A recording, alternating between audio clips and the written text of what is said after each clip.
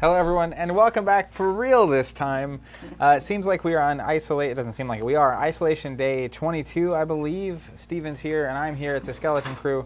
We've been here to not here literally, but I guess we've been since the beginning together uh, during this isolation period, streaming tabletop gaming content every day. Today, I'm very excited because we are going to be painting our minions for a little game called Skytear that we have recently fallen head over heels for. Um, I'm I, I want to intro this by saying uh, I'm excited and slightly nervous because I'm teaching something I'm only maybe a little bit okay at. Uh, definitely not an expert. If you're new to painting, the recognition is I was typing up some notes this morning that I think are being edited and they'll be published so I can link to them. Um, but I was basically, uh, over the past couple weeks, I've been, I set up my dining table as a paint station. I've been painting my Crisis Protocol miniatures.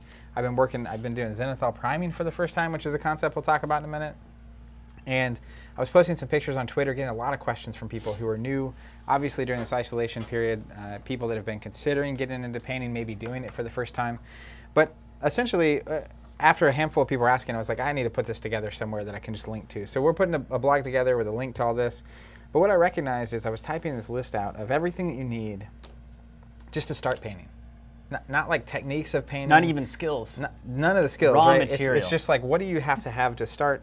And the crazy thing is, I literally got to number five before I get to paint or brushes. Which is all that to say, uh, painting can be a very overwhelming uh, process, especially for You someone don't say. totally new to the hobby.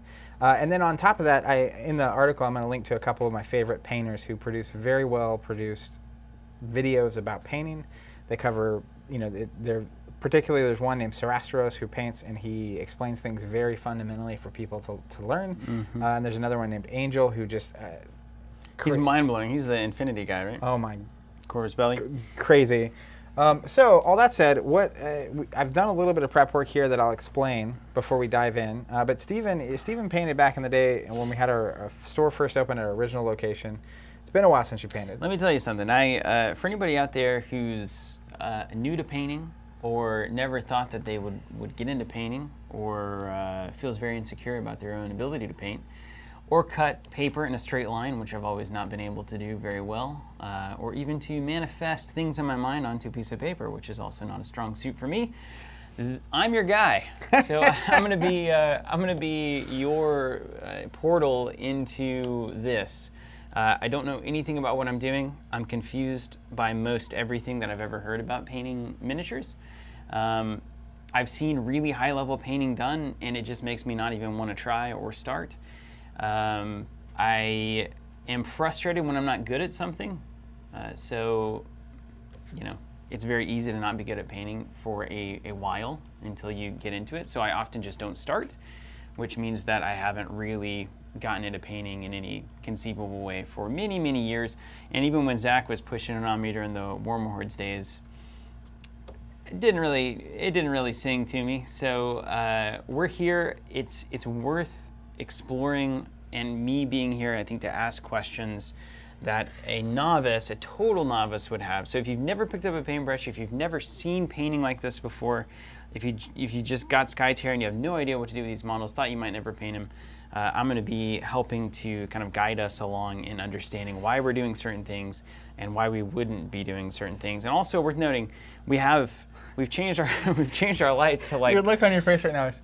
We've changed our lights to the brightest white light that we can have to accurately represent the colors, um, and it's blinding. So if we look like we're uh, basically kind of like old men screaming into a camera, it's because the light is very bright right now, and we're willing to suffer through it for all of you out there because we appreciate you so much uh, that we'll do it. Because the accuracy of our colors here is so important. It's really important. yeah. So what I would say about my I'm about to blow your mind so with some painting. I I mentioned uh, Sorastros and Angel, but then there are a couple locals, Tim and James particularly, that have helped me along over the past couple years to go from owning nothing uh, to owning all the stuff in front of us that we're capable of doing this.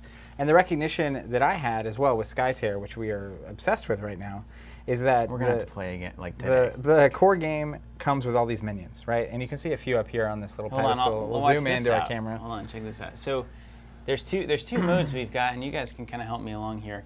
So one mode is basically we'll give you the the small box there, so you can kind of see what we're working on in the small box. And then if we go full on, now we're full on zoomed into the models, a few models. the minions. Um, so the, the core game of Skytear I'll comes, leave it there. comes with a ton of minions. So our goal today is basically cover the basic things that you need to understand to start painting, and then we're actually going to use all of that to get paint on our minions particularly, especially when we're playing on stream. If you look at a table of just all the same color minions, it's not easy to tell is it my minion or is it Steven's minion. Um, so that's that's going to be our primary goal. And then there's a lot of people in chat who are very familiar with painting. We're also going to be answering questions. We're going to be talking about Skytear and tabletop in general.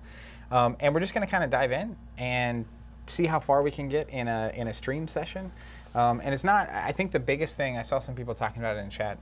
One of the biggest things that gets in between people painting and not painting is the fear of not doing it well. And then also just the sheer number, like I just linked to the blog that has a list of all the stuff we're using or have used. And there's a lot of stuff that you, you have to get and then know how to use, which is a complicated process. So if you are new, I very much encourage you any paint on a model is going to look better than a plain gray model.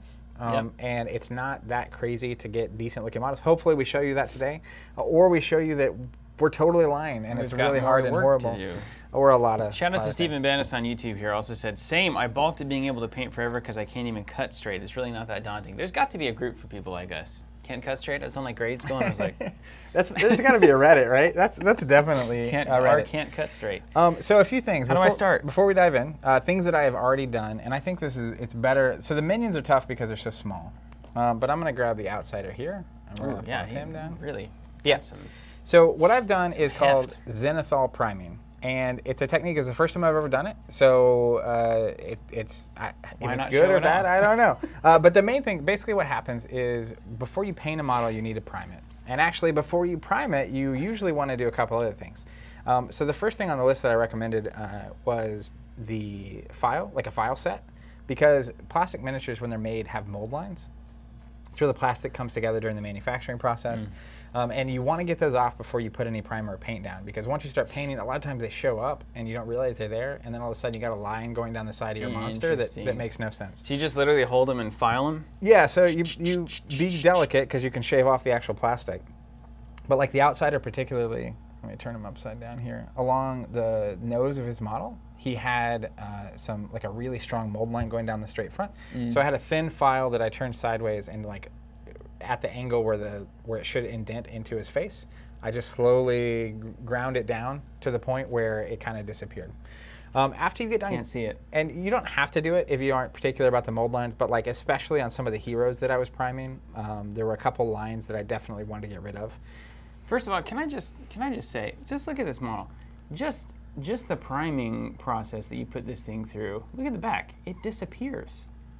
And in the front, Yeah, it comes back. It's like this already looks a thousand times better than just the plastic. than just the plane. Yeah, and I, just I think here. people could get to that point. Even the minions look better uh, in that way, and you we and I'll talk about that in a second. So you clear the mold lines, then you want to wash your model. So this is just water and soap, warm water and soap, and not hot water because hot water can make plastic malleable. don't, Yeah. don't go too hot. Uh, but ultimately, you're, you're clearing everything off, any any chemicals that are on it, all that kind of stuff. So you clear it off. Then you get to the priming. Now, with both paint and priming, the number one thing you don't want to do with miniatures is put too much of it on. So if the primer's too thick, you'll start losing details. Like if you look at his chest, he's got these little like rivets in his like ribs, um, which I don't know if you can if it's gonna. Let me try to go to the different shot here. See, see what you guys think about this. So there are these little rivets in his ribs and his teeth and stuff. And so the more primer you put on, the, the worse that's going to go. And so standard priming, something that I used to do basically when I first got started, was priming in a single color. And there's a lot of people that argue prime black, prime white, prime gray. Those are the three three that typi- people typically do. Um, and what I've done is called zenithal highlighting, which actually does all three. And the way that works is the first thing you do is you apply a straight black primer. Um, and again, if you're using like a spray can, I actually brought a spray can just to show it off. You want to hit, hit me with a shot? Um, so I got this at Walmart. It's very simple. Um, this is the Krylon Color Master Primer. Just make sure on the front it says plastic because there's primer that you don't want to. Are, we showing me or the model right now? Oh, we're showing the model, yeah. That's fine. Uh, but I, this is like the most common that? thing that people have questions about that are like, I'm not sure if I'm buying the right stuff or not. But it's an aerosol can, and so you want to just go when you're spraying back and forth, uh, not too heavy, thin lines, um, and like just coat it evenly across the whole model. After it's black, then what we did is you set the model upright, and essentially you pick. He's a little too tall. Uh, You pick a light source. So what zenithal highlighting is trying to do is, is lay down a light source on the model before you start painting. And then we're going to use very thin paints to cover that. But because it's not just going to be glopping on a thick layer of red paint on top of it, the zenithal is actually going to come through. So where it's darker, it will still feel darker, and where it's lighter, it's going to be lighter. And you can already tell on this, it creates a nice shadow effect Yeah. um, without having to paint. Like this was super easy. We, we primed it black. Tim helped me with that on over the weekend, and then I literally went in with uh, over the past couple days. Um, so what you do is you take a gray primer first. So it's all black, right? And you choose your light source. So on this, I was choosing coming at him from like this angle. You can see, and then as he turns, it like goes away because the light's not hitting them there. But you're basically spraying onto it in that angle, and again, you don't want to go too thick. You want to go left to right and kind of get a nice even coat. Um, but if you imagine it like bands, where like everything's black, and then you want it to be a little tighter when it's gray, and then the last thing you're gonna do is the same thing with white, except for you're gonna make it even tighter. And basically, where it's white is where you would expect, like if the sun were in the sky, this is where it's hitting on that model. And that's going to create a very like organic lighting effect. And there's a lot of fun ways to use zenithal highlighting and stuff, but that's just what I've chosen to do. Now, I kind of did the same thing with the minions, which I'm going to put back up here. Now, these guys are so small that you can imagine that if I was trying to do black, gray, white, that would be very tough. Because Yeah. like the spray is going to be bigger than the model. Like there's no way for me to do that. So I actually skip the gray step. So it's literally black, Just black and and then you choose a light source and you hit it with with white. So like when you see the various models, like with the the light, I forget their name. They're here. The Nupten models, it's like where the shield's at. It's like coming down on them because that'll be a cool lighting effect. And then Yeah, very You can cool. I see see how you Yep. did that. yeah. so that's going to just make our life a lot easier because we have a ton of minions to paint, and we want I this process particularly. uh, People use it on actual models. I did all my models for Skytear in the same primer because I was going through it. With, obviously, you can see my outsider here has the same thing, um, but that's going to make our lives way easier. Yep. It's going to skip us a lot of steps later that we used to do manually. Now, the one lesson that I do know from painting, from listening to people talk about it for many years, is to use the thinnest paint imaginable. Is that true?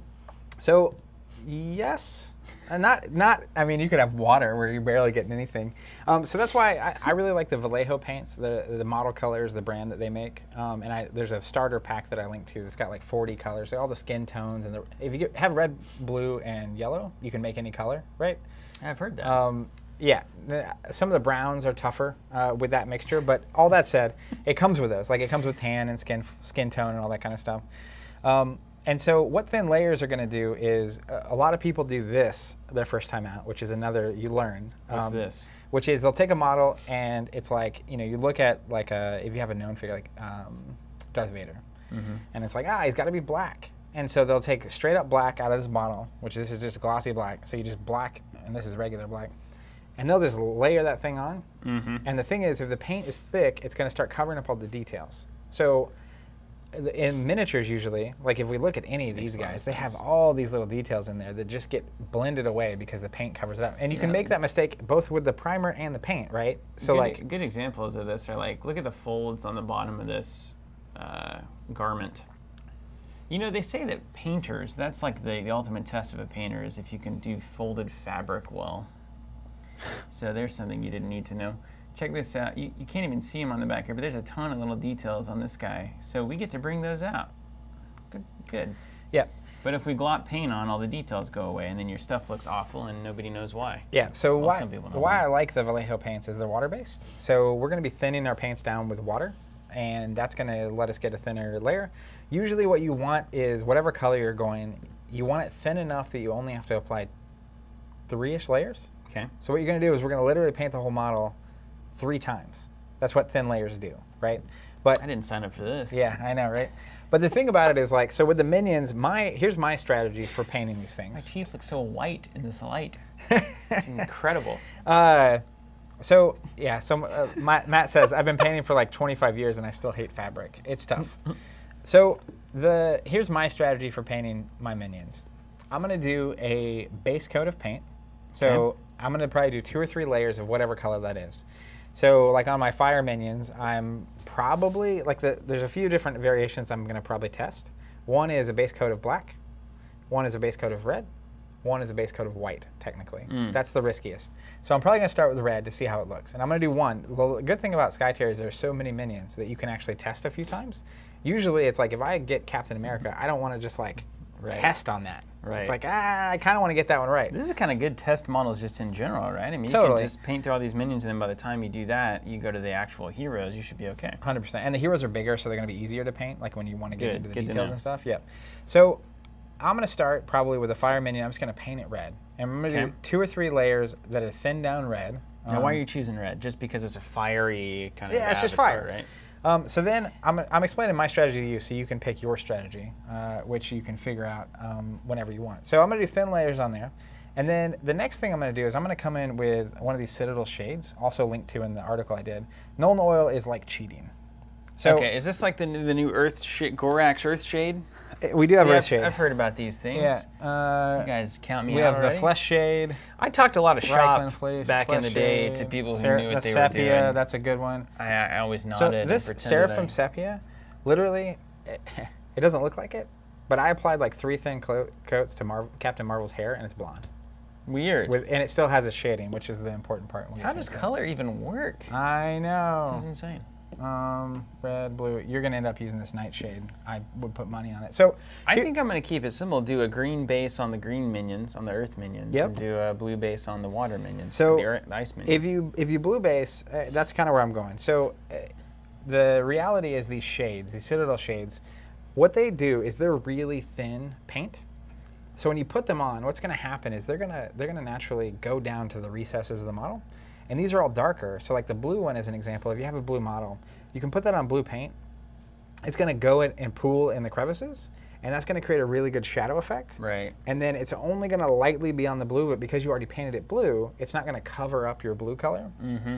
So that's how you literally paint all the shadows without having to paint the shadows. So do you generally go bright colors to dark colors? And so the, the darks are always settling on top of the bright ones in the crevices? It depends on your the effect you're after. Yeah. Now, if you need to do the I'm opposite, after award-winning painting. yeah. So what I'm going to say is, like as an example, if I do red, then I have this uh, Carroburg Crimson, and I'll have um, there's our shade, uh, the Nuln Oil, which is just like a black. So the black, the the Nuln Oil, the reason it's cheating is because like a lot of times when you just do like a solid blue, Mm-hmm. like there's a blue paint over here, it's bright. It's like a vibrant blue. it's like almost like fake blue. Like blue, blue, dark yeah, blue. yeah, dark blue. It's like a fake. It's almost like too vibrant. It's a lot. It's blue. So something like the Nuln oil is gonna bring that down to a more like what you would expect if someone was like wearing blue. Um, and then it's going to create the natural shadow effect. So then, Okay. then the last step is going to be the highlight phase. So like as an example, on the fire minions, they have these little hats with the like logo on the top. So I'll probably end up outlining that logo in like a white or in like a black, like it's a red miniature. How? How? It's so tiny. So you'll just take a, we'll just take a brush and do it. That's not, that's not that crazy. Mm. Um, but yeah, so that's that's my basic uh, Let's get started. strategy. So I So want to mess up some minions Yep, here. and Let's there's go. a couple brushes here, uh, also linked to. You're going to be using the ones linked to in the thing. This they have sizes on them, so like zero is a pretty standard sized miniature painting brush, and then it's smaller if it's got more zeros. So like this is a zero in this style. This one goes to 11. Uh, this is the triple zero, which is one of my favorites. It's just very tiny. You look like you have real brushes there. Those are the actual Bugatti brushes. Really? Mhm. Ah. I mean, these are good too. Nice. These are the Games and Gears ones. Those are the Winsor Newtons, which is like the common like. This is the jam. it's like the graphite pencil Yeah. painting. Nameless says Stephen looks skeptical. Skeptical. yeah, I usually do. I'll always look skeptical anyway. Um, all right, so I'm gonna dive in. So I'm gonna grab. Now, why, red. why would I choose a 1 over a 0? So for a base just- coat, a 1 is fine. I'm just going to cover more. It's just the size, yeah. So uh, I'm gonna start with That's a about one. the same to me, man. I got to be honest with you. So I'm gonna take this and I'm gonna shake it up. Okay. Wait, hold on. Let me get, get Taking the red. here. And I'm again, we have tons of minions. uh, let me do the green. I'm gonna I'm gonna start with the earth guys because so we've I'm got not gonna care green. as much about them. I like this flat green. That looks yeah, good. it's like a vibrant color. So you Now give it a good somebody said the other day to put uh, a couple of ball bearings in these bottles. Yeah, I saw that. That's a good good tip. It like keeps the paint broken up appropriately. Matt says, "Get these guys some painting handles." Steven actually made one, This thing? makeshift. Yeah. I just put on the bottom of a. I had some gaffer tape and I put on the bottom of a model color bottle. so I'm gonna start with just a little bit of red. Now I'm gonna show this on the screen just so you can see it. I have this little paper plate. I gave Steven my uh, palette. Dude, you're very kind. So it's uh, it's red. Now when you put your brush in it and then like drag it across, like if you look, when I'm dragging the red, it's like thick. See how you can can't see through that red? Here, put it on the thing. Give it to the folks. So if I grab the red here and put it on the brush and then I'm like spreading it, it's like so thick I can't see the plate. So that's too thick. That's that's how you would glop paint on and Yeah. lose all your detail. Okay. So what I'm gonna do is I'm just gonna dip my brush in the water that I have here, and I'm gonna add drops of water to the to near the paint, and then we're going back. So this is just uh, some water drops, and I'm gonna mix it in with the paint. Now what I'm looking for is to get a consistency where when I'm like spreading my brush like this, it's still solid red. So I want that to be almost. Oh, Yeah, there you go. I want it to be almost translucent when I'm doing that. Mm. So I need more water. And I'm going to do that until I get the appropriate amount. Are are you gonna get paint all over this mat? Maybe. I have these here for that. the plate's going to help me, but all right. You ever wonder? So, like when when I was getting into making uh, mixed drinks, like cocktails, last year, year and a half, So thick. I watched some tutorials early on, um, and I was like, oh yeah, okay, this makes sense. But now that I actually know what I'm doing, those early tutorials were horrible. They were awful, like embarrassingly bad. So, you know, this could also be one of those. Yep, it sure could. uh, I at least know all the equipment is right. You know what I mean? All right, so now when I have the paint, it's like really watered down, and when I spread it like this, it kind of dis. It's like I can almost basically see through it to the plate. Like you can see the white there. Yeah, it's I hard can to see pick some up of the the white coming in you. So that's that's about the point you want to get to. Tell me, how am I supposed to use this easel thing? Do I put the do I put the this in here and then spread it all here, or do I water it down in the little bucket? So what I do is I put the paint right in there. Okay, Yeah, and you'll start with a little enough, amount. right? Once you once you get the where you you know this is the color you're gonna do, you can do more. But you'll start there, and then you'll just Okay. put water straight into that thing. paint. Okay. Now what water I going in. what I'll typically do with it, and we're not there yet, but like so, especially when I'm painting like skin, I'll have like a light color, medium, and dark, and I'll have them all separated by an extra space, and then I'll create a mixture of each of them in between, Yeah. so that I have all the different different shades. That's like classic. Uh, that's what you do for classic painting. I've seen some Bob Ross in my day. What's up with these bubbles? Is that normal? yeah, when you you just gotta How do I test? So I don't have do, the. do can I test yeah, your, on you, your you can also do it in the middle. That's what those little marks are for. Yeah, see you can see the the see Yeah. through it. That's great. Look at that. You guys can't see this probably at all, but No, you can see it like through the green Right into here. the, the paint underneath it. there's a little. You see a little. It's a little white. It's like lighter than you might. That's pretty good there. Yeah. So So you're uh, happy with that? And you also like I would grab this paper towel, and you can also like so after if you have a lot on your brush, you'll literally just like do this and like clean off your brush with it, like if it's up here, kind of a thing. okay. So now I'm just gonna go for it. So So you're saying I go here and I can like do this one of these. Yeah, just get all the goop off the side because you'll find very quickly how dangerous Okay. you can be to yourself. Oh, so I found that out many years ago. now I'm just uh, applying a thin red coat to this whole model. Okay, so I'm here.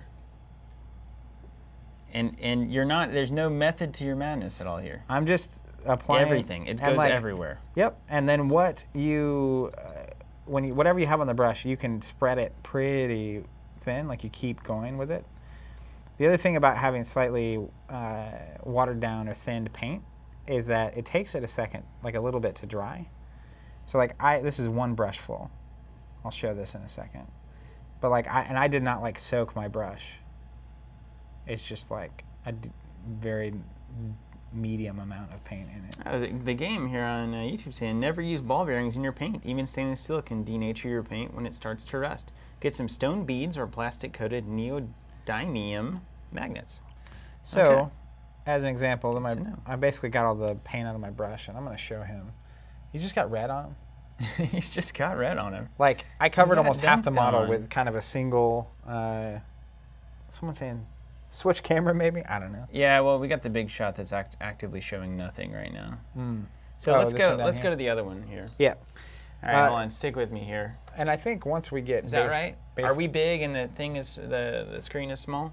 Once we get base coats down, we can show some of our mo- like our model with a base coat down. I think I'm actually. I think I've. I think my paint is the right thinness. Yeah, you can kind of see through to the black and white still, Oh my just gosh. a little bit. Yeah. I mean, this already looks better. Even if you just did it monocolor. I take back everything. once we, I swear, man, once we apply those shades, you're just gonna be like, what am I doing with my life? Okay, hold on. Yeah. Okay. So here, look. watch me go here. Here, I'm gonna I'm gonna take you guys in. Okay. This is me. Let me get a little paint on the old brushy there. Okay, here we go. Now you're making somebody not good at this do it upside down. Look at this. I believe in you. You're getting some green on him.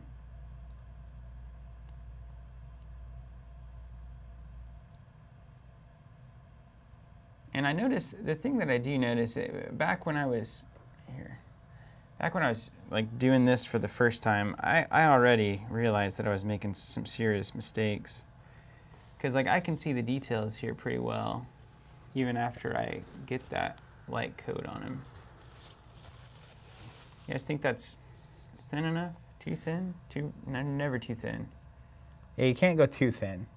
If you go too thin, that just means you're going to have to do more work because you're going to have to apply extra layers. But you can always start too thin and, and figure out where you're at. Okay. All right. Little green guy is looking pretty cool here. I like this. Get one more uh, little dipperoo here. And one thing that's probably worth doing as well, since we're you're going the color Ooh, that's probably not ideal. that you're expecting the model to be, is to go ahead and paint the base. So that- Green? I mean, if you want it to be very green from the top down, I think that would be helpful just so we know whose minions are whose, right? yeah. Okay, so here we go. Here's front. Front front facing green guy. You guys see that? He's green. Not green. Green. Yeah. All right. I'm almost almost done with the base coat on one, or this first base coat. Okay, so I'm gonna do that exact same thing just on the back there, and it, it, it's it's a bit uh, physically demanding for me to do that. So Upside down. I'm not serious. Uh, Tom Malucci said earlier, you're looking. Steven's trying to look serious. I, I the light is super bright. we have I'm it on natural white for to make the painting more accurate. Right here, it's this simple, right? Brush.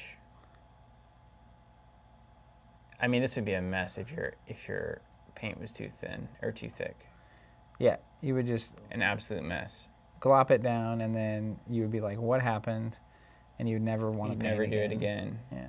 And then you'd try to get somebody to paint your. Uh, who was that old man with the pistols and War Machine? Gareth. Gareth? How do we still know that? Who's Gareth? Oh, your Gareth model. Yeah. I thought you meant there was an old guy painting for you named Gareth with pistols. No, I would love that though. I was like, that's a quite a story I just had no idea about. I assure you would have heard that story by I, now. that's what I was saying. Now the back, you know, it looks way different than the front. That is Hold correct. Let me get this done and I'll show you here on the camera. That's what I'm trying to get my base coat down so I can show what happens.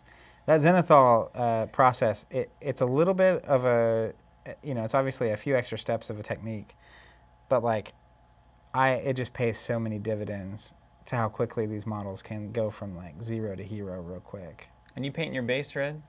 Yeah, I think I'm gonna try that. That seems like I wouldn't need that. Um, I could do some thicker paint on that just because I'm kind of taking it with me as I go on the base there because there are no details for it to grab. on your greeny base. Mm-hmm. And there's gonna be little Boy, things man, like the front looks so much better than the back just because of the white. yeah, isn't that amazing? Now some people do zenithal on the entire model. Uh, You can't have light all over. Yeah, that's that's where I'm at. I mean, it's a cool effect when people do it appropriately. But yeah, and so like when we're doing this as well, because there's like black under a part of it and white under a part of it, it's okay if like especially the first or second layer doesn't just look like the 100% like the color you want. Um, like it's gonna be tough for me to show it, but the back side of this blade, because of the light's not coming from it, is just a black primer, and so the red is like barely taking to it. Yeah, that's what I'm saying. Check this out. Hold on, let me let me show the folks here. And at this point, I'm kind of just like, I'm almost like wiping away excess. Yep. That Like- probably means I failed. I'm almost at the beginning there. It's going to be a really good. No, that's that's what I was saying earlier. Like, so because you thin the paints, it's not going to dry Im- immediately. Like the water's going to take it a minute. So you just you just keep it moving. And if you just keep spreading it and moving, that's how you get the thinnest, most even layers on the model, which is what you want. Okay. Let me show you what I'm working with here, folks.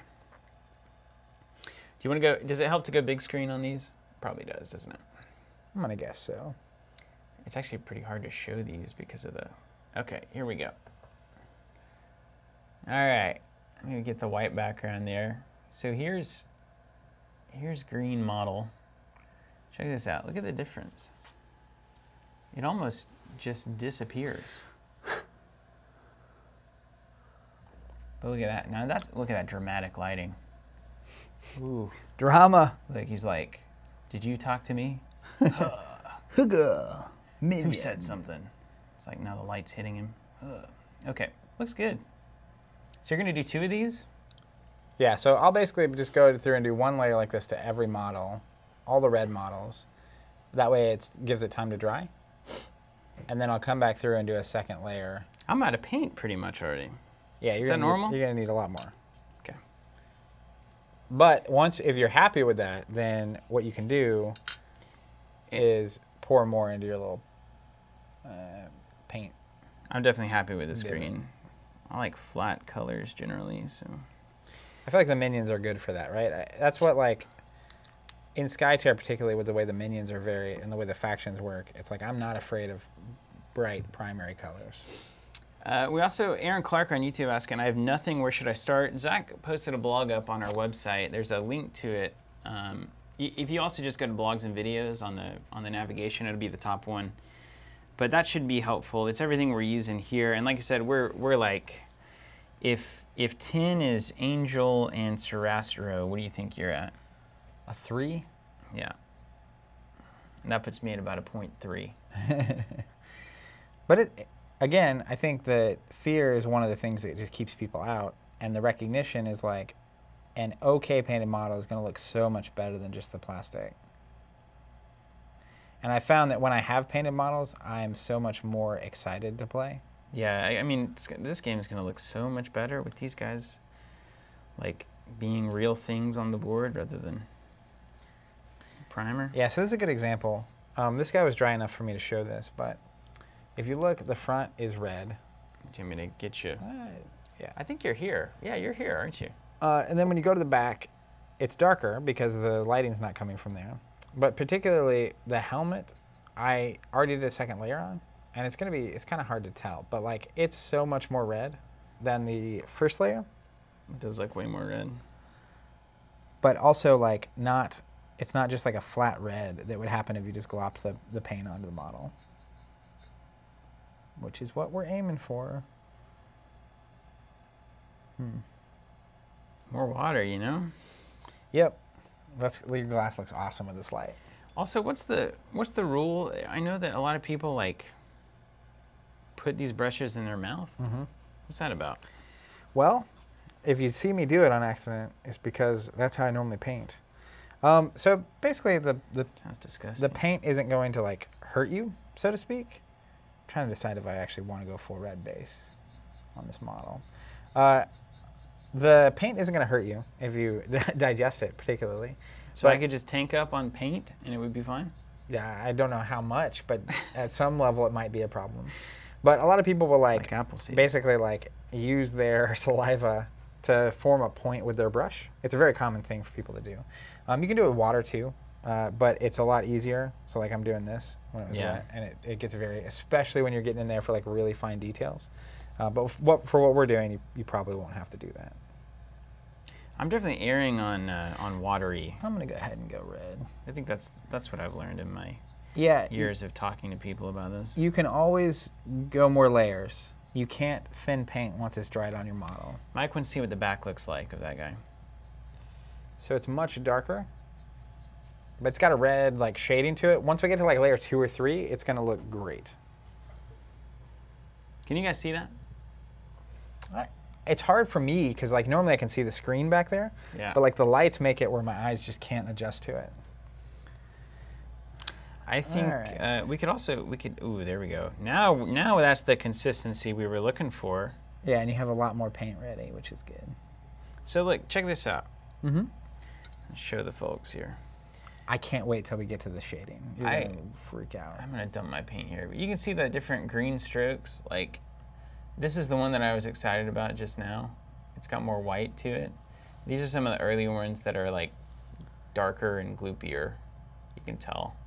This is super nice and light. So another thing to think about too, uh, essentially, a lot of what painting is, even when you're going full detail in a model, like those earth minions that you have, Mm-hmm. if you uh, like they have that rock that they're lifting. Yeah, So like technically, you could go in there and paint the rocks like a brown, it does seem like the rock color. uh, or whatever color you wanted. Um, and little details like I'm probably going to do some of those on my fire guys. Um, and then when you go in to add the shading, it's you're going to get the same.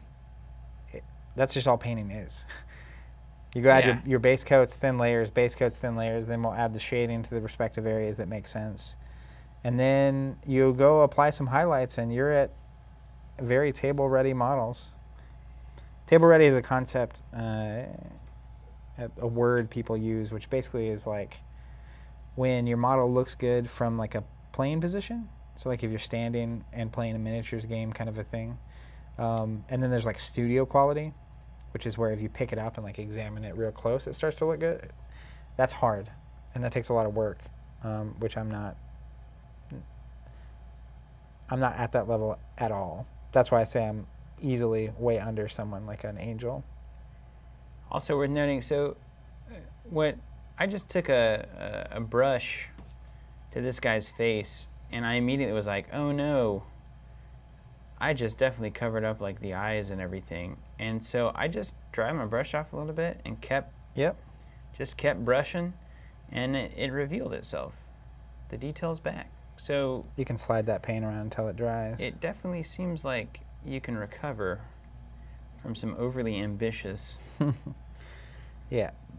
moments. Well, and especially so this is just the base coat phase. Um, so like when after we apply a wash, a lot of the mistakes are going to go away, and then even after that, when we go back, that's when you get to like details and touch up and highlights. So you can you can fix problems. The main thing you, you can't fix right is when you lose details because there's too much paint. Just too much paint, yeah. There, there's really just no way to fix that other than green. Like there's a, some chemical stuff you can use to totally strip your model of paint. You use simple green, can you? I remember I did that many times. Yeah. Toothbrush.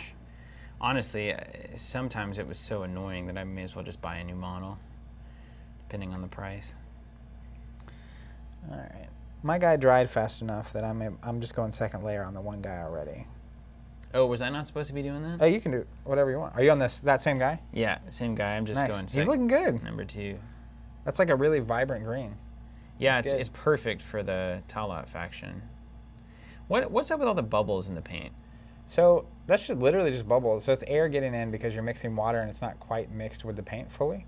So do I need to like mix it harder in the little? Um, Thing. actually, if you mix it gentler, Oh, so the this is my an unusual approach. yeah the aggression of your mix is what's creating those pockets of air. Usually, Okay. um, they're not a problem. Just make sure that there's not like a pocket of air on your model when you like leave it. Yeah, it's just causing me to like brush a lot until the bubbles go away, Yeah. which maybe is okay. Maybe that's to my benefit. I think this highlighting is going to be the MVP of this entire session. The highlighting. The the zenithal thing, Yeah, it's. because I feel like this is easy mode now. I told you it's not so bad once you know what's going on. Once we do the wash too, you're just gonna not know what to do with yourself. I swear. Watch it just go miserably. I'm also losing my. Are we? Who's? Uh, is the big shot here? Is this the big shot? Somebody tell me. I've got my. I've got my numbers back. Backwards.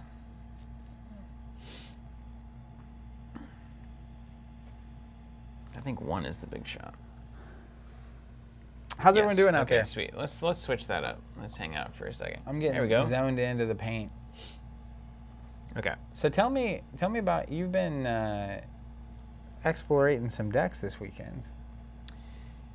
Oh my gosh. With Skytear? What have you been figuring out? I've been freaking out, man. Um, I've been figuring out that it's an absolutely fascinating process. Process, first of all, um, there's a balance between like what your that particular model wants, and then what it wants that none of your other models want. Mm-hmm. In terms of the deck building, so like sometimes you have to choose like this card is great for this model, but then it's really bad for the other side of the board. So like if if that model isn't there, like some of those red cards that I was looking at, yeah, you know, I have at least three models of the four that don't have red. Yeah, because you're playing heavy blue. So it's like, oh, I just what if I just draw two cards that are only usable by one model? That's a problem. That doesn't seem good. So I think that's where like on a big picture level, and I'm I'm sure there will be decks that like make that work.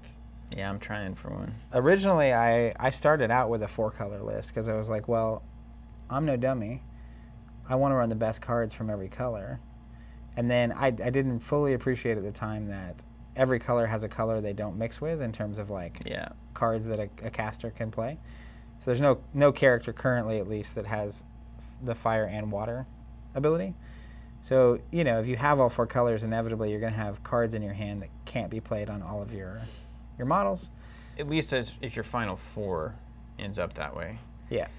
Because there's the world where like I've got two red and white models on my six-person list, and I feel like if I take one, I have to take both. Yeah. That way, at least you have you have all those cards shared between two different models. Um, I've also learned that movement abilities are good. Very good, eh? Um, particularly good in like capacities where you can push the other model out of control point whenever they've put a card under. Sure. And it's just like that's like minus four control points. Minus the caster plus the card they put under. Yeah, because they bad. usually put a three under. Yeah, and also like obviously like both offensively and defensively being able Mhm. to move them. So like you you got me with that a couple times in that last game, where it's like, all right, there's one. Uh, where you, I like was charging up for a big attack, and then you just like dodged out of the way. Look at your that green is great. Yeah, dude, I'm, I'm wrecking it over here. I think I'm gonna upgrade. To Don't need to bigger, cut straight to paint minis. Bigger brush.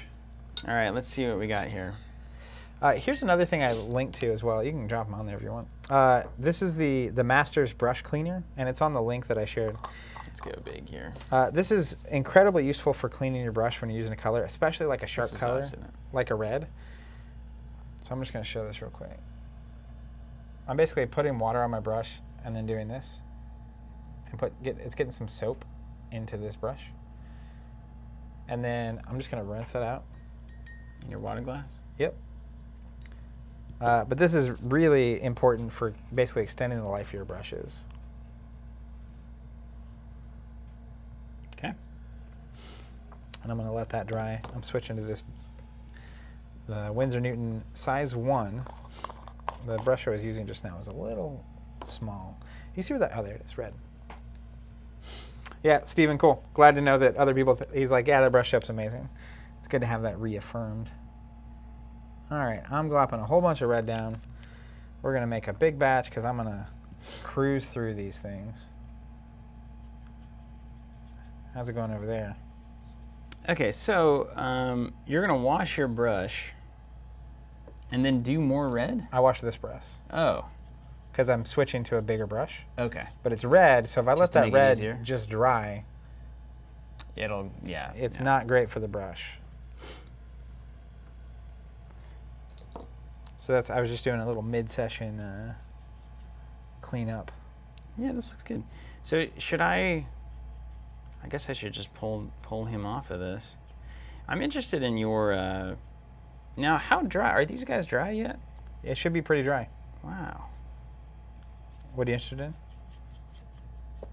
Interested in owning you a painting. Look at that. Okay. I believe in you. So now number two. So we're just gonna. Are we gonna do all of them I'm Right gonna do. I'm gonna do all my reds. while we got them? Uh, that's why, like, if you want to switch to your blues, because I know those. Give me those Earth guys. Let's go. So I'm gonna remember him. He's gonna be the one that I cared about the most. See how it looks? Yeah, I'm just gonna start going.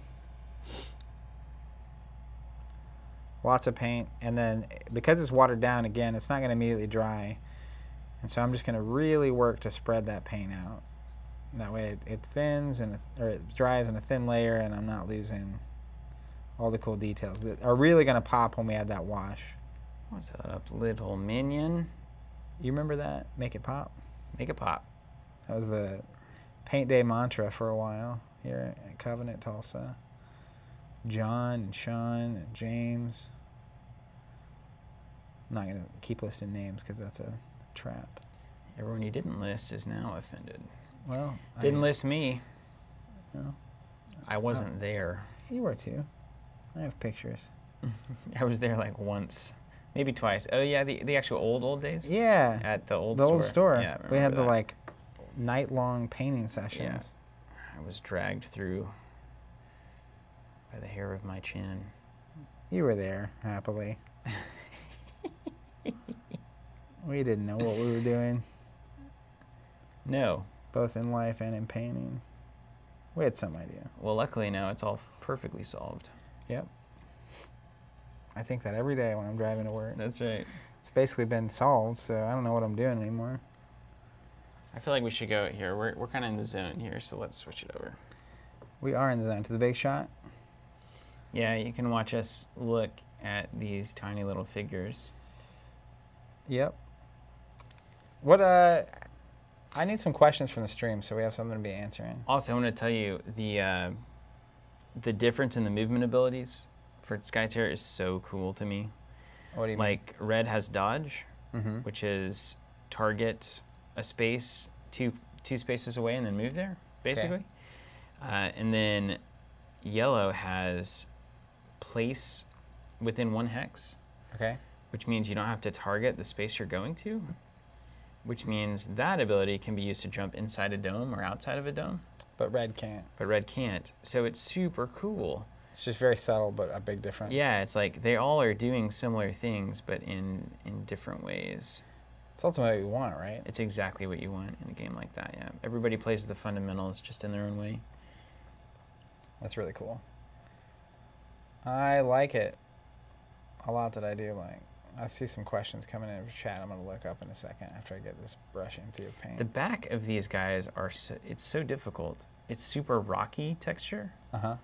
And like black. Yeah, so it's like it doesn't like the front is beautiful and the back just looks like hot garbage.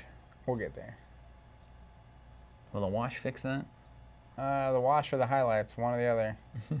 If it isn't one, it's the other. Let me tell you. And if that doesn't fix it, well, there was no hope. Yeah, there's nothing to be fixed. Questions? Oh my God, they're coming in faster than I can read. Daniel, how long does a mini take to get to table readiness? That all depends on you and what you consider table ready. Um, a minion or a mini? A mini. Uh, you know, I mean, I think we'll be able to get through at least uh, minions of one color today. Oh man, I thought I was gonna get double.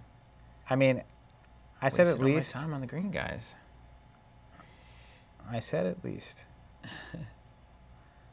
so it really just depends on how much detail you're painting. If you're doing monocolor with a wash and some highlights and detail work, um, it should be really quick, ultimately. Man, these bubbles drive me crazy. You're not dealing with bubbles? Uh, they're there. You just keep spreading that paint. And make sure they popped. Have you tried the Akla Kichi combo with Curse of Years and Comatoxin? No, but I, you know that makes a lot of sense. That's the one. Curse of Years is like the half their hit points, and then the other one is kill them if they're less than, or if they're at half their hit points or less. I haven't, John, but it's cool. I'm not a combo person. I like to play the fundies. So Just that every card being that fundamentally kind of stuff kind of scares me. I do love uh, Akla so much. I love the ability. I love the idea of trying to make it work. I love sitting him in the dome, on the outskirts of the dome, and using one of your other green models in the closest lane to drop pillars so he can see and start shooting outside of the dome. I think it's so cool. I'm all in on like crippling shot and uh, blazing fear, blazing edge with him. Because like if he can disable people and still control the dome, it's super good. Yeah, Jared Pine, my intense brow furrowing is making the bubbles. I literally was It's told that the other day that it's gonna make my face permanently, and it already has. It's Look- only look, here's my intensified by the light. It's not true. I think I've got some lines. Yeah, apparently my mom grew up. Her her mom always told her never to uh, scowl like that because it'll make her face like that forever.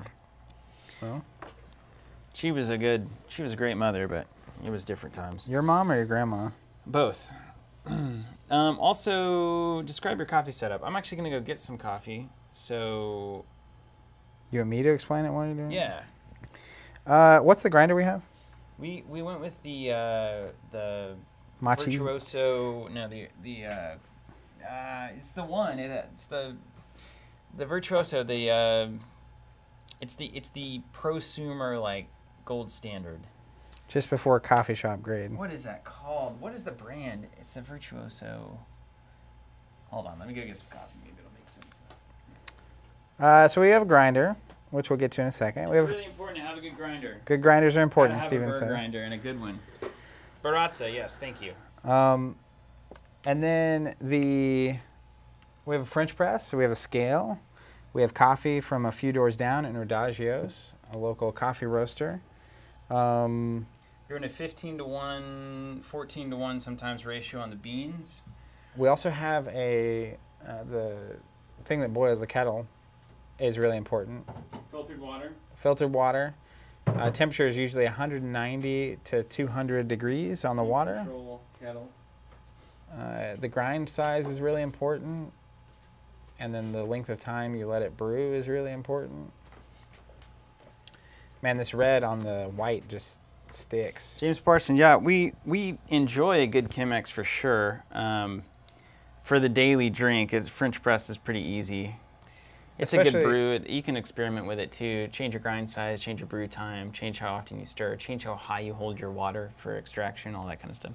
Especially because uh, we, when we were able to still work together all at the same time, we had a daily coffee regiment, and making coffee for, you know, eight people through a Chemex is a process. So French press it is. Okay, round two on this guy. What num- What model are you on? Second model, second coat. What about you? Um, third model, first coat. Are you doing all first coats and then coming back through? Nope. Oh my gosh. I'm in second Coatesville. So what? I've got. You got that big old brush. We're, though. we're gonna make it through all these guys today. Do you have Do you have a big brush that I can use as well? Yeah. I'm on I'm on a one. Is a one big enough This for is this? the one. Oh, There's also bigger ones though. Look at this guy. that seems like it seems like I'm gonna regret that. You might. Luckily, you're just doing those puny Earth creatures. Puny Earth. It sound like a space ghost quote. Puny Earth creatures. I need more Space Ghost in my life. Yeah. Yeah. I missed it when it was happening, but I've since. I had a couple of friends, Robert being one of them, that had the DVDs Mm-hmm. Space Ghost, and that that's where it was. My brother, pre- older brothers used to watch it, and my cousin Dustin. so like it was on. I just didn't understand it Yeah. As like an eight-year-old. Yeah. It's easy to not understand. You just have to give into it. Hmm. Uh, Nemesis EG, really funny. Uh, dated a barista once. What a grind. Uh, was it unbearable? Wow. Dang. you guys been texting each other? yeah, I'm going to set you up, man. There's a burr grinder is the a famous uh, grinder. It's a famous grinder. That's right. So for those at home that can't follow along with my humor, I'm funny. I'm funny. Trust me. Yeah, burr is a, basically you can grind it with blades, which is just whirling blades, uh, which is what barbarians do. Sounds like a Skytear attack. And then there's the burr grinder, which is basically two crushing wheels that are clicking together. And as coffee beans get in the middle of them, they get crushed. Smushed. Bird. Bryce on Facebook. Next video should be assembling Arena Rex models. That'd be our first R-rated video. there would be lots of cursing. It's not so bad. I actually discovered some glue. I discovered glue many, many years well, ago. Well, uh, there's this Loctite glue. Oh, It's like a gel. So it kind of like can help function as like a sticky, like it holds the piece for you. okay. You just gluing your models together now? What'd you say? Are you just gluing the models together? Is that what you mean? Like yeah, when you're gluing your models. So like I've been gluing the Crisis Protocol stuff together, Yeah. and this Loctite glue is definitely the one that's been the easiest for me to assemble things because it kind of like when you like put an arm on a socket or something, it'll kind of hold it there for you. Mm-hmm. So it just it's like an assist on it. It's not fully just like you just put it there and it's done. Okay. But unlike just like regular glue, where you just have to hold it there without moving for, For two years. minutes, and then sometimes it attaches to your finger, so you rip it off an accident. And is then this the spray is is that out of fashion now? Uh, no, no, not that I'm aware of. Also, just next layer of m- miniatures is like getting uh, pinning kits and stuff, and the green stuff, Ooh, this guy looks good, man. and then you can put those together officially. I'm gonna t- I'm gonna come up for air in a second when I get done with this model to answer some chat questions. Okay, let me put this down. I'm gonna check. Just need to. I need to mark my numbers on this on this device. What device? The audio device? Yeah. Okay. So we're backwards. Let me make sure this is right. Is it that one day last week where we switched spots during Arkham? yeah, that's what did it. Is it really? no. I thought maybe you changed the okay, settings. That's right. Okay. So two up top is big picture. It's backwards whenever you do the picture in picture, so it always trips me out. We're all blaming you. Just kidding.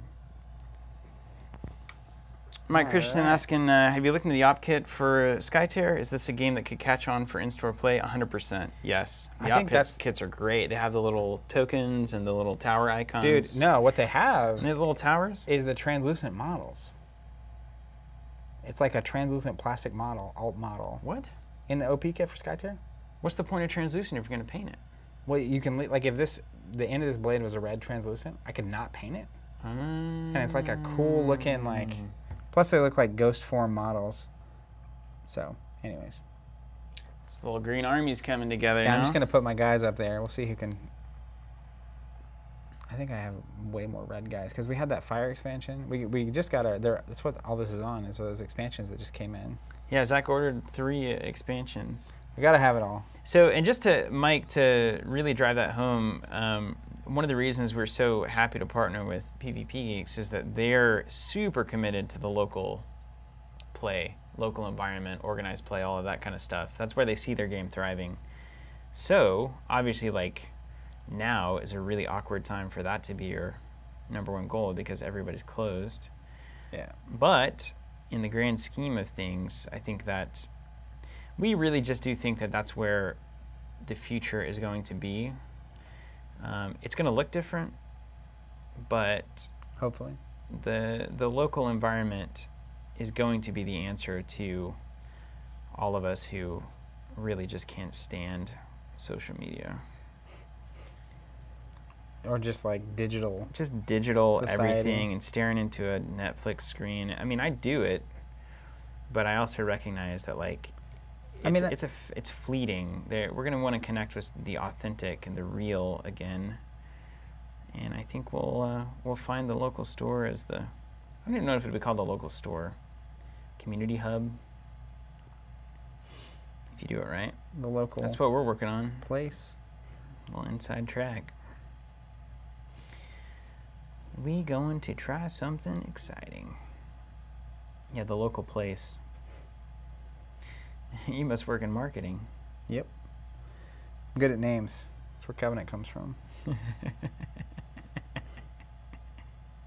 So anyway, so it's really cool to see a, a business that is both like uh, competent enough to handle online distribution and sales in a good way. Like we were able to order these expansions and get them Yeah. in pretty quickly. Even their whole like the TTS mod Mm-hmm. And the like, just using technology to strengthen instead of using it to replace. I Yeah. think that's the main thing. That's it, man. I agree. Fi five or six years ago, I think a lot of publishers, I think some of them even still, don't like their like stat cards and stuff to be online because it's like, well, if we provide everything online, that who's going to buy it? Um, which I think is really just a shame because it, it also impossible. well, y- yes, but it's a even just philosophically a shame because it's like I think it totally eh, has no confidence in how great it is to sit across the table from someone and play a game, Yeah. um, and how great it is to have these mo- like we're painting these models, right? So like, there's something here. We could have just been playing on our computers this whole time, and I can tell which minions are mine online easily. Um, but anyways, uh, using it to raise awareness, to let people try a game before they have to buy into it, um, to uh, To know connect people. to connect people during like COVID, especially and whatnot. Like, Or, like, just because I just have don't have five people that I might play with locally, which would be awesome. I still would love to talk to a hundred people on a Discord about like my list. The number one thing you want to do when you're obsessed with a game is play it and talk about it constantly, and you want to you want to be engaging constantly about it, and you're super excited about it. And if you don't have anyone else, you have one other person, and, and they're like, okay, well, you know, we've kind of, I don't really want to talk about this anymore. Then it's like, well, Well, also where like, can I go? what if your friend that you're playing it with is out of town? Yeah, or sick or busy or what if your schedules just don't align so that's that anyways i think the same thing is true um, i know technology integrated into games is another uh, hot topic and I, I, I tend to think that the real winners are going to be uh, the people that use technology in their game design to enhance the experience and not replace it yeah, and that's that's the hardest balance because so many of the the games that are app integrated I've played, it's like I don't know why this is not just a computer game. man, I felt that with uh, Journeys to Middle Earth. Is that what that was? Yep, I felt the exact same. I did way. not. I did not really enjoy that. It's fine. I mean, I'm, there's a lot of people that do. I know people that are really into it, but I think the problem there was for me, it's a little too much. I felt like I was spending more time managing the game than I was playing it. Yeah. And technology should really allow you to focus on playing it. Should take away all the bookkeeping. It's like the technology was telling you how to manage it. Yeah, it was exactly instead of managing things that are annoying to manage as a person. Which kind of like games like XCOM did a pretty decent job I thought XCOM was great. of that one. It was a great, great balance. Another thing too, when you're painting, side note is, like I had models up there that I considered quote unquote done.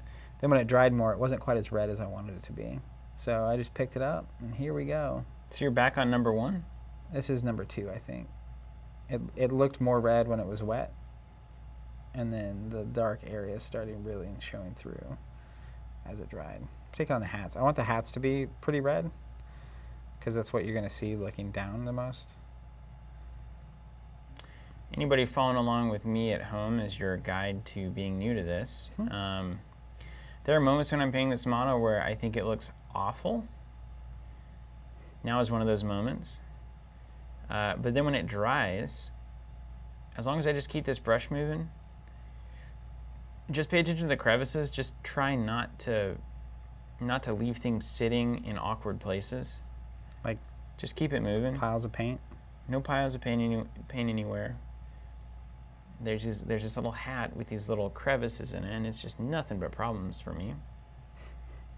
But you primed it well. It'll it'll dry, and it'll all come together. Just don't let your paint pile up. Just move it around.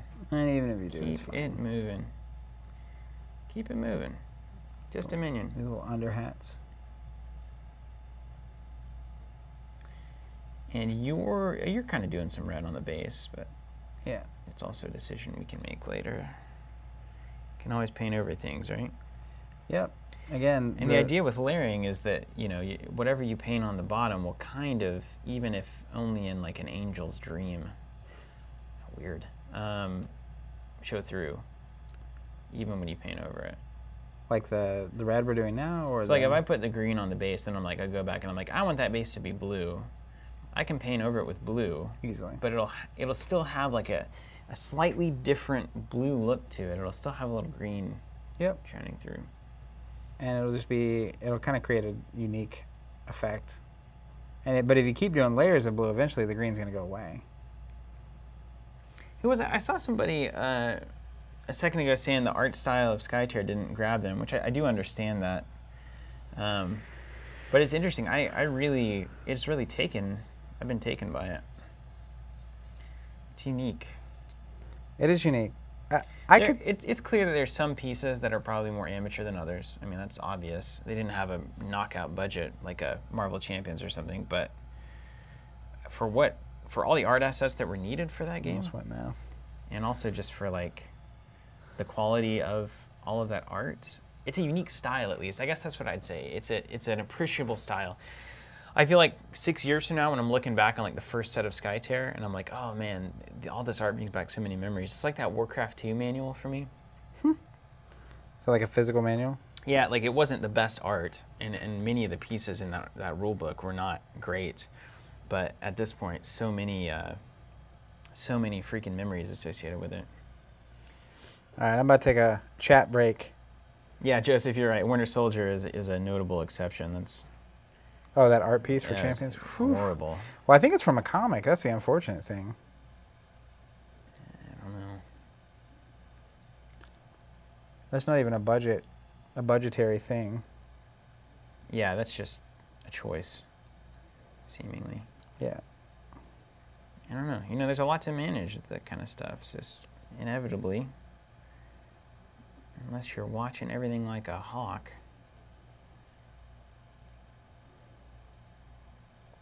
What number are you on over there? This is second coat, third model. Yeah, I still haven't passed you. Well, I'm just taking my time, and, and you know, they're going to look great. They say thin your paints, take your time, right? Yep. You can always do more layers. It's just going to cost you time.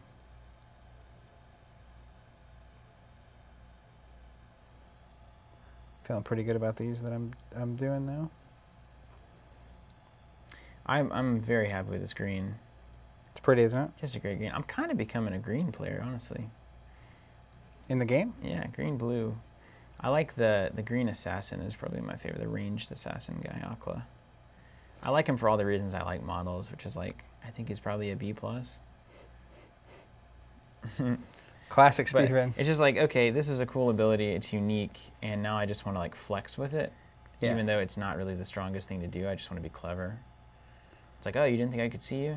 Well, Now I can. there's some merit to that. Yeah, it's worked out my whole life.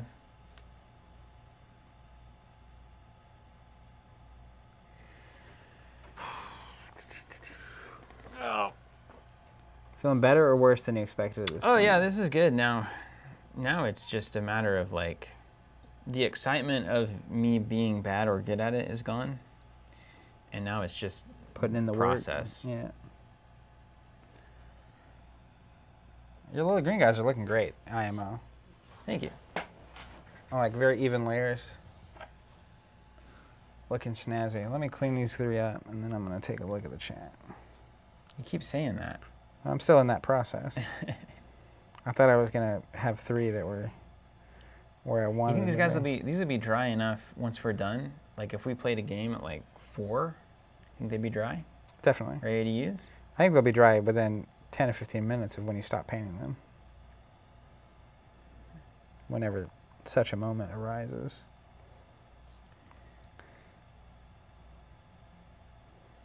I'm just you know just keep the brush moving. Rule one. Rule number one: just keep the brush moving. Just like you're basting a steak or a piece of salmon. I got into this. Hey, are you a salmon guy? You will be at some point. I Your food journey is leading towards salmon. I usually don't uh, Chicken- appreciate fish so much Yeah, and that's why salmon is so popular. because it's not as fishy. Yeah, it's not fishy at all. You eat sushi. Yep. You eat sushi. You, yeah, salmon's good. Um, I'm on this uh, essentially honey mustard marinade. Mm-hmm. It's basically so I once heard great advice, which was for any marinade, garlic and olive oil, and then add anything you want. That's basically the base. You don't really acid or something. Yeah. Um, so I've got garlic and olive oil and this Oklahoma native mustard, Seagulls. What's a native mustard? It's called Oklahoma Gold mustard. So they make it here in the state. Okay. Um, and then some some other thing, you know, salt, pepper, etc. seasonings. You throw that on anything. You could throw it on anything. You could throw it on an old boot. Put that thing on the grill or in the oven, boil it, whatever. You ever drank Bailey's from a boot?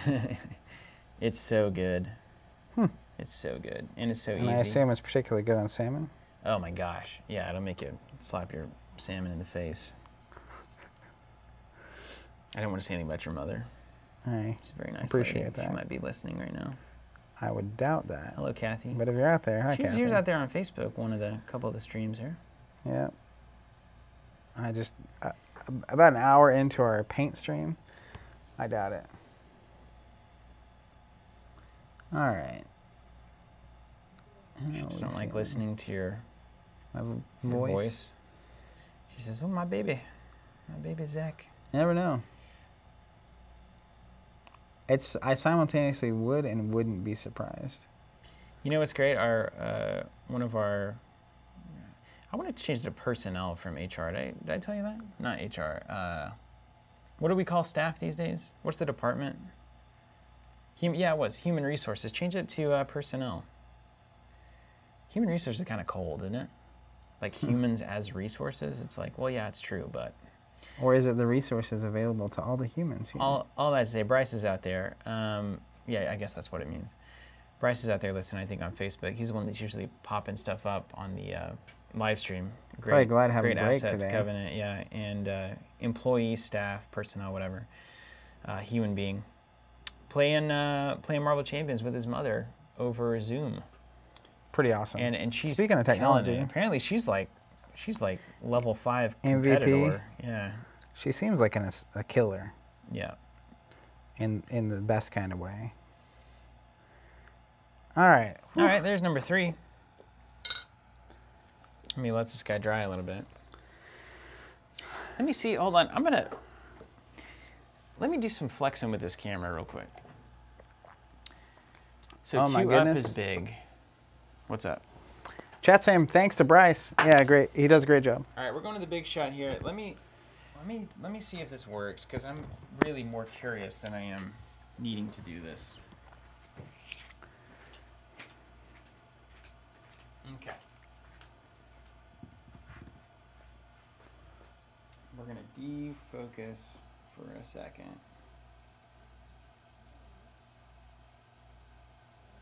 Look at you go. The bokeh and all. How about that? Nice. Looks good, man. I don't mind that. You're doing great. Very supportive. I'm very supportive. Mm-hmm. You got to be when people are new to painting. So you're saying you're lying? No. You're doing great. Don't you? Th- does it look better than you expected to look at this point? Yeah, it definitely looks better. All right, let me get back in on the. Whoa, we're going for a focus ride. Hello. What up, Matthew? Saying loving the content, especially the Arkham Horror LCG. I'm curious how many people are at home watching this while they actually paint, um, and then how many people are thinking about getting into the paint who are now watching this and uh, now going to get into painting, and how many people are watching that are really good at painting and think that we're ridiculous and How bad. many people are wearing shoes? How many people like the color red? No, I'm, I'm not mic'd. Good. I'm People asking to rotate the red models. Yeah, I'll rotate them. Okay. And I'll, I'll be posting. So in the article that I linked, and I'll link to it again. Why was I? Why did I? Did I just get up for that? I feel like there was a secondary reason. I don't know. Uh, so in the this link right now, it's just a link to all the supplies I've been referencing. But I'm going to be adding the, this video, and then I'm also going to be adding probably some pictures of the stuff, so you can actually see it uh, once we once we get done. The game says I'm average at painting. We'll be painting later today. It's awesome. Benjamin says never painted, going to paint, loving watching you guys do it first. LOL. That's awesome. That's exactly uh, that's a huge reason why we're doing it. Outside, we actually want to paint our models. Uh, Zeal says, still waiting for my Skytear to arrive. You're gonna love it. Sounds like a lot of people got on and, and are now waiting for the models. Guys, it's so good. Zach and I have not had a game hit us at the same time in the same way like this in forever. It's weird enough for me to be super into because it's not like Star Wars or Marvel or anything. So like I like it's kind of underground and indie, but it's great enough as a card game for Zach to love it.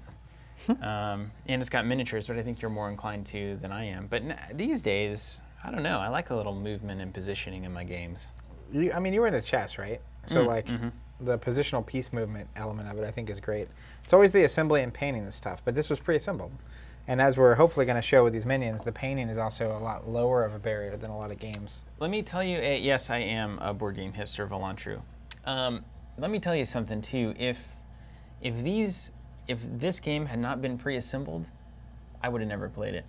Zero percent chance. I'd never me. played it. Mm-hmm. Nobody. I, I, it does so much for your entry point, uh, and your, your base of potential players whenever your stuff is pre-assembled is mind-blowing.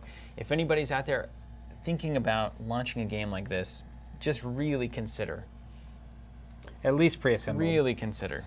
Now, if you're doing a Marvel game like Atomic Mass, give painters incredibly detailed models to paint and make Marvel characters out of. That makes a lot of sense. And the, the base is big enough to do that. Well, and I think the IP of Marvel is big enough to get away with it, in that people are interested enough in Marvel to try it, like to, to push through. Yeah, to push through the initial stages of. But most IPs don't have that luxury.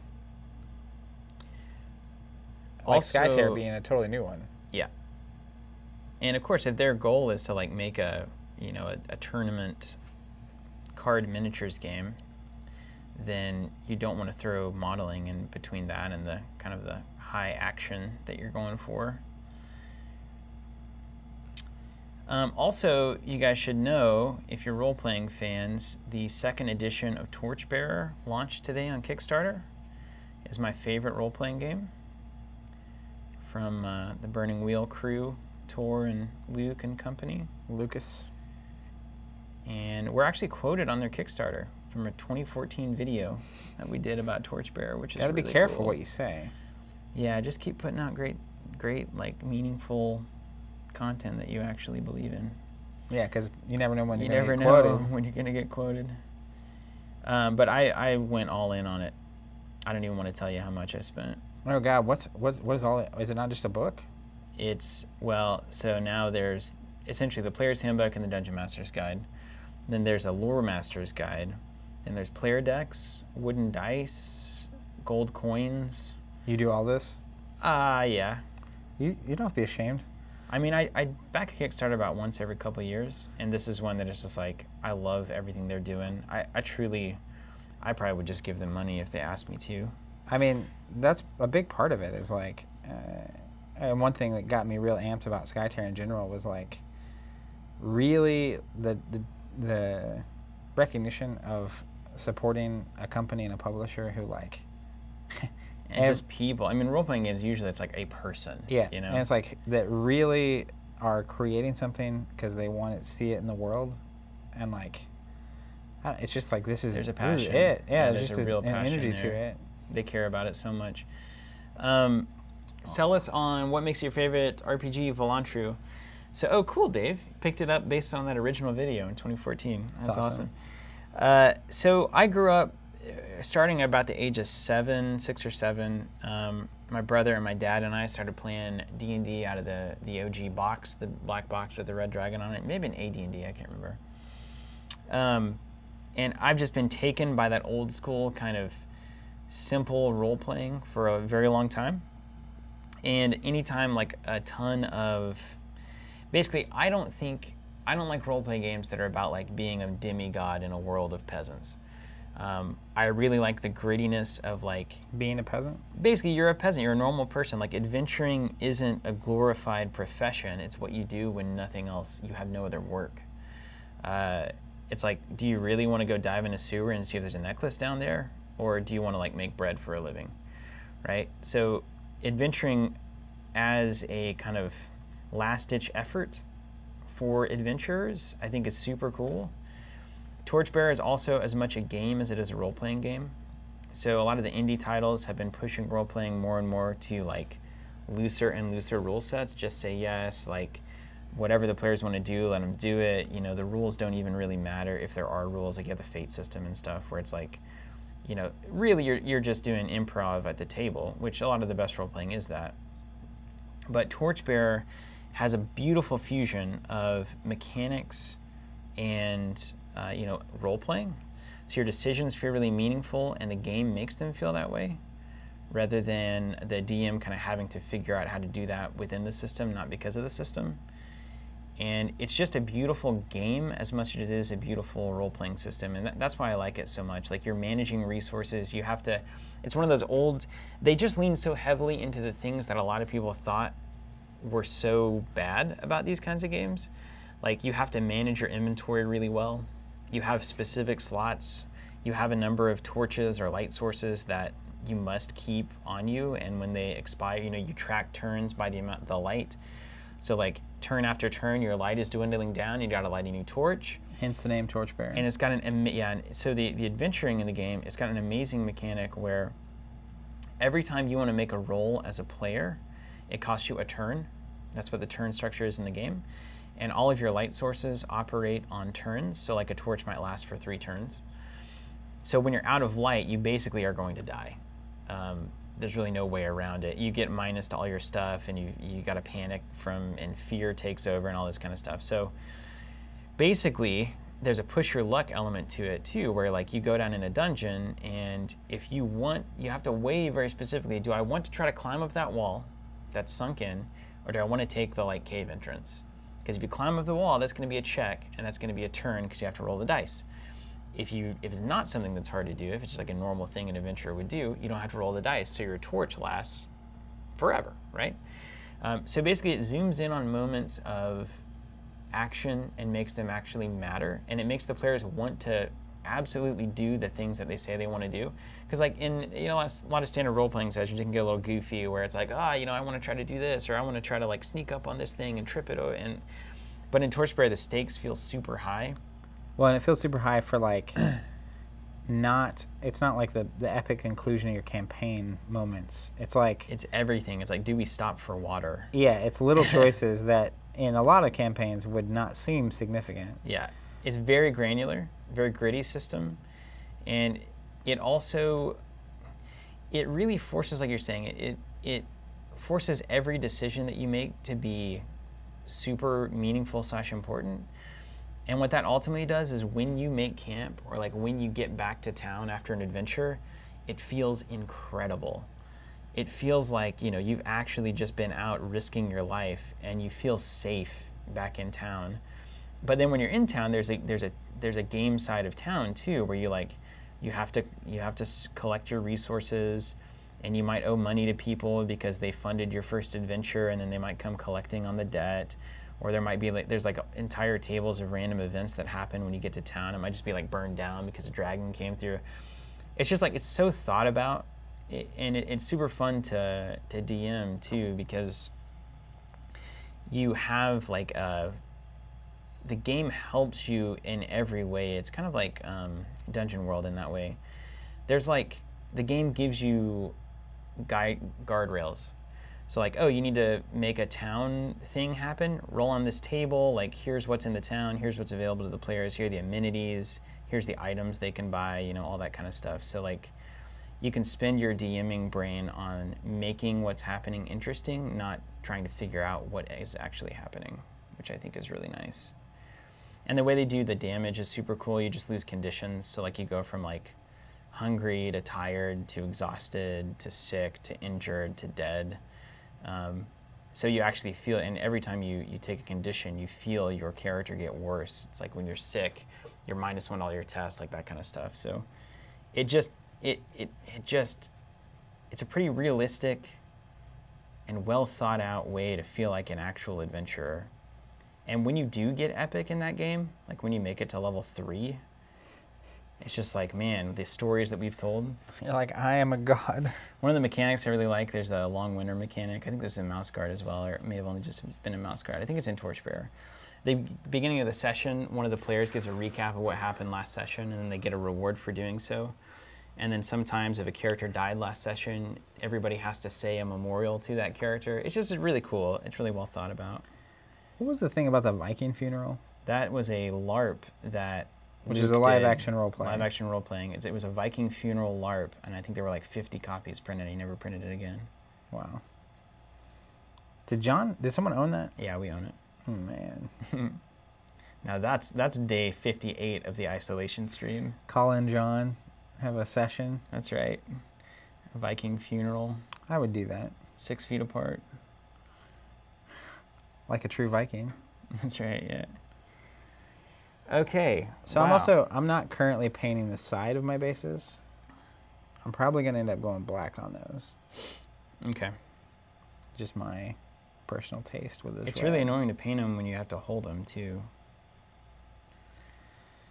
What What happened to your little solution? I stopped using it, um, and now is I want to go back to it. You could also not do that part yet, and then go do that part on all of them at the end Yeah, that's true. with your little solution. These models are taking this paint really well. These are well done models, There's a lot of details on these little guys, well cast. which how means do they do this so well? Like, how do people do this so poorly, and some people do this so well? Is it in the modeling, or is it in the material? Is it in like the manufacturer you use? I think it's all of it. So like the manufacturing for all this stuff has gotten way better over the years. I think the skill at actually making the models has gotten better. Um, and they've kind of found the limits on like what's feasible. It's also like, you know, depend on the scale you're doing. So like we played Epic Duels last week and it's like, you know, if you're making 2 million copies of a game, I I have no idea how many of that is printed.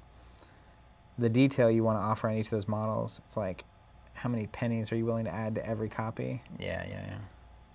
You're getting in the thousands or millions of dollars at a certain point. Yeah. Yeah, Skytear though, I mean, this is clear. It's just a labor of love. I love it so much. It's nice to see that. It's nice to get out of kind of the more. We've been in the, you know, the bigger companies, FFG and everything from FFG to CMON to. Uh, Just to really zoom in on a company, Mass, yeah, a smaller company. a lot of the Asmodee stuff. Yeah, but it's just like we we got it, we got kicked off on so many small little publishers. I mean, even Fantasy Flight was tiny when we first started. Yeah, that's something we were talking about. It was so cool. It's like our online mission has really blossomed into being able to to offer support for games that really deserve it that otherwise would have a hard time budgetarily to get like you know the word out about their game, get some marketing done. Um, and honestly, that's really what that's really what we were into with FFG too, with like the Lord of the Rings, the early LCGs that nobody cared about whatsoever. Everybody spent all their time basically saying this model will never work, and then we were like, but the game's great, and also non-collectible. Yeah. you gotta love that, right? Well, we also grew up playing games that were second, third, fourth fiddle. Yeah, we've been we've been gamer hipsters for a very long time. Just well, it's like I I I missed. I both barely missed Magic, and also if my dad had ever seen it, would have flipped his lid. Yeah, Volantrier, great, great to be here. Parker Frederson asking if we're thinking about playing Star Wars LCG at all. It's on the list. It, it would be such an unfair. It would be such a waste of time. Zach would just be like dunking on me the entire time. You just got. I just don't like it. We've had many conversations You, about that. you know too. what is interesting though? I would be curious to get your now take on it, Okay. and my now take now that I've like had my palate cleansed. Yeah. Because like part of the LCG was like one it's Star Wars, and it was the first time a Star Wars card game had come out since uh, the TCG, we played back yeah. in the day. It was. I think I had a lot of high hopes. Yeah, and so I that think, can be a problem sometimes. but that's where for me it's like I had so many people in my life that were just ready for a new Star Wars game, that like, it's easy that my own opinion was filtered by that. Yeah. So I, I would be, I still have all my like, do decks like together. a brutal kind of like just is an- this actually just better than I thought it was, get and it- is it worse than you thought it was? A hundred percent. And I bet the answer to both those questions is yes. Yeah, as it often is. Because I feel like we've been co- we've been covering in our throwback. So this Thursday, where I'm super pumped. Um, that's why I said don't be embarrassed about your burning wheel. The number of the throwback games that I just own uh, and have gone back to collect is not low. But Thursday we're playing the Middle Earth CCG from the 90s. It's a game that I missed out on. I knew existed, and I just never. I was like a kid when I first saw it, and I never had enough money to play the games I was playing, let alone play other games. Yeah. So we're playing that on Thursday, but we've been throwing back to games from the 90s and early 2000s. And I'm kind of excited. We're taking a, a new look at uh, L5R, which is more recent. That's going to happen tomorrow, Yeah. The skirmish mode that they recently announced. But that pocket of games from like 08 to 2015 Hmm. is like an interest. It's like not old yet. Yeah, it is. like Conquest is another one, and it's like I'm I'm curious to check those out because they're not so old that nostalgia can really kick in yet, Yeah. and just get my new opinion on it. I definitely feel myself getting faster and a little bit sloppier with these guys. That's what happens. We'll clean it up. Like everything that's currently on the box right now, probably going to be way better than these guys.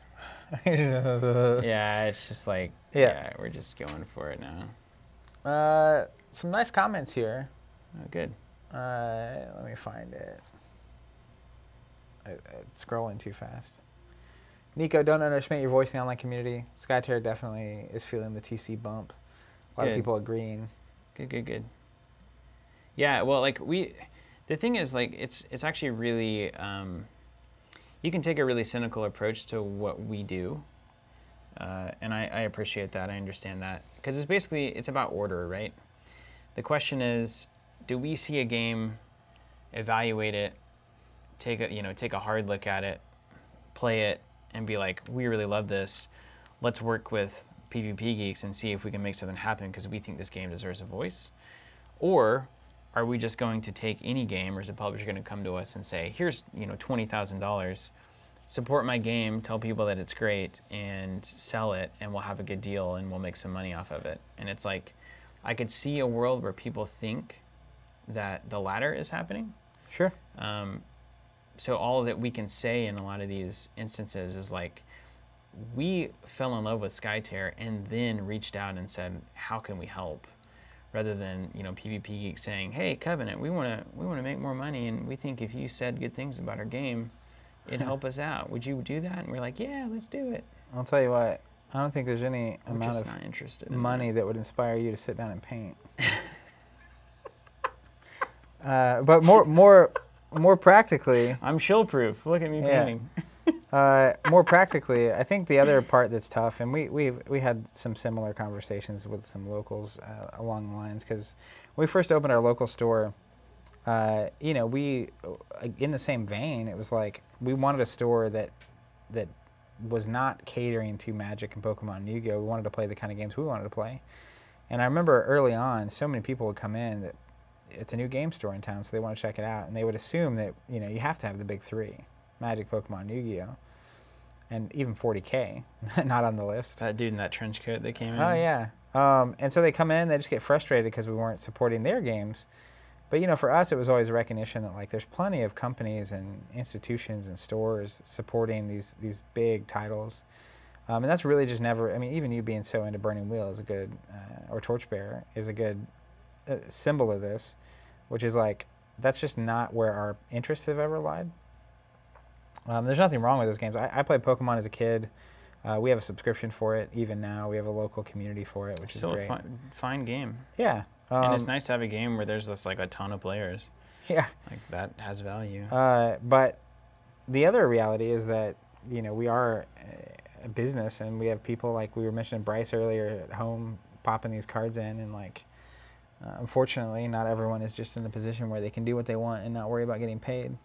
Um, so there's definitely a monetary consideration, and it has to work in some way. And uh, but that's never the the nucleus of the conversation up front. It's kind of you find the things you want to be supporting, and then either find a way to make it work, uh, or start thinking about ways that you could change as an as an entity, as an organization, to to make that work. And I think that's a lot of the work we're doing now. Because like another great example of this is we we played Netrunner on the stream, and Netrunner is just flatly one of the greatest games of all time. yeah. Um, it's amazing. The people, the, the community is great. There's a group called Nisei who's been putting out expansions for it. It's all community led, and you, you can print and play. And there's a couple places I think you can order online that you print it. But the recognition is like even for us, it's like, man, I, I really want to be in a position where we could support that game and that community, Yeah. Yeah. and and where it makes sense to spend, you know, hundreds or thousands of dollars in staff time, facilitating that, getting people into it, uh, mar- et cetera. Um, and so that's an always an active uh, thing. So then, if the if the main thing people are seeing is when it actually connects and, and we can do that, even with a game like Netrunner, uh, it might very much appear that it is uh, that way. But I, I think Like there's disingenuous. Yeah. Yeah.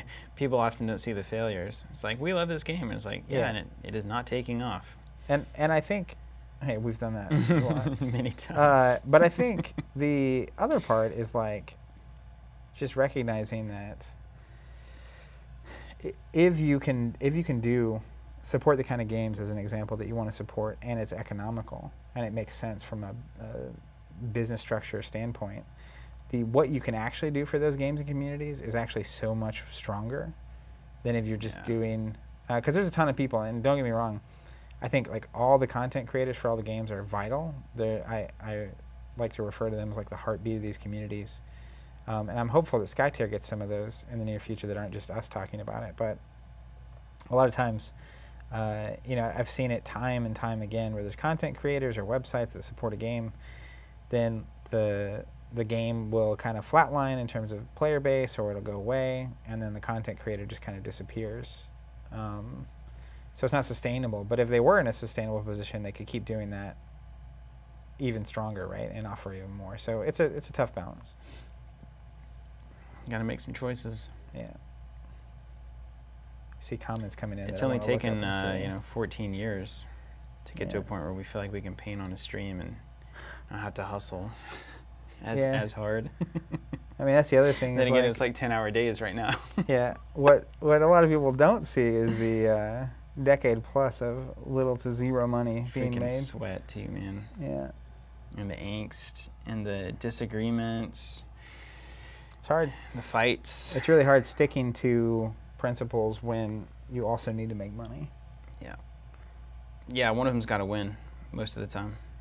Well, Now, whenever you really the goal is, can you set up a scenario where you don't have to choose? Yeah. That that's I mean I think that's the 13 to 14 year journey that we've been on.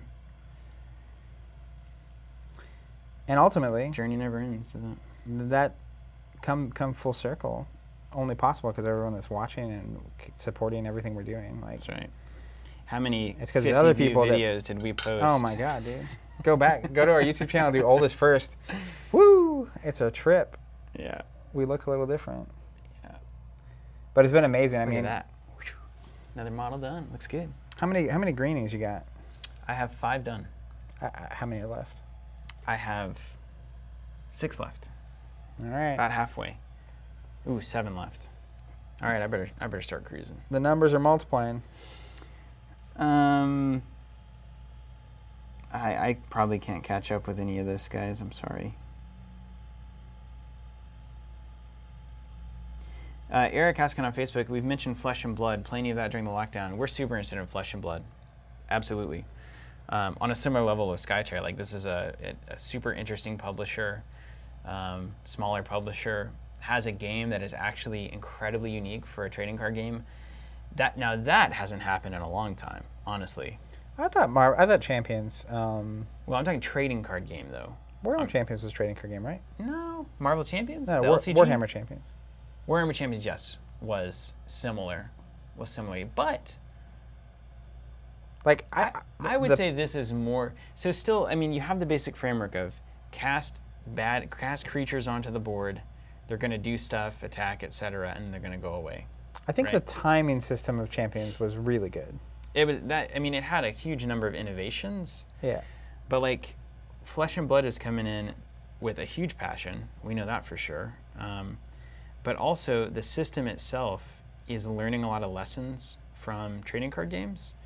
So, like, the fact that you bring your gear with you is, Yeah. and you have a sideboard, it's like meta issues can be solved by, you know, the armor that you bring to the game. I mm-hmm. think is fascinating. It seems to have an incredible. It's a super simple system to learn, but it seems to have a pretty tremendous amount of depth to it, just right off the surface. Like, our first few games were like, okay, yeah, I, I can definitely understand. You know, what you can just tell. You can really tell when a game is like, there's enough When a game's got it. there's just enough bite to it that you realize that if you were to dive into this for the next 20 hours, things would really open up and you'd start to really understand. Yeah. And there are some games where it's like, you know, this is pretty much at face value that the decision making tree is is right there. It's like when you start playing a game and you get the feeling that you're at the, the foot of a mountain. Yeah, yeah, yeah. That's not the exactly peak? right. Yeah, that's exactly right. And you're staring up and you're like, do I want to climb this? Most of the time I do. Sky is that way exactly. I feel like I'm on the very, I feel like I'm at the village looking at the mountain right now. All right, five in the tank. Woo! I'm gonna check on some chat real quick. David uh, Vegel, old friend, uh, asking Zach, it seemed like it took more than a couple of games to realize how good Skytear was. How long was that process? The And doesn't that show that game reviews are kind of inherently not that great? yes, short answer. Uh, so the thing about Skytear was, it was fun the first time we played it. Yeah. But that weekend when I went to try to deck build, I even told you this after that you weekend. Did. You said it. I was like, dude, once you start trying to deck build for Skytear is when it clicks. Like you start understanding what's going on under the hood here. And I still don't fully understand it. I just knew that like there was way more going on than I give it credit for. The other thing is, we did that. We deck built. We played it more in between, and then we played 15 hours last week, and still we're getting rules wrong. Yeah. Um, and not like mild Not rules. annoying rules. Yeah, not like just clever rules. just like oh that's how that sequencing works and that actually adds so much more depth to the game so to me it was all about getting to that deck building moment and then once i got there i was totally sold And I think I think not all reviews are necessarily like.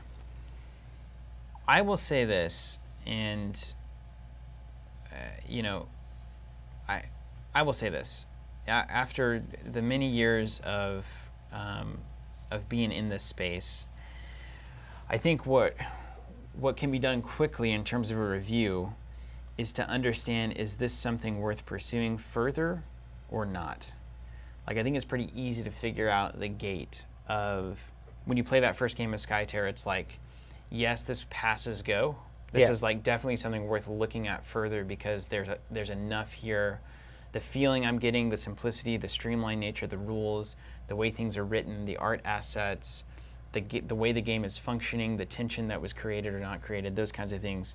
Even in like a starter game, you can have a pretty good idea of yes, this is good, cared about, people paid attention to this. Um, they did a great job with the rules, the the cleanliness of things. You see the flow of the game that they're trying to achieve, and you understand it. Um, and you can very quickly realize games that that are not that. Um, and and it's not so much about opinion. It's really there's a, there's almost an objective. Is it functioning in a way that good games function? I, I that's kind of a you know that's an impossible standard, but i mean you know it when you see it you right know it. I mean, you just you know it, and you don't know if it's like great. You don't know if it's going to be the thing that is awesome. You don't know if it's going to be the best in its genre or anything like that. But you know that yeah, this is a game that like is worth looking at and worth considering and and all of that versus a game that's like can more or less kind of be like needs to go back to the you know a little bit back to the drawing board and tighten up some of these rules or spend a little more on the art or whatever it is. Um, Well, and I not ready for prime time kind of thing. i think a, a big part of that answer also depends on the kind of game you're dealing with Yeah. so like board games to me i think would be much more easy to uh, have a, a hot take on so to speak after one or two plays Yeah. Uh, but games uh, with a little more under the hood, so like Skytear, that's an expandable, community-driven game. It's like there's a lot you have to understand before you really even understand what's going on uh, on a kind of macro level. And like games that uh, basically you have to be able to see the mountain. Going back to that analogy, to know that you want to climb it. And I think the games that get into the most trouble in that, that category, and it's why reviews are this way, right? I think about the Star Wars LCG actually, going back to that reference, which is like the problem with that game is you had to get probably 10 games in before you even understood what was actually going on. Yeah. But if you got to those 10 games in, a lot of people loved it.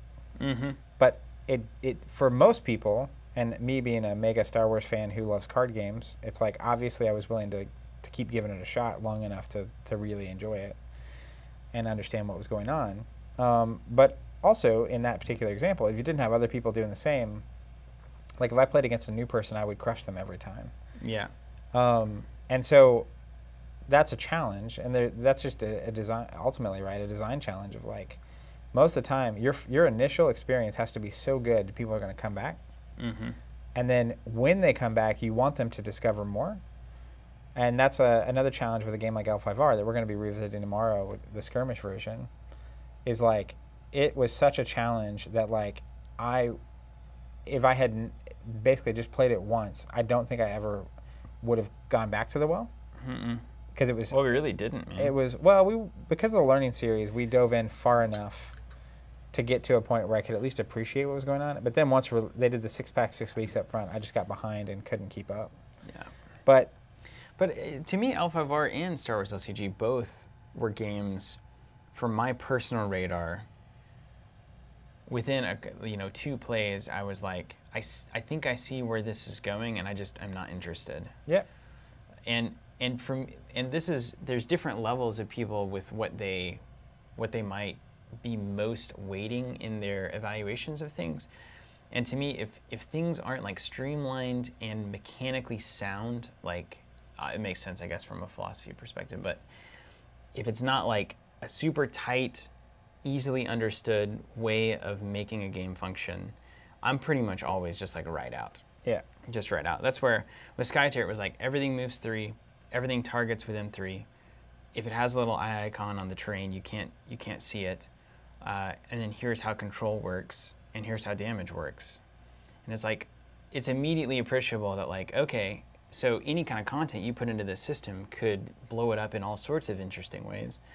Um, but I never felt that way. I never felt interested in like what does the Star Wars LCG have to offer, you know, halfway up the mountain? It was like, I still think I'm going to be playing the same kinds of cards in the same kinds of ways, and I can understand how I could do it better, and how that would be a, you know, a, a satisfying experience to be good at this game.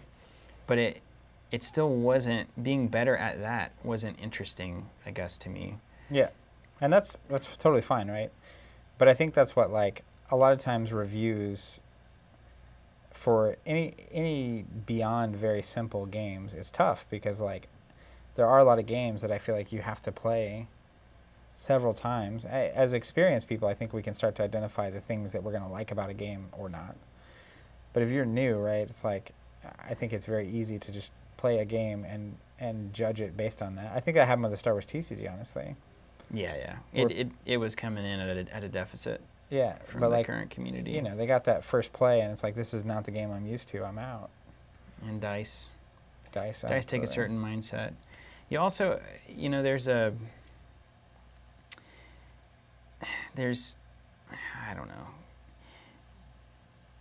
It, how much of it is opinion and uh, so the stakes are so much higher on a game like Skytear or a game like Marvel Champions than they are on a board game.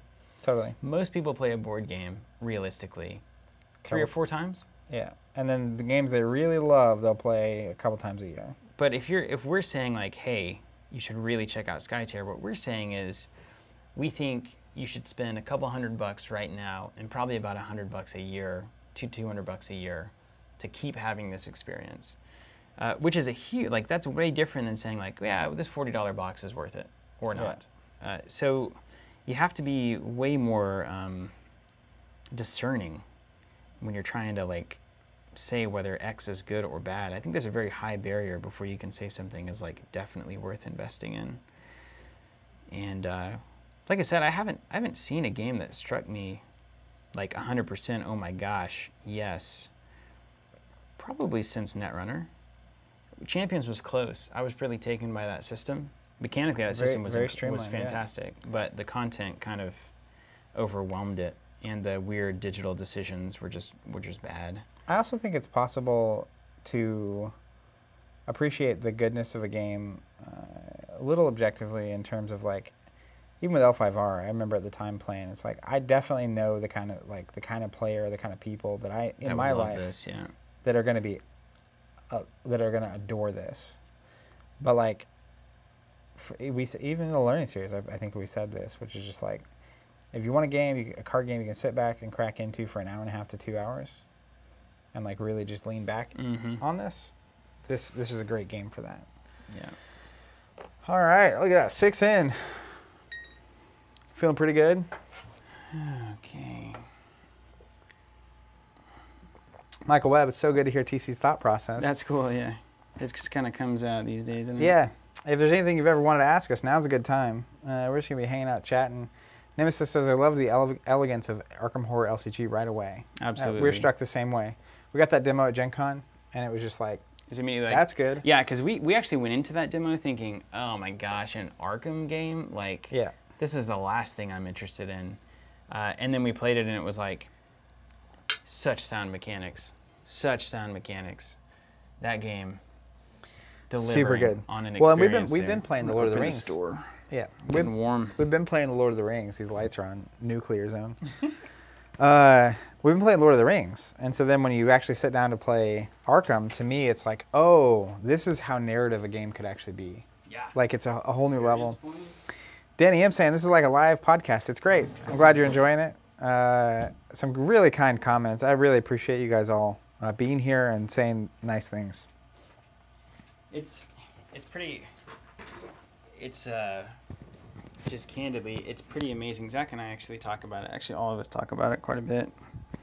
What it's like to like do something like this for, like we said, 13 years, and to get in a place where you can actually have a live stream going that more than like one person is watching And commenting on and just to see your progress as a as a business and as a, a content uh, creation platform, I guess, or maybe Community? both community, whatever. I mean, this is not. We've been doing the same stuff forever. It's the same stuff. We just continue to get a little bit better, certainly technologically, and do it in new ways. and you just you just got to keep plugging at it. You, you just got to keep going. Dude, your guys are looking great. Thank you. Like from here, the way the light is hitting, it's like he's dark in the back and like bright, vibrant green in the front. It's like that looks great. You're just trying to get me to praise your priming? Yes. Joseph Kane says I don't like MOBAs at all, but I love Skytear. Yeah, I've, I've never really played a MOBA proper. So here's here's the thing you need to know about MOBAs for anybody else on the same out there. And and technically the multi-online battle arena, what a MOBA stands for, I think is a little bit more than what the Dotas, Defense of the Ancients ultimately are. I don't think MOBA is strictly anymore about like towers and creeps and stuff. Like I think like Fortnite and stuff maybe technically a MOBA. I don't know. Nah, Fortnite's like a first person, like a Halo. What's whatever. that Star Wars game you were playing? Battlefront. Battlefront is kind of a it's a MOBA, right? I think that's definitely a MOBA category. But here's the thing. So MOBA gaming tradition is kind of like StarCraft. Um, it rewards super twitchy level gameplay, right? And what do So, you mean like, by that? Typically, that means you're very fast at clicking a mouse and reacting to things on the screen. All right, oh, I see a thing coming at me. I can click over here, click over there, dodge over there, activate this ability, press A, press B, press C, get out of there. You know, like so. Very dexterous. Dota is a very much like a like cocaine level, you know, computer game. So, but the actual idea of what is the strategic element of a MOBA map, what does that ultimately mean? It's like, well, here's the thing. There's going to be armies that are marching in three lanes, uh, or maybe more, maybe less, and they're going to clash in the middle, and they're going to perfectly match each other. And so if we ran that simulation forever, nobody would ever gain an advantage. Okay, so that's the first step.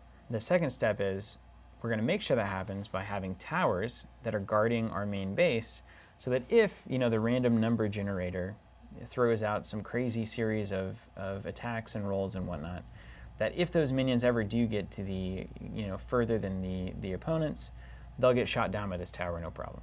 Okay, so now we have like basically an endless conflict that's happening between two armies of mindless creeps, mindless minions. And then from there, it's like now we're going to introduce five heroes, and the role of these heroes is to make one of these armies succeed more than the other one by allowing them, helping them to push through to the enemy base. And they can hurt each other, they can hurt other creeps, they can get gold, they can buy items, they can level up, they can use certain abilities, you know.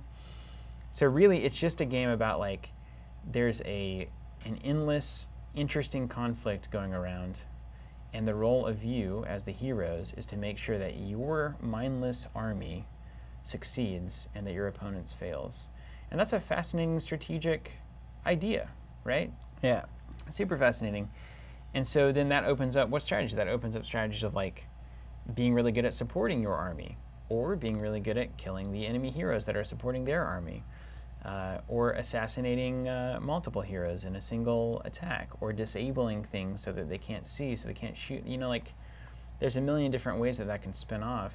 And if you remove the twitchy element from it, which is the click around really fast, and put it on a tabletop where you can think through the decisions you want to make, It's a pretty cool like framework. it's a great game. framework. Yeah. for That's not just the main thing. There is that like I think Magic in the '90s really inspired a, a lane of card game, Yeah, yeah, exactly. which is the Play things attack with them. I'm a representation of a character and we're attacking each other.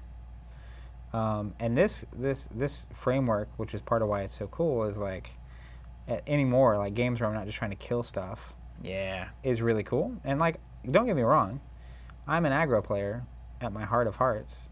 Aggro control. The best control is aggro. Side note. Um, and I like killing things, but as a piece of the macro objective, I really dig that.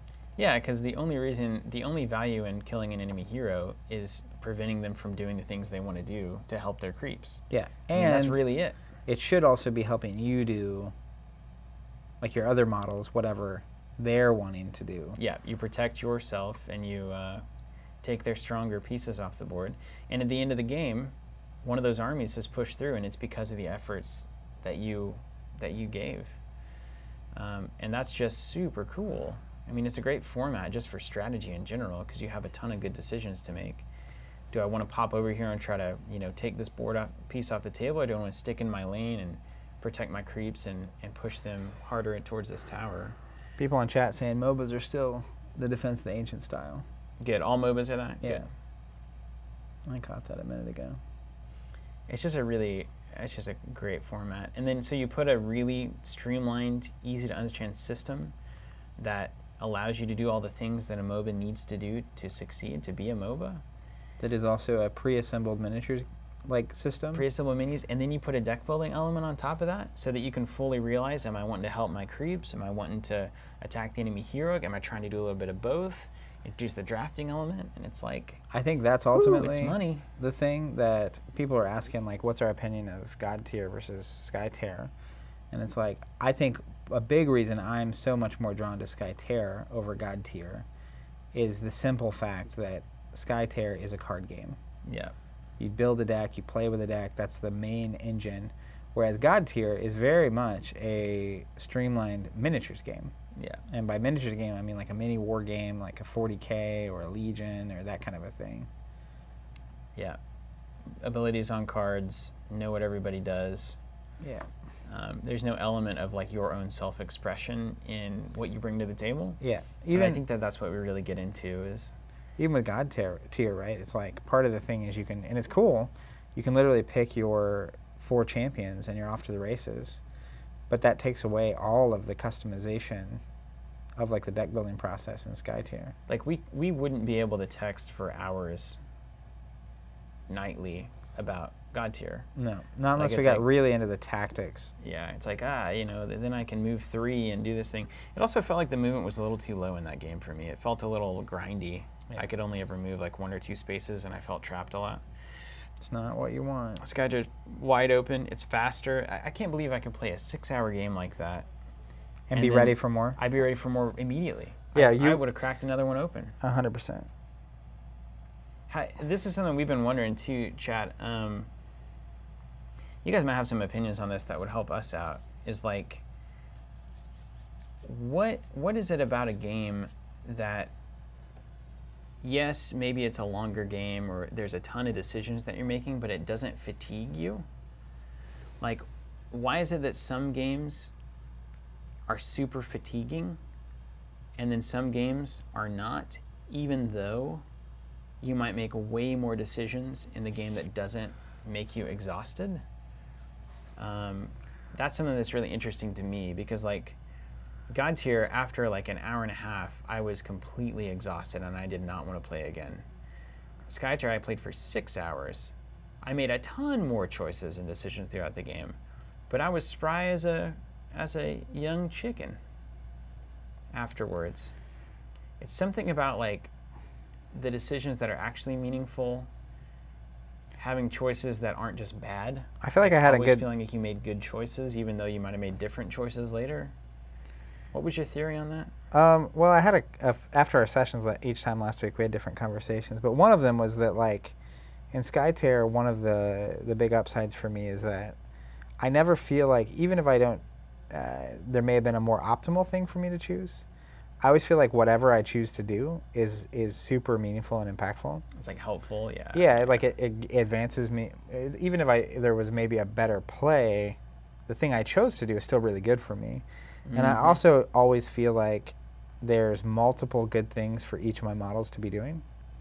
So they could go attack a caster, they could go attack minions, they could go drop a control card, um, they could go control an outsider.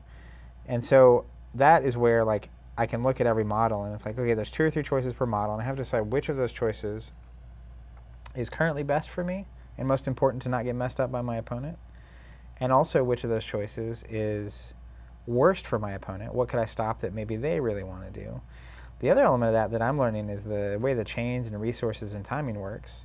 Is part of it is you kind of want to get your opponent to move with certain models or activate with certain models and use the resources Mhm. uh, before, where it's like you start understanding there's certain maybe bad cards in the the wind element, the Nuptens, and like, Like they the can, redirect. they can redirect, they can cancel. It's like, well, I really don't want to be within three, and I don't want them to have resources if possible.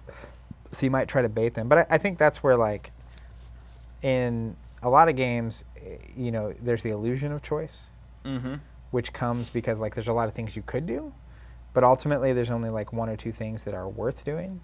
And in Skytear, every time it's like there's a valid case most of the time for my models to go left, right, down the middle, to attack minions, to attack heroes. Like they're all like somewhat, vi- and I can choose. Uh, and I never feel like I'm actually weeding out the choices that are just irrelevant. It's it's like you never feel like you just made the, a stupid move. Yep, Like you never just made the, the the objectively wrong move. You might have preferred a different move in retrospect, but what you did still contributed something meaningful to the game. yeah. So I do I do you know there are many games that just punish you whenever you make the wrong decision. And Skytear like somehow you never really make the wrong decision. It's just like degrees of Of goodness. of achievement. Yeah, yeah, yeah. Which maybe is the key. I'm at seven. And Arkham Horror is similar to me. It's like, you know, even if I'm drawing cards, gaining resources, whatever it is, huh, I'm contributing to my ultimate game state. Some uh, cool comments here. Uh, Tor says, ultimately, I think it's about the types of decisions you're making in the choice tree. Uh, Dave, how complex were the decisions you were making?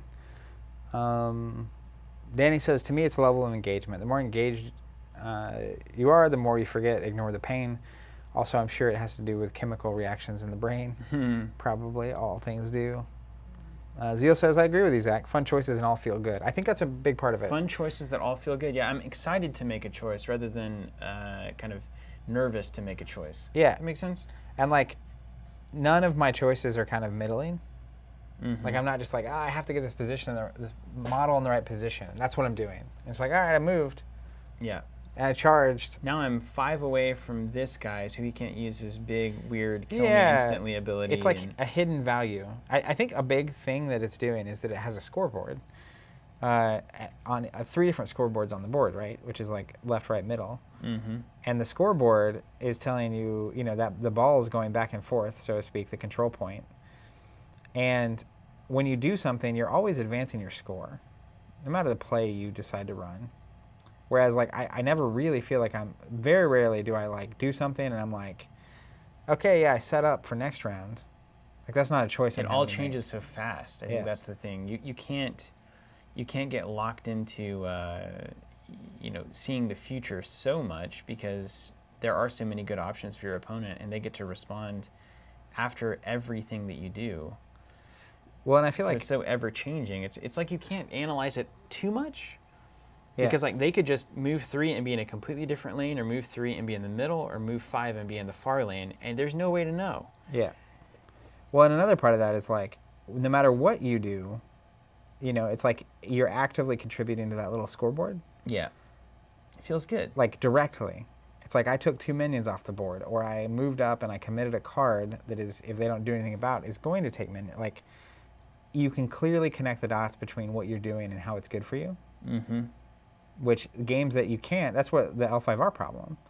It's like I'm doing stuff and like ah, maybe it's good, but I'll find out in four turns. Often have four turns. Yeah. and it, it's a c- amalgamation and that c- people some people love that Yeah. It's like but it's an amalgamation of every little choice you made for four turns decides whether or not you're doing well on that fourth turn it's like it's just so unobvious that like the chemical rewards i get from that happening are so low because it's just like well maybe i got lucky and maybe i did the right thing or maybe my opponent did the wrong thing but i still don't know Mm-hmm. I, I really like the the you go I go as well in these kinds of games, when, especially when you have five models. They're just constant check-ins. Mhm. Like you're saying, there's constant check-ins for like, am I in the right place? Do I need to do something else? Do I need to go reinforce over here? Think about how it would play if you activated all five and then they activated all 5 it'd be bad Yeah, and that's so bad. Um, but that's also where the, there's the transparency of the results that i like where it's like mhm. that's a good point. I just I can connect the dots on my actions and my opponent's actions every back and forth, right? As to how they're contributing. But like in games where you can't see how they're contributing is when they get into serious trouble for me. Yeah.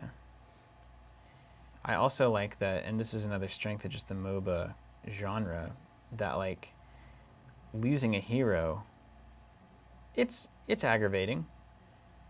But if you haven't ac- activated yet, then you come in next turn, and you come in in a place that you can be immediately useful Yeah. Right? It's like, oh well, because I lost this hero, and this is the strength of MOBAs, man. They were able to push farther because I wasn't supporting my lane, but now I respawn and I'm closer to the action than they are. Yeah. And so now if I take out one of them, they have to go all the way back, and then I can push it back, and then they're closer again, and it, it just is this constant tug. It's this beautiful tug of war. It's got a really it's a natural come from behind mechanic. Yeah, it really is, isn't it? It's built in That's why it's- well done. So addicting. Yeah. You never you- feel like you're just losing. Yep. And you you feel like you're really close to winning a lot. Mm-hmm. Like that's, it does that good. It makes you think you're about to win, and then your opponent respawns there and like pushes you back. Um, and so even if you end up losing, it's like, oh man, I was just so close. So that's why you want to just hit the button and try again. Ooh, some questions. Yeah, great, great stuff in here, guys. You guys are killing it. Um, also, I think this is a great point from Dave. Getting good feedback from a game helps you get better at it sooner.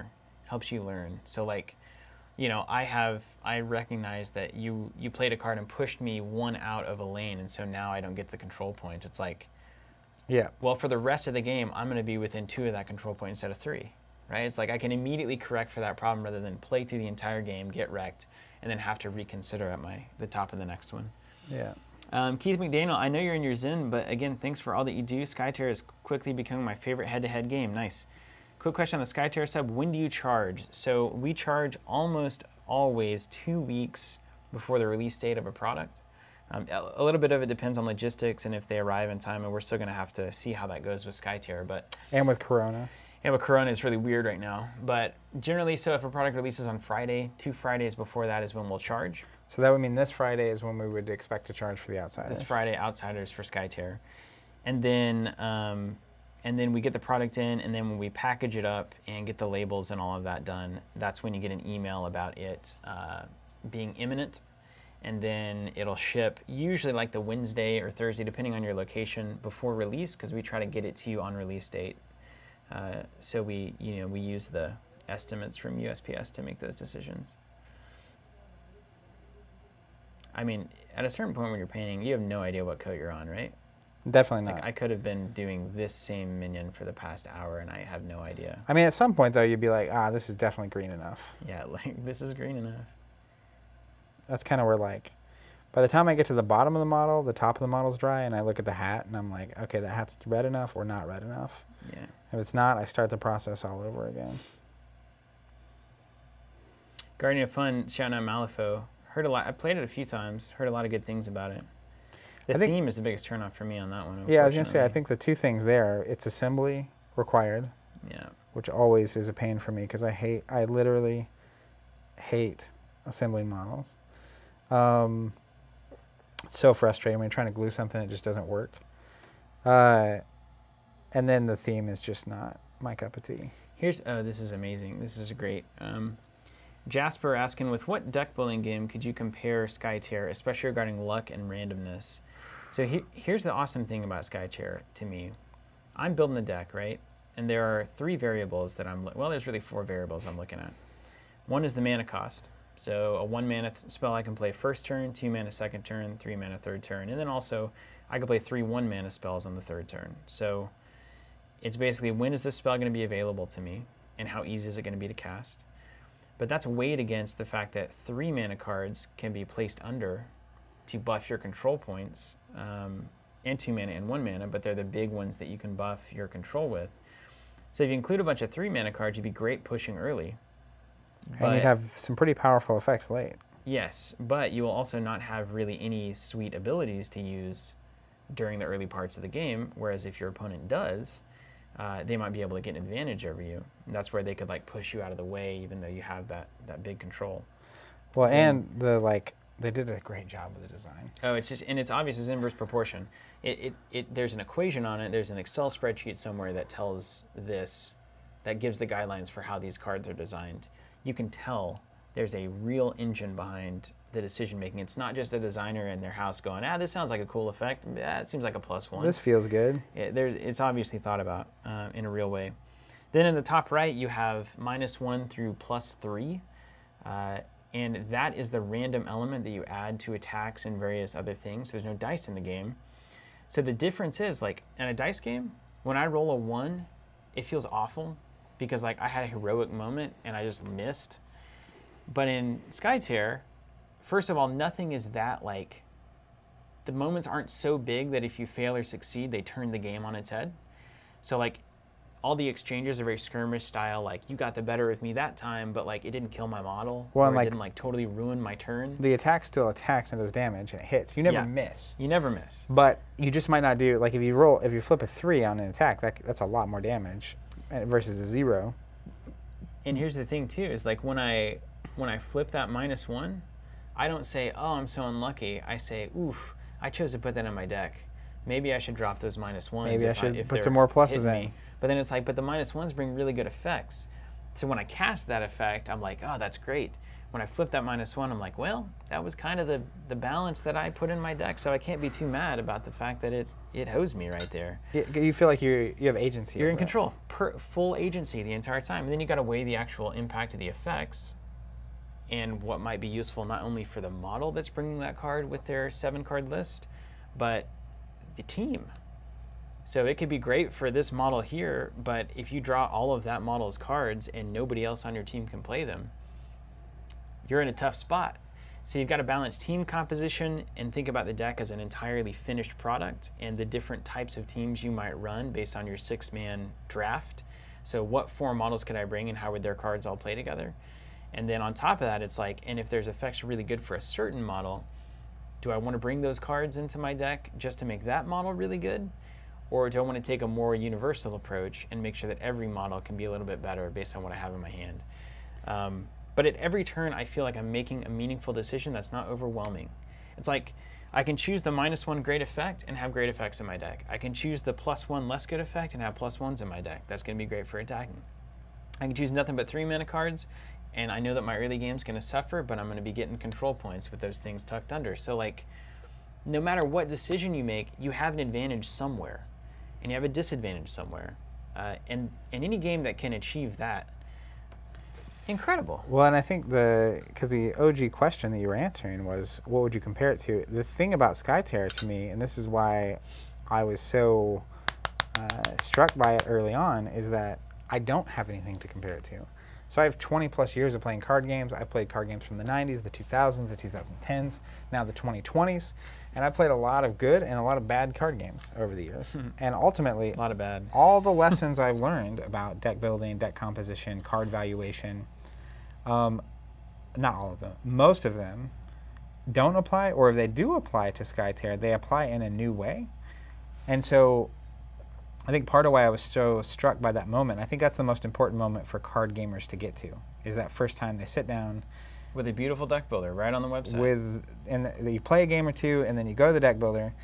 Uh, you'll just start realizing that this is a deck builder unlike deck build unlike anything you've ever experienced. And that to me, I mean, the the idea that there was f- fresh territory to explore was genuinely just like uh, amazing. Like I, I was uh, so happy, and that's why I came back in on Monday after that first. We played Skytear on the stream. Then that weekend, I was building some decks online. I came in, I was talking to Steven. I was like, dude, this game's got it in in a weird way, in a new way, and I, I don't even know how to explain it. Just I was trying to deck build, my mind was literally blown. yeah. I remember, yeah, you were really serious about Yeah, it. Yeah, and then we streamed last week, and you went to deck build, And, then you, I and then you were out, yeah. you were texting me, and you're like, this game is freaking insane, and it is. Spencer Barnes asking, is Skytear the kind of game um, where you know who's going to win well before the end of the game? Never. It's exactly not that, which is I think why it's so so freaking appealing. Um, it's great. You're just in there making great decisions and, and trying your best and like seeing the, this action play out, and then you kind of come up for air and you're like, oh well, cool. Okay, so who got the advantage that round? And it's like, well, you moved your tower one space, but I've got your heroes down to a little bit less than half their hit points, like one or two of them. And then this middle tower is really pushed, and then your far tower is way pushed towards me. So it's like, do I reinforce where I'm weak? Do I keep pushing on my left side where it's good? Do I need to reinforce middle? Do I go ahead and focus on your heroes? It's the game can turn in ways that feel fair, right? Like it's not like, oh, you got lucky and this random thing happened. You rolled all blanks on your defense dice or something. It's like you did a great job. That was a really good setup. Well, and Played the skill cards. What we were saying earlier contributes to this, which is the game, the MOBA style of game, naturally has such a come from behind mechanic built in yeah. that even if it looks like there were the we were playing the big three tier map last week, and it's like it can look like you are winning, Yeah. and you can feel like you're winning. yeah, yeah, totally. And then by the end of the game, it's like I think technically I lost on damage, uh huh. But we could have played that for another six turns, and the the and I would have and I would have. Yeah. uh, to to, to Because it was happening. The game was happening. it was a foot. Yeah. Like we, you were pushed into my base. I was pushed into your base, and it was like, I felt like I was right on the line, and I think you did too. It's like it, it felt pretty even. There was uh, literally like we got to like turn five or six. The the turn I figured out for the first time that you can change the target of my AOE effect Yeah, yeah, yeah. That redirect. Yeah. because I spent my Terrifying, I, my move on an important character and played a three resource card on an important character that ended up doing nothing, and I had no idea that was an outcome that that was possible. But that's where I went from like feeling like I was way ahead to like ah, and then by the end it was just like ah, this is close. Here, here's a funny thing about that moment too is that I was looking at that card, and I stared at that card for like four turns in my hand, and I after that game even was like, I think I should cut that card, even though it had such a big impact. Yeah. It's like it, it carried so much like waste in my hand turn after turn until you finally had a targetable spell in the right place with the right target. So it's like super conditional too.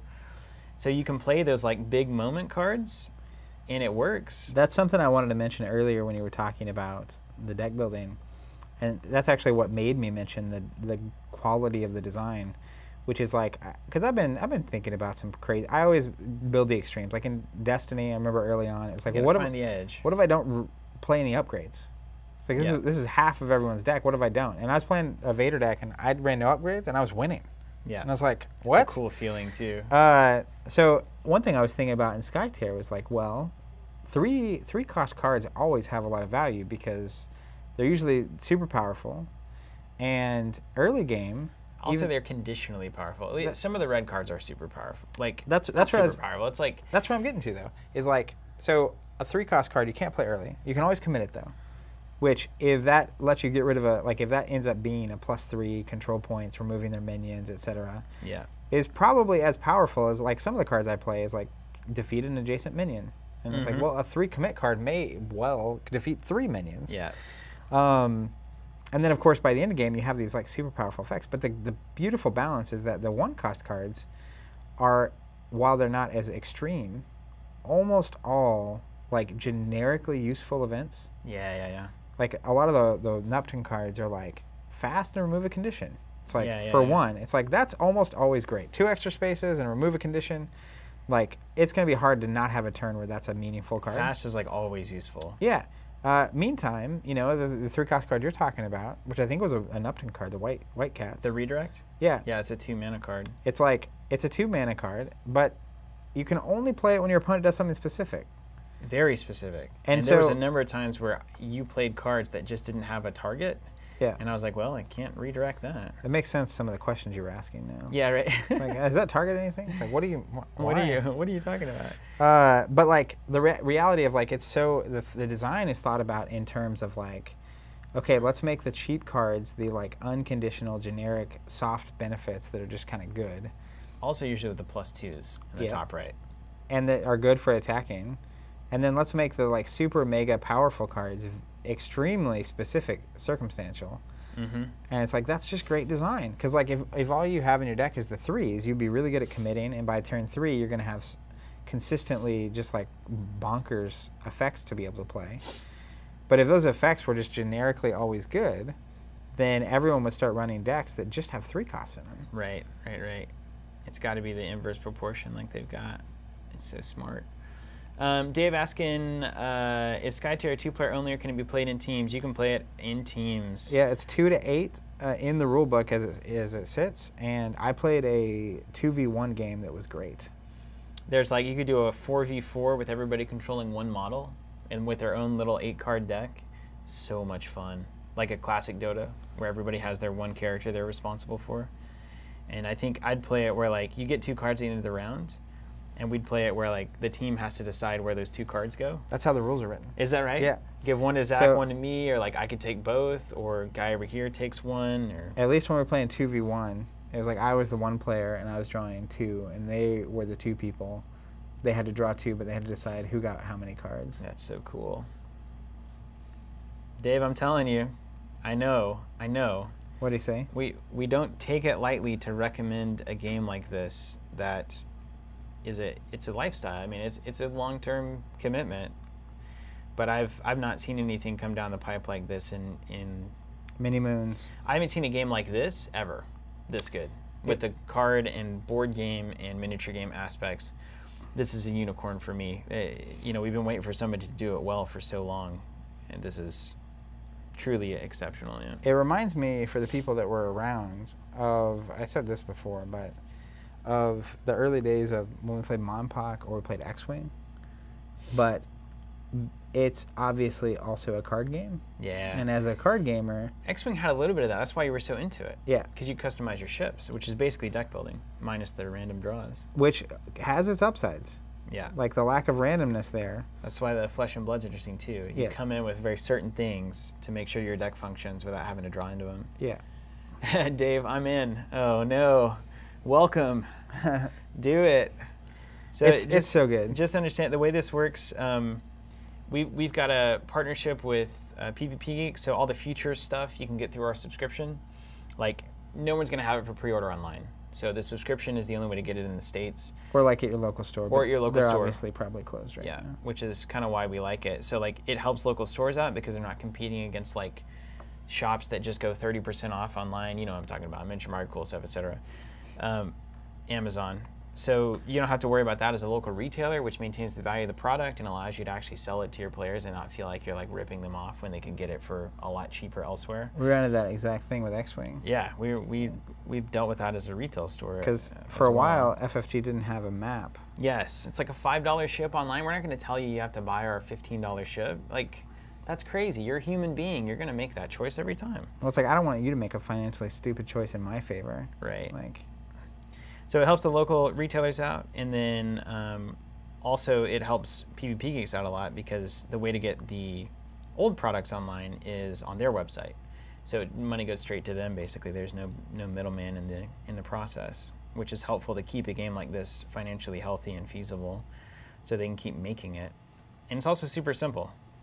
You're looking for the products online, go to PvP Geeks. If If you want to get future stuff, start a sub. Easy peasy, as simple and streamlined as the game itself. It's the goal. Things don't have to be so complicated. This industry often makes things so complicated. Hey, I'm getting there, dude. I've got three left. I am. I'm almost done with my third of three left. You know what I mean? So 2 after Mhm. this. Sterling on Facebook asked earlier, "What's the worst card game you've ever played?" I know my answer. Uh, um, give me a second. It's not the LCG. I, I know. It's not Star What is your answer? My answer is that awful, awful Dragon Ball card game that we played early on. Oh, the um. Was it the season? Was that the tutorial that we did? hmm It was so bad. It's like our oldest YouTube video. that game was so awful. There was no meaningful decisions in that game. Yeah, and this was not the 2000s. Um, I'm trying to think by who the who did the. So I think Bandai did the one that was the one that was before that that I loved as a kid. Then there was. Uh, Where you it was- played the combos and stuff out of your hand. It was like you had like the red style mastery and the black style mastery, and you each had a main character. Is is different than the. I think the one you're talking about is the Panini one. Yeah, it was a CCG specifically, Dragon Ball CCG. Yeah, it was not great. Guardian of Fun, how's your experience been, Steven? Hey, I'm I'm getting this. This is just fine. This is just fine. And look at how much better they look. Even just that would be This is fine. insane. I Right. would play with these minions right now. You might. So you're saying we're gonna make them better? Yeah. Much. I mean, this is easy. Here's the thing. All you got to do, all you got to do is really honestly keep the paint thin, keep the brush moving, don't freak out. Because there are times when it looks like you're failing. And then you just keep the brush moving. Just and keep it starts keep drying on- a little bit. keep on swimming. Keep it moving. And then all of a sudden it is okay. That's one of the major upsides, honestly, of Skytear. I think is all these minions. That, that's I've never played a game where I have this many, and they're pre-assembled. Like normally, like with Legion, I assembled so many stormtroopers, Mm-hmm. um, and I had a bunch of them to mess up on. But ultimately, like this, you have a bunch of little minions to practice on. They're so detailed. Yeah, It's it's amazing to me. Like, don't you love it whenever you get into something or some company or some game in this case, or even just like a you know a brand that you're really into, and at every turn you're just happily surprised at how much care and attention to detail went into everything. that's basically the only thing I want out of life. Yeah, is to yeah, run into those kind of entities. You just be surprised every time about how good it's like all right first interaction was great and then okay now we're going to take another step oh that interaction was great another step oh that interaction was incredible so it's Like- like they actually think about it like all the things. They care about all the things. Think about all the things. Yeah, that I care about as someone yeah. who plays a lot of this kind of game. oh you're thinking about things. Cool.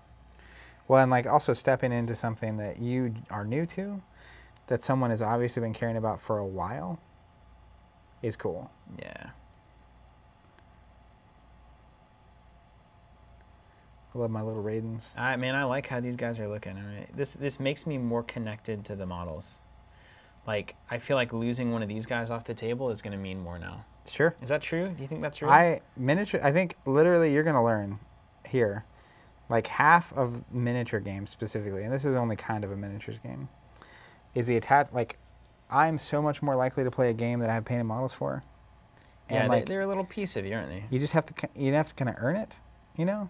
Yeah. And it's like when you're playing against someone that has painted their models and they've also earned it, there's just kind of a respect for what's going on.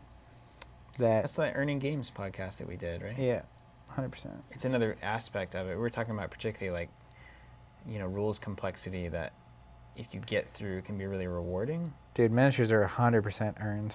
Yeah. Doesn't matter there's what a, the there's a game is. culture. There's a culture to people who get together. Like when you go to the Warhammer 40k event at Adepticon, and you're playing against somebody who's spent just years painting their models and making them look amazing, and you're both there, having invested that time and understanding that it was worth it for both of you.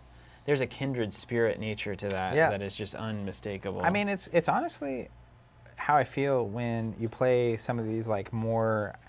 I won't even. Indie's the wrong word, um, but these like smaller games by these like publishers, right? It's like when you meet someone that's doing Torchbearer that you were talking about earlier, or that is a fan of yeah, Torchbearer. yeah, yeah.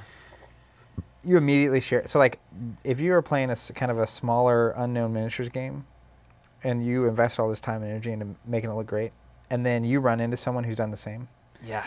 You share so much That's why those little conventions are so awesome. Like Adepticon is great for that. I think about our friend Eric, who's really into Wild West Exodus, Yeah.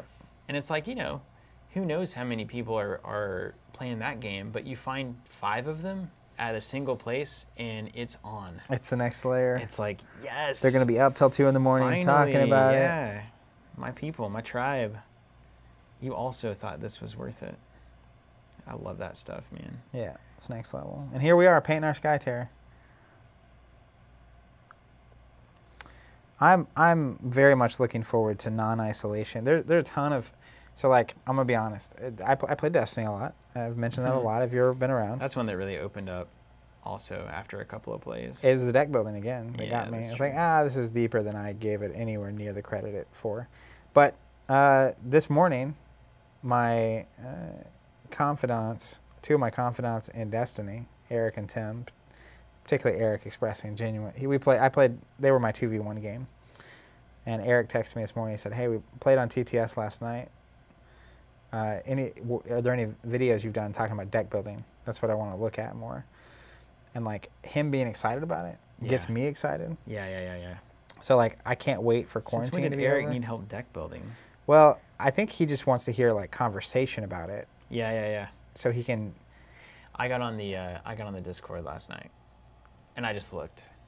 I was happy to see actually people were talking about uh, wanting us to do tokens for it. That's a really cool feeling. I've been seeing that a lot. That's a really cool Yeah. feeling. We're talking about like working for so long to get to a point of like, you know, it's not like we're like, you know, nobody's writing New York Times articles about Covenant, you know, but just to get to a point where like you actually see your name organically from Sure. time to time, it's like ah TC token. It's like freaking cool, man. Built that. Um, I built this city. I built this city. Yeah. So, but then I, I was just like anything. I'll take anything anyone has to say about this game right now. Yeah. I'm just laying in bed like on Discord. I'm happy on the Discord. I, I've been on the Discord for a while, but I'm nervous to comment. Yeah, I, I'm on a secret name.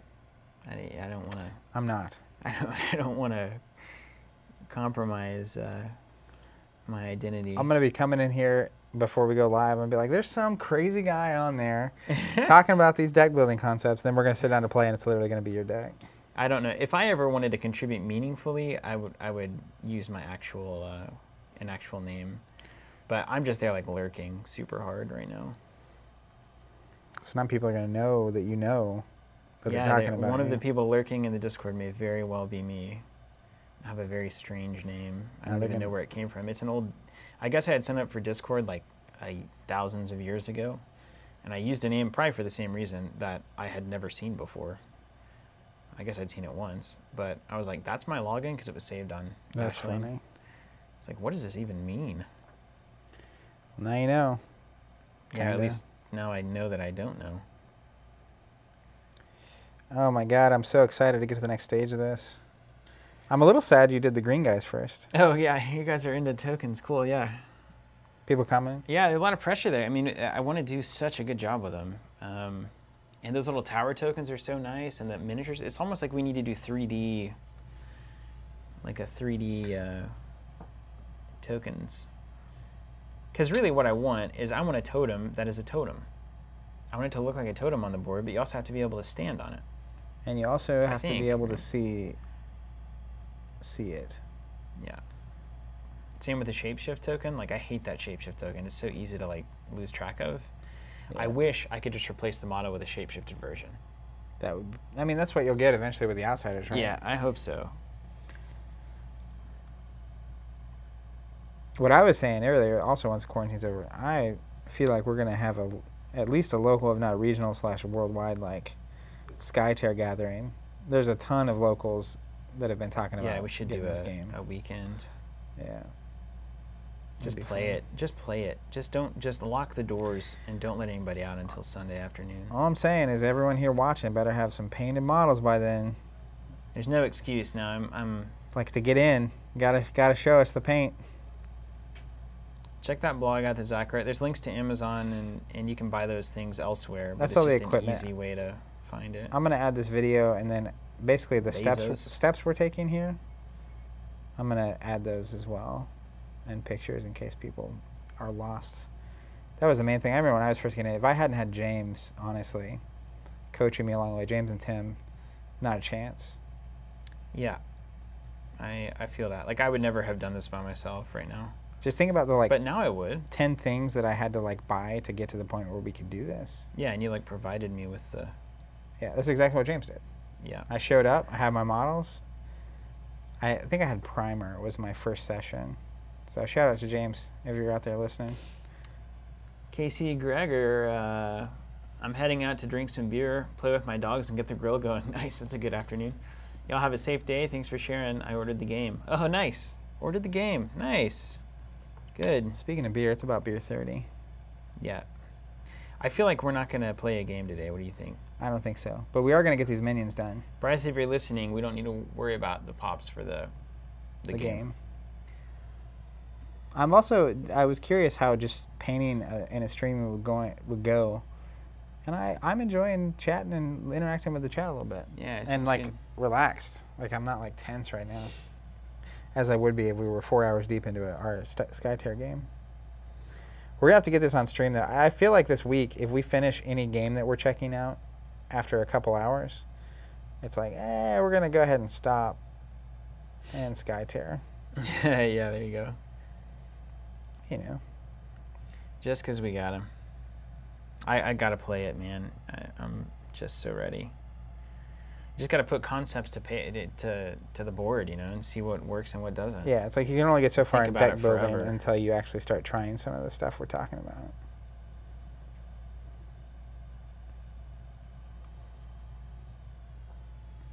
And just to reiterate, I'm just. I mean, there's no method to this. I'm just, you know, punching and swiping and just getting the brush everywhere. The base coat phase, particularly, is when you can just go crazy. So, like, One thing I'm trying to do is make sure that nothing's pooling up a lot in the weird crevices. Yeah. Like this guy's hat. So I'm just like dabbing it a bunch. a dab will do it. Is dab that thing the kids are doing or we're doing? Uh, dabbing is a thing. Yeah, okay. But a dab will do it is Brylcreem's old slogan. Yeah. Two very different parts of the world there. Well, one's like the 60s generation vibe, and the other one's a generation I don't. Is the, it's the generation that makes me realize I'm not a kid Yeah, yeah, yeah. because I'm not involved. I just don't get this. It's like, yeah, that's kind of the point. I do get OK Boomer. Yeah. That one clicked very quickly. I well, that did. didn't come out of them, did it? The Gen Zs? I mean, Maybe it did. I don't know. maybe it came out of our gen Maybe. because we're the ones having to deal with them. If you're a boomer, sorry. Yeah, there's not a. This is not a. Uh, certainly, the number of boomers in my life that are incredibly good and kind and uh, with it people is high. But you know, you got some interactions on Facebook. I see you on there every now and again. I have some You got some family. some old boomers, you know. some old boomer sooners. Basically, the long story short, everybody can be maddening. And if there's a lot of, you know, a particular group, you're going to see a lot more of the maddening people in that group, are you not? Like your family. Yeah, My just like boomers in general. There's just a ton of them. They boomed. The name is accurate. Yeah, the old baby boom. Man, the the black back of these uh, molten lava guys. Sometimes the paint just like doesn't stick. Yeah, that's where I am, man. On the, on these. Uh, Yeah, I mean it, the it's definitely a red or black after I get through. Need more paint.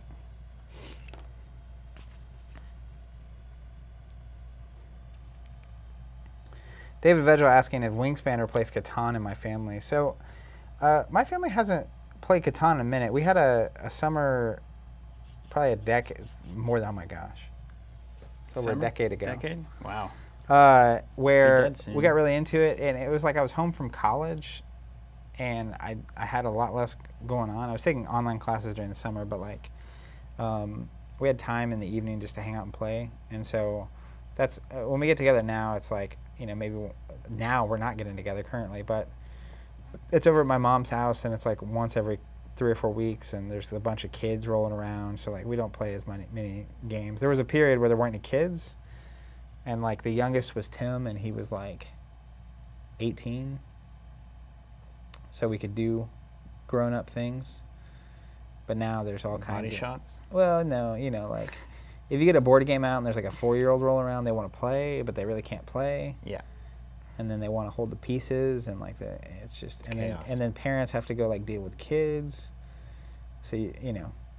Um, but we did bring my mom on to play Wingspan. That was fun. She's historically not a board gamer, so that was interesting. She had a good time. She dug it, didn't she? She said she'd be willing to play again, which is a insane sign. yeah, we need to get uh, Janice Woolley on the stream too. I agree with that. a known bird birder. She'd really enjoy it. Except she'd be super nervous about the rules and stuff. So we should do it live, is what you're saying. Well, yeah, there's just a lack of confidence, you know, about like what if I what if I look stupid on camera? And it's like, trust me. Do you show our. BBD tutorial? You just can't convince people, you know. It just comes with the experience and I- the foolishness to, I to mean- give it a shot. I grew up really shy. So early on in videos, I remember, like, I remember we did some of those Covenant Reborn videos, and John would have to, like, I would make him reshoot and reshoot and reshoot and reshoot Yeah. until I was finally happy with it. But, vie. I've got two left. I'm gonna hit the bathroom. I don't think we need to take a break. Do you want me to grab No. a beer while I'm up? That'd be great. My glasses out there. you have a preference? Uh, let's go Blondie. Blonde. We'll go the blonde. Now I'm gonna make that mistake. I'm gonna have a, a half pint of paint water and a half pint of beer. That's why you got to get that tube of glass. Uh, quick, Jay's got a question. Did we see the promotional free mass mutation decks to print and play, and are we gonna print them out and try them? Uh, I definitely did see them. Uh, it's, I mean, maybe it, it all depends on how long uh, quarantine goes on. The release of that set.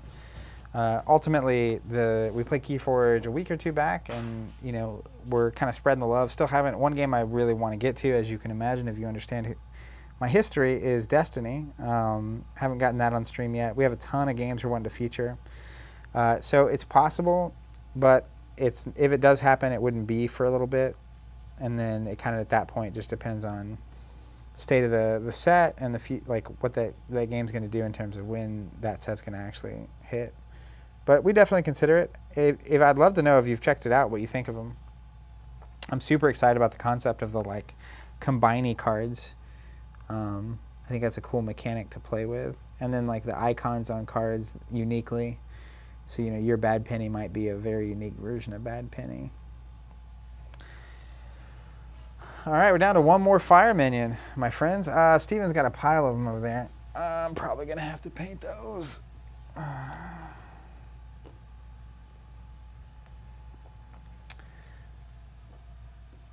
I, Nemesis Sans Zero is a nice family game. I love that game. There's also a game called Viva Java that my family likes a lot. Everyone in my family likes coffee, and it's about being like a coffee roaster. Uh, but it's right on the curve of like I feel like it's a step, definitely a step or two up from like a Catan in terms of like meaningful decisions and and the nuance of the game. Uh, and so that's kind of a family game for us. Uh, Mitchell, uh, we saw Cloudspire. I never really got into it. Uh, just didn't didn't hook. Uh, didn't play it, but didn't really hook.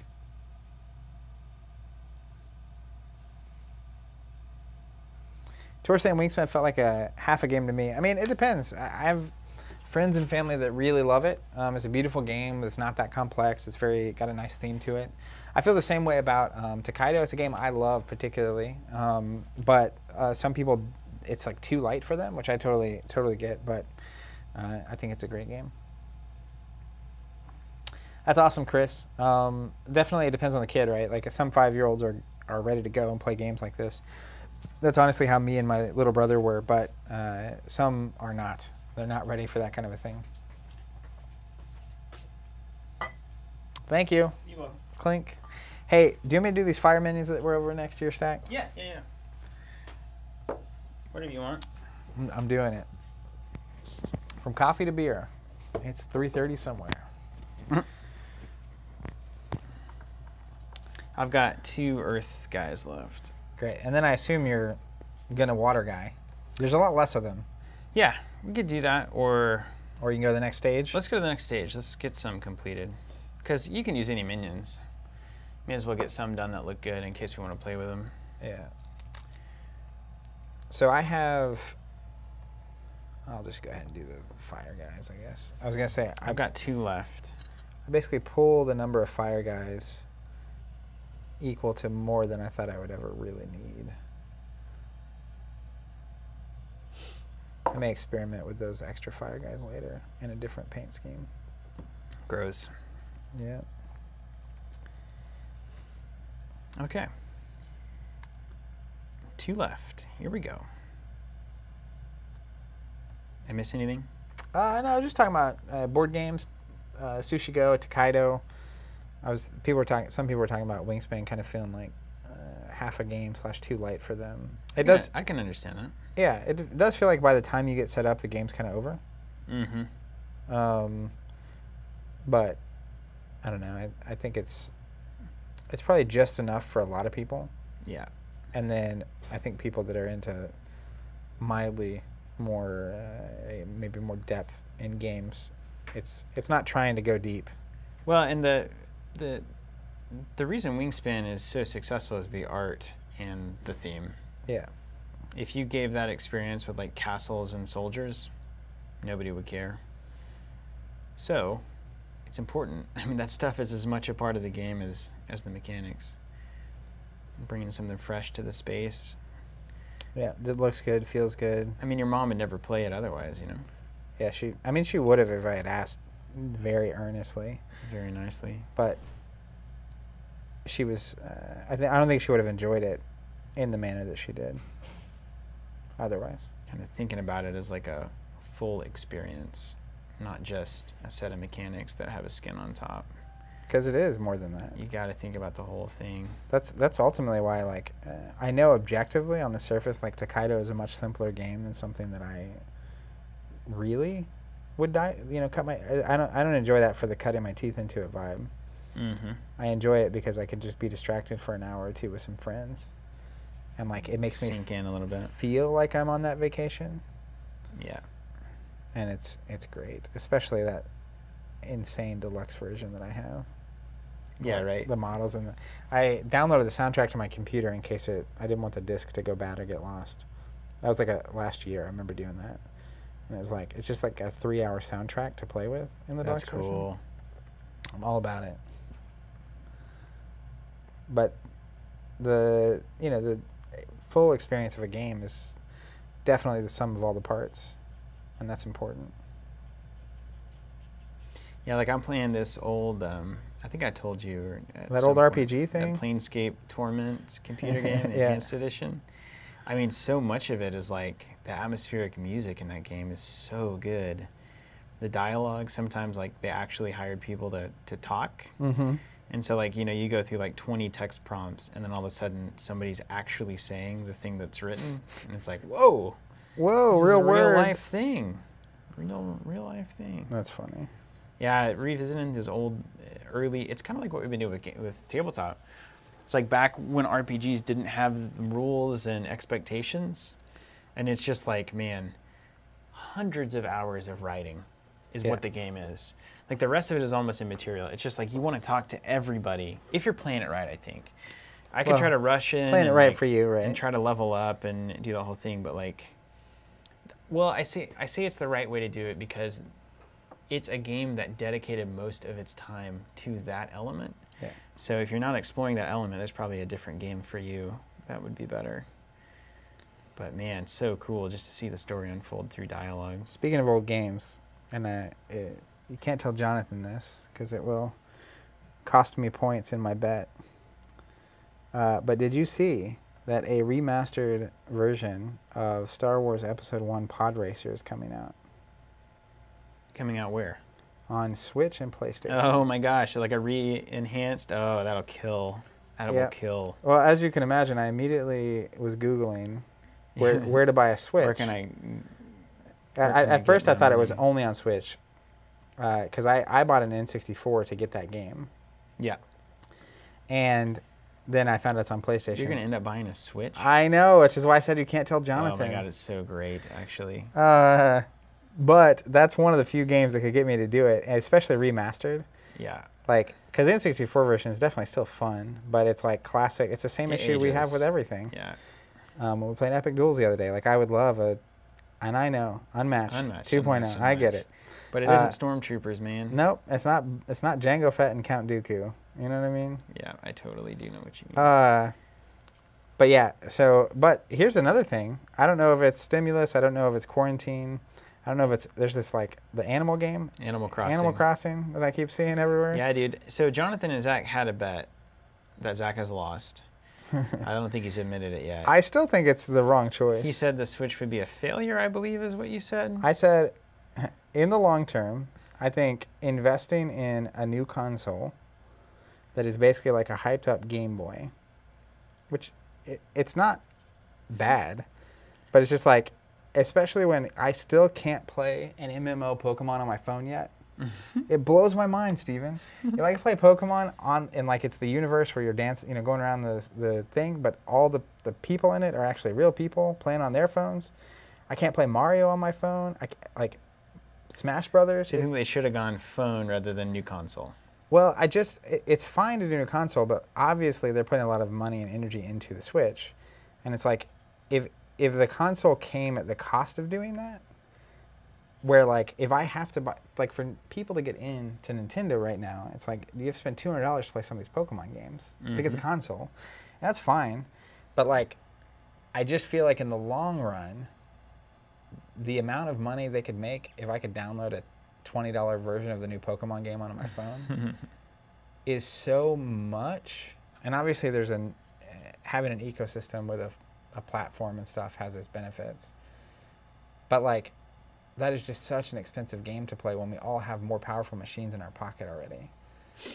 So, anyways, uh, I didn't so ever say it wouldn't. out currently. I did never say it wouldn't make money. that is not what I said. Um, I just thought Grandview's Screen smaller, you know. et cetera, et Grandview's cetera. strategy on that decision by Nintendo is that they could have spent their resources in a more effective way. And I still think that's true, even though I'm slowly coming to terms with the fact that I think I'm going to have to admit it's a successful product for them. yes, you are. You already have. Yeah. You have to. Uh, but I was I was looking. Here's the crazy thing. I was like, all right, well, I guess I've, I have to buy a Switch. Here we go, because you can also play against each other. Like, why don't we bust you up for a Switch? Just like a Game Boy. Yeah. But you know, I could also play at home against all my friends that have a Switch because there's so many of them. Just kidding. There's like a handful.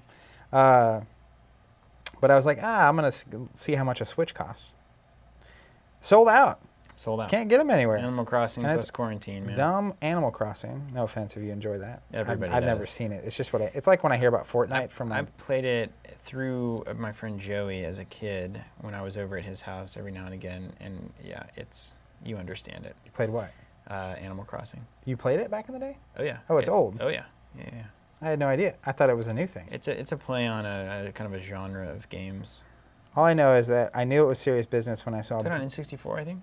saw Brie Larson playing it in my Instagram feed.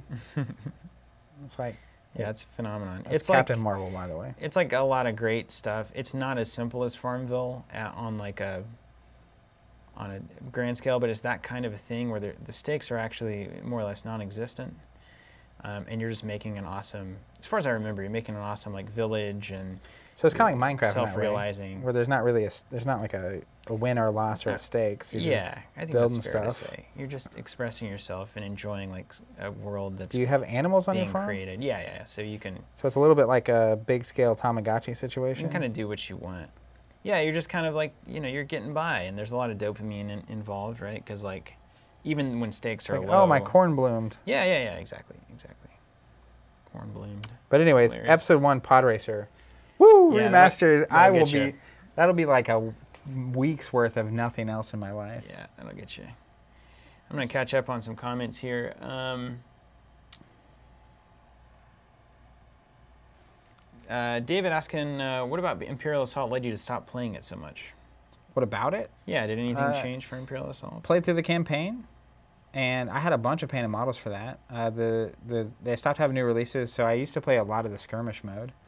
Um, but no new releases meant the skirmish mode slowly withered because there's just no, nothing changing about the environment. And the dumb, uh, what was the really dumb? That like Vader or the list, the brick. Well, it wasn't the four x four. That was the thing for a while. Imperial officers and uh, Royal Guard. Then there was something else that came along. It's like the Tusken Raider on the Bantha or something. I remember the Bantha being a big deal. Um, anyways, so I had played through the campaign and had stopped playing the competitive version and was moving uh, and decided to get rid of most of it. I kept a couple skirmish lists. Unfortunately, they kept releasing campaign content. They didn't have the digital component back then. Um, Campaigns where that bread is buttered. On yeah, hundred percent. So I'm kind of sad, and ultimately, I wish they would kind of re. Uh, I think Steve on our interview from Gamma hinted at some yeah, possibilities some there. But I think that would be a. I would love uh, Imperial Assault. I love the the rule system. I love the the game that had pre-assembled Star Wars models, so that was good for me. Um, but yeah, it's a great little game, and if it was still kind of active, I, I think I'd be really into it. Tanuki saying uh, on YouTube, Torment is my favorite CRPG of all time. That's great. I've heard it's like one of the best of all time. Also, Nico saying Baldur's Gate was is my jam 100%. Actually, so I, I uh, might come as no surprise to you. I actually had a, I've been in the, the Apple ecosystem in terms of like PCs since I was a, a kid. We had like one of the first those colored iMacs that were the big bubbly. I remember coming over your house and being Yeah, like, Zach was blown away by it. And we played some Star Wars TCG. Um, but so I didn't have a lot of games growing up. Uh, you know, PC games weren't really a big part of it. But when I had a PlayStation 2, I remember there's a Baldur's Gate 2 that came out on PlayStation 2, and it was so good.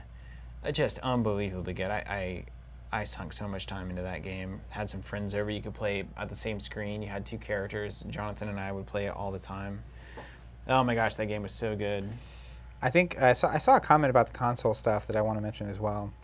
Someone saying that the big success for the Switch for Nintendo was really merging the failing Nintendo consoles with their very successful mobile consoles.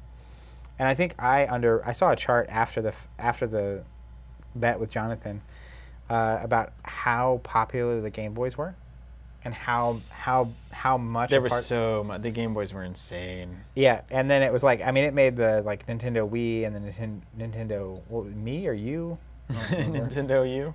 uh, look like There was a Nintendo look U. like just a joke, Yeah, and it was like oh this is actually not their next console, this is the next Game Boy. yeah. So that made a little more sense to me, but I still like whatever money you have to put down. Just hang with me for a second. Whatever money you have to put down for me to play Mario, full on, all the Mario's on my phone, has to happen. Yeah. And instead of charging me per game, if they had like a twenty dollar a month Nintendo, and it's like Pokemon, Mario, Smash Brothers, like they would, I can't tell you, I would. I, there's so many people. It's unreal. I find this comment to be one of the funniest things ever. Michael Tomasello on Facebook, and there are some choice words in here that I will censor. What is this? There's a number of words that I censored there. I was just watching the Senate propose a $500 billion bill for small businesses, and then I got dumped here on autoplay. Where's this at? what that must be like. How did the algorithm say this is what you That's need amazing. next? Uh, what was his name? Michael. Michael, yeah. Well, m- welcome, Michael. Welcome, Uh, Michael. You're probably is- long gone by now. Yeah, if you're still here, we're playing, we're painting uh, miniatures for a tabletop game called Skytear that we play. Yeah, super cool. And you found your way into one of the most welcoming and awesome groups of people on the planet. Ever. Uh, there was a comment, somebody was asking maybe I could explain a little bit more about how Skytear achieves the MOBA better than other games. I'm happy to do that if you want to ask that question again. I just missed it. Leper asking, did we spray undercoat a white or just base coat with the green red straight away? So I did what's called zenithal highlighting, and I'm going to highlight this in the blog that we've been linking to, and I'll link to it again after we're done. But essentially, it starts with a thin, even coat of black on the whole model, and then you, you choose a light source, and you use a gray primer. By choose a light source, you mean just choose a part of the model that you want the light to hit. Yeah, so like if these models that are, are here, I chose the like these red guys, the front of like coming down an angle, like if the sun were at like a three o'clock position. Um, and so then you spray gray from there, and basically if this is the the whole model, you're gonna spray gray on this much of it, and then you come in with a third layer, again thin layers of white, which is gonna be on a little more concentrated. And this is where you want the light to look like it's hitting directly, so where the sun would really, or whatever the light source is, be hitting. Um, and this creates a very like natural lit effect. And then from there, yeah, we're doing thin layers of, of color on these models. And the thin layers, so you basically take a, a paint, you water it down, are going to do two things for us. One, they're going to make sure the, the paint isn't too thick and cloppy and we lose details. But also it's going to let those primed layers kind of shine through. And that's going to give uh, a natural like shading, highlighting effect that a lot of times before I learned about this technique, you'd have to just manually apply and it would take a long time. And a lot of people, and they were more advanced techniques. So this is kind of a fast and easy way to achieve that, uh, which is what we were into because we're, we're painting these minions and there's so many of them. Because really, all like photography, painting, etc., it, it's all just about light. Like if you think of it just as I know this from not from experience but from knowledge. If you think about it like you're painting different shades of light rather than like specific colors, then that's really how you get the effect you want. So this zenithal thing is supposed to basically make it very easy for a model to look like it is lit because reality obviously has lights, you know, highlighting features and whatnot. Like you're seeing our face right now is actually all different sources of lighting hitting it at different angles and whatnot rather than just like a flat color obviously so yeah that's what you're trying to get on the highlighting and that's particularly important when you go with darker colors like even when you look at something that's black like my shirt right now um, it's not actually black. Like it is black, but because of the way the light's hitting it, most of it is not like a dark black. It's, it's actually the shadows that are black. Like I'm looking at it now, and it's kind of like a almost a, a light gray in most areas because of the way the light's hitting it. And so you can accomplish that with any color with that, that technique. Prometheus on Twitch, this is a great comment. This is like if Bob Ross talked about video and board games in the best in the best way.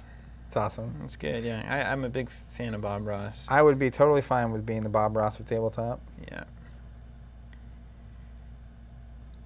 Especially without being just like a Bob Ross. Yeah, we're not saying like happy little minions and stuff. Yeah. Th those are good jokes, but you remember Coast to Coast? Our show, Coast to Coast. Yeah, yeah, two episodes. Covenant Coast to Coast, Deep. two episodes. That's right. It was fun. We did a live show in the store called Coast to Coast. It's a good idea. And the goal was for Steven and I to like get each other. Didn't know how it was going to make us money, but we did it. That's how most and, of the things and we've it done. Didn't, And it didn't. You're like sitting here painting miniatures. It was a good time, though. Yeah. On that note, uh, we have a content membership. Yeah, that's true. We haven't talked about that in a, while. Yeah, it's been a minute. If you're unfamiliar, uh, when we started these isolation streams, we started with a whole week of Arkham Horror LCG A couple days in, people were really starting to ask, like, "Hey, I really want to support you guys uh, during isolation, and all this content you're making is great. Um, is there any way for me to directly do that?" And they're like, "You know, we already bought all the tokens, and nothing's coming out to your subscriptions right now, except for Skytear now." Um, and that was very amazing that people were reaching out for that reason. So we created a content membership on the website. If you click into any game, it'll be the first thing in every category. Um, but it's 20 bucks a month, and right now the only thing it's doing is uh, going directly towards our ability to keep doing this daily. Um, and if you enjoy that and you want us to keep doing it and keep advancing it and investing in it, uh, it's a great way for you to do it. And to all the people that have already done that, uh, un unbelievable. I really appreciate it. Um, this is obviously a very trying time, I think, for tabletop and for small companies in general.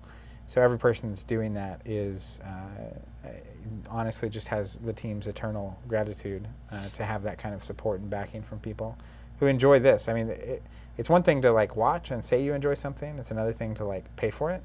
Right, especially because you don't you don't have to. Like we're gonna keep doing. it. We've done this for over a decade. We're gonna keep doing this.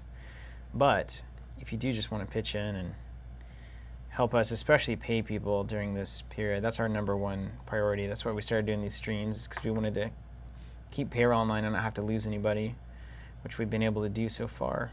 Or have anyone go through like severe financial yeah. strain. And the reaction, honestly, the reaction with both the content memberships online and then all of the like token and co component purchases it's been, been, yeah awesome phenomenal. So we're working on a lot of products in that that vein. Uh, as well. But we know too, like part of it, another reason besides the fact that we're just committed to doing it, that we'll keep doing it regardless, is there's a lot of people that are going to be going through a lot of stuff right now, uh, whether they're just you know isolated uh, or actually going through who knows what. I mean, illness, financial ruin, etc. So the last thing we want to do is put up a wall between people who are going through something and their ability to enjoy and connect with a group of people like this. So uh, it'll be free. No ads either. Michael Wall, yeah, no ads ever. Michael Waldo, Zach, Steve would, Steve. That's fine. I I was know. I was Steve when I was landscaping. oh, landscapey Steve. Yeah, you know, everybody in in um, kind of that manual labor culture, it's always Steve. There's no, there's nothing you can do about it. It's Steve. Yeah, that makes sense. A lot a lot of people. Yeah, I everyone- just don't care at all. Everyone in the industry that we work with, will we'll call you Steve. Even if you're like, ah, I'm Steve, and they're like, okay, hey, Steve. yeah, Uh, every time. and it's fine. I think Yeah. I'm getting old enough where Steve makes a lot of sense. Did you ever go by Stevie? No, I always thought Stevie was a Girl more name? of a female name. Yeah, There was a Stevie in our small town. Probably didn't help. was there? Stevie Beal. I don't remember that. Um, so some nice comments coming through. Uh, first says Astro Wicked, keep up the great work. I love how quickly you guys have been restocking boards and tokens. I wish FFG would take a page from your book. Smiley face. Uh, Michael Waldo says Zach, Steve, would you be willing, at all interested in having a TTS mod for your Marvel Cosmic boards and tokens? Absolutely. Yeah, that'd be killer. It'd be absolutely killer. I don't know how any of that works, but sure. It's beyond me.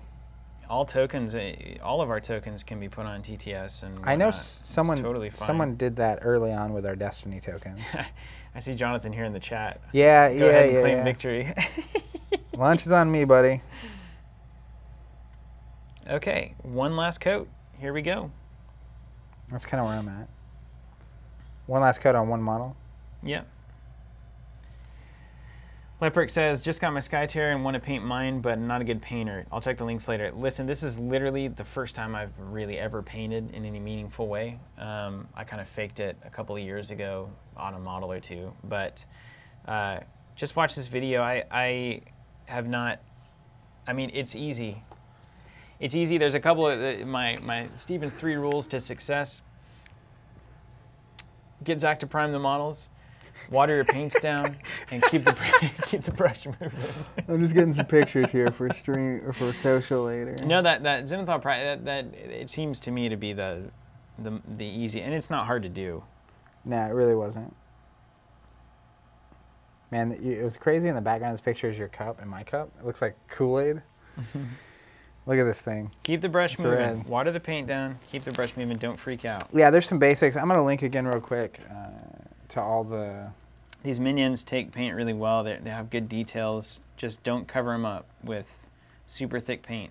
That's down. that's like the it down, number number down. one thing people do wrong when they start painting is they put too much primer. They put too much paint. You just lose out on a bunch of the details. But thin layers, lots of layers, definitely the the easiest way to to get decent looking models very quickly. You're done, huh? I, I didn't do these guys, but I'm gonna do them in an alternate scheme if you're not interested in painting them. Yeah, no, no, you're good. I'm gonna I'm gonna come get these guys all the way to the finish line though. I don't ever want to see those red minions on my side of the board. You could paint them all watery though. That is true. You know, you, you could really explore this. I could do the same thing with the Yeah, that's that's that's like what I was planning on doing on with all my stuff. So if That'd you be want. I can leave these for you. But I feel I, I don't want those. All right. Eh, eh, Nothing about that aesthetic is appealing to me. you don't like little Raidens? No, I don't. Look at them. I do love the shield. Uh, I do too. So we're gonna we're gonna fight over those guys. All right, stretching. Now I'm gonna pay attention to chat for a minute. Ah, apparently, our Nico says our data tokens are on the Netrunner mod. Good, good, good, good. Man, that's crazy. That was That was the project that probably launched our thousand success ships? more than anything that we've done. I remember. So we had done uh, some very except for the rudimentary subs. X-wing templates, and we had done some uh, compatible uh, Star Wars LCG tokens. Hashtag innovation on those things. the L's. Zach making the L's. Yeah. Yeah. very functional innovation. That's where I reign. I'm not a designer. I remember showing you those initial, like Derek and I whipped together some Netrunner things, and you were like, uh, nope. And then you and Jonathan came back with data tokens six months later. But uh, that was the product, because that was like a year after our store opened, a year and a half after when we launched those. And the response to those was, uh, in- in hindsight now, compared to where we're at, uh, what, what we see with products regularly now, not insane, but like at the time, Proportionally, it was. it was like one of the biggest things that ever happened to us. And I remember a week later we were pre-selling all the way through like April or May of the next year, uh, and that was like the best night's sleep I'd had in forever because it was like a year and a half of like, once that store opened, it was just like a Every month was an adventure, wasn't it? a zone. Trying to pay people. Yeah. It was it was by the day. Man, there's so many that stories that people lot. don't know. You don't A know lot. how how uh, how close it was uh, so often. I mean, even honestly, just not being here. so it was August 2012 at Gen Con when Netrunner and X-Wing got announced, and God, those came out later that year. what- that was that was big. Um, yeah, gave us actual products to sell. yeah, and communities to build. Pretty amazing. Okay. Um, I think we're here. All a The next kiss. part's a little scary. That's fine. Luckily, we got a. So it's got real. plenty of minions It's practice on. really scary when you paint one big model for like two hours. And then you got to go with the the highlights Well, when you do the shading, you have a moment of of where it's all black or all like gross looking. you have a moment Yeah. of panic. Yeah, yeah, yeah. I've, I've ruined, actually, I remember I, I pretty well ruined a model by overwashing it once and it just got dirty. And I heard that the earth shade is for like grimy, and then the other one, the nun oil, Nuln oil. is for uh, clean. Clean shadows versus dirty shadows. Earthshade is also just Alright. like a very brownish. Look at him, guys. Hold on, let me see if I can. I'm gonna get. I want to get these up in the. I want to get these up in the thing. Let's take. Oh, it, zo- zoomed in. Yeah, let's it's, zoom it all in. I'm it's good to take a- a entire reprieve. box. Chris Ainsworth saying X-wing content's how I found Covenant. Hmm. We That's just, awesome. We just put as many lures in the water as we can, and we hope that eventually somebody will find us. Okay. Don't Tor freak out. saying same. I'm not freaking out. John asking uh, any favorite solo games. I, I don't really play too many solo games, honestly. You have the luxury. I have the luxury of having a community outside my office and Steven to play with on a regular basis. All right, Zach, can you go over there on the? Can you just lean over there and do the one? Press the. the Oh, thing my. that's currently a two. Press the one. I think it's currently a one. Press the two. So flippity.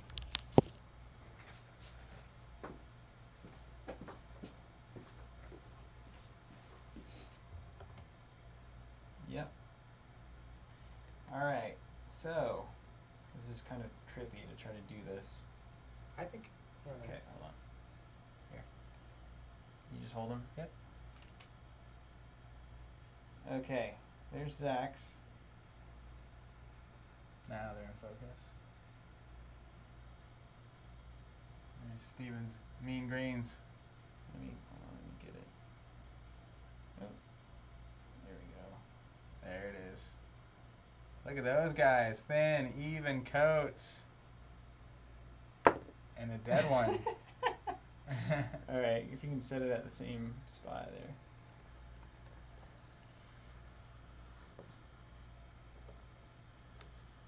Let me flip these back. Yeah. Thank you.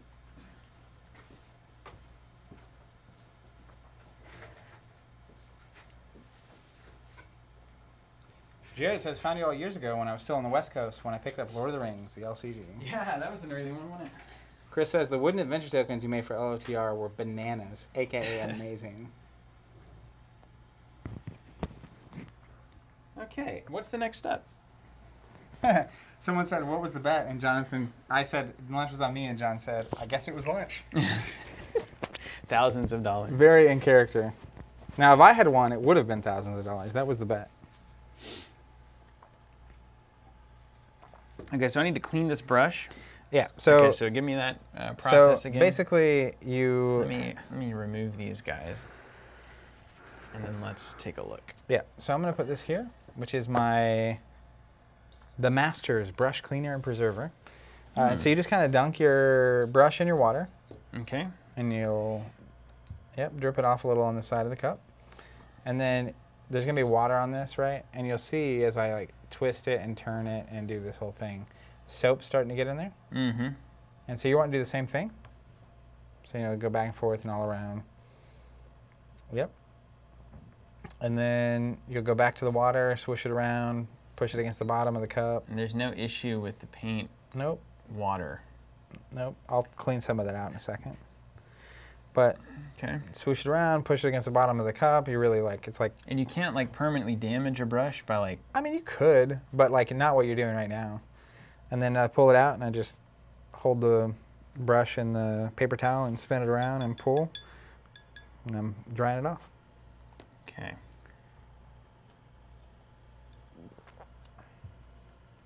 Hmm. Nemesis, the unboxing vids in the store with background noise. Shh, background people. Shh. That's so true. Okay, Just doing them while we were open. I remember people walking in, in the middle yeah, of a like we video just barely be be finishing up, and it's like ah, this is going part of it is we just never knew when people were going to show up or not. Yeah, most of the time they weren't. That's correct. Okay, Um, done. All right, so then we'll leave, let those brushes dry for a minute. Uh, so I'm going to explain the next step to you, and the next couple of steps. I'm going to put these guys back. Don't forget to beat. Don't forget to beat the devil. That's so funny. That's the old Bob Ross reference. You get that dee dee dee dee dee dee dee against Uh-huh. the easel. I just intentionally knocked all your dudes off Yeah, there. thanks a lot. Um, so we basically have these different shades, and there's a couple things to consider. Um, so you have green models, and there's some potentially really cool effects you could achieve right now. Okay. Like as an example, if you, especially because you're the water character, Yeah. and I would, I would probably borrow a handful of these Earth guys away from you to make sure this doesn't happen. But as an example, there's this uh, Draken Drakenhof Nightshade, which is the blue ink. okay. So, So it's kind of a could- you- bluer. You, can imagine it's like if you put a blue ink on one of these green guys. What's going two things are going to happen. Any any of the shades that we put in, they're going to pool in all these recesses. yeah. So like these rock guys, they have a ton of them. Like in their back, they have these Super rocks. super detailed. In the front, they have all these little things. So no matter what color you choose, the pool is always going to come off as like a dark, very dark color yeah. shadows. But the what's going to happen is that the the shade's going to start at the top of the peak of whatever wherever the model uh, edges are, and it's going to run down to the bottom. Yeah. But like a blue shade is going to leave a little light trace of blue Mm-hmm. all across the model. And so there's blue, there's red, there's black, there's brown. And these are all considered shades. Yep. Right. So we have shades, we have highlighting, and we have base coats, basically. Yep. And so this, there's a, there's a Biel-Tan Green here. Um, so like So you could go all green. you could go green. I feel like like even an, an, a light orange here could be pretty interesting with green. What's the complementary color of green? Is it blue? Red. Red. Are you sure? Are you sure? Yep. Orange and blue are So- complementary, are they not? Yep. So you like an basically art class you take at the you take a primary color, and then you combine the, the other two. Oh, cool. I never knew that's how it worked. Yeah. So it's um, What's the pri- what's the complementary color of brown? the nothing. Got him. Okay, so you're saying basically pick something. I could also do like this purple. I see it's kind of like a purpley Yep. red. This is a deepish red. It's crimson, is how it's described. Um, I wouldn't use Fleshshade. That's probably not your jam right now. Sepia is going to have like a, sepia, so it's kind of a yellowish tint to it. Yeah. Um, so there's yellow, there's orange. I, I it just depends on what you're going for. Let's go with blue. I mean, we Um, may as well go with the one that brought you, right? And I, you know, the thing about it is like if you try it on one, and you don't like it, Yeah. you can always do the the mixing of colors is a problem, but like Nuln Oil is the black. So like Nuln Oil on this is going to look good. So you could just put it over. It's it's basically going to tone down the color a little bit, Okay. and it's going to create the shadows. So like Yeah. Nuln Oil to me is the default. It's like the magical button that just works. Okay. So if you want to get a little experimental on the first one, just to see what it looks like Yeah, in a different color, that. the two that I think would be most interesting to try would be the blue and the green on separate models, Okay. um, just to get a feel for what they're going to look like. Now, should I stick with my one? Oh, I was using a zero that whole time. Here's my one. So, is a one or a zero? Does it matter? What did you do? You have a theory So about this what this to- is actually we're still in the like big brush zone. okay? So I'm going to go back to the one. The big brush on You could Brad you could even use this one, I got a one here. which is a fatty. That's scary. Uh, I'm a precision so man. what's gonna this is that's not what this is about.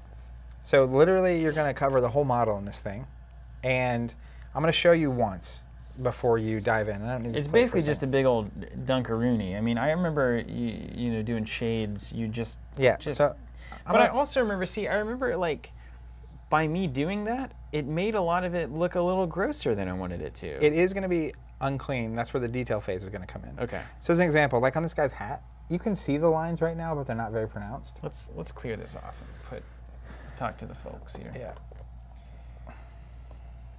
I want. I It's want already so much better to see these models. Isn't like it this. awesome? Ugh, You could you could literally do this and leave them, and you'd be done. I agree. And these Okay. look great. So if I show my little Raiden hat, and I'm gonna flip them around so you can see the back of the Little hat, hat and the of there, yeah. hat. You can't really. There's little lines going down the hat, and you can't really see them that well. I can tell they're there, lines, yeah, I see them. but what this oil is going to, the Nuln oil, uh, which is the Citadel shade, and I linked to this in that article I've been linking to. But if you look, so I'm gonna, I'm gonna, I'm gonna do this for the camera. I'm not used to painting in front of people, so I have the little paint pot here, and uh, naturally some of it's pulling here, Mm-hmm. and I like to use that. So I'm basically going to put my brush in it. It's going to fill up the Just a little the bristle there, of my yeah, brush, yeah. and then I'm going to brush it against this part Mm-hmm. to get a lot of it out. Yeah, man, it picks up a lot of that stuff. It just soaks it in. But then, so I'm going to get a little bit on here, and you just got to play with it. And uh, we're going to fix anything that we don't like about this phase on the next phase. But Mhm. essentially, I'm just going to put it in, and you'll see it's like, oh my goodness, look at all that black. Look at all, I can't even really see right now. I'm not holding the model in. Um, but Grab the- your oil here. yeah, don't be worried about that. So it's it's very black, and essentially what's going to happen is it's naturally going to pool into the recesses, and it's going to dry, and it's not going to be a very prominent color when it dries. So I'll just use the hat as an example. And you keep that brush moving. Yeah, for now. Oh, And it's pulled up like crazy right here. There you go. Yeah, so I want to spread that out Nice, yeah, yeah. across the hat.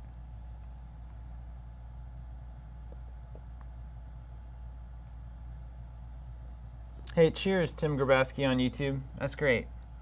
Uh, hats off to your essential work as well. Just woke up here in Australia. All I want to do is stay and watch your stream, but unfortunately or fortunately, work is still essential. Love everything you guys do. Thanks for thanks for stopping by. All right. It'll be here for you So I put a, a decent amount of black on that. I'm just gonna let that hang out for a second. It looks dark, right? It looks like I like did some yeah, damage to the red. Devastating. Yeah. Hate it. Hate it. And I'm gonna do a little cleanup on that line.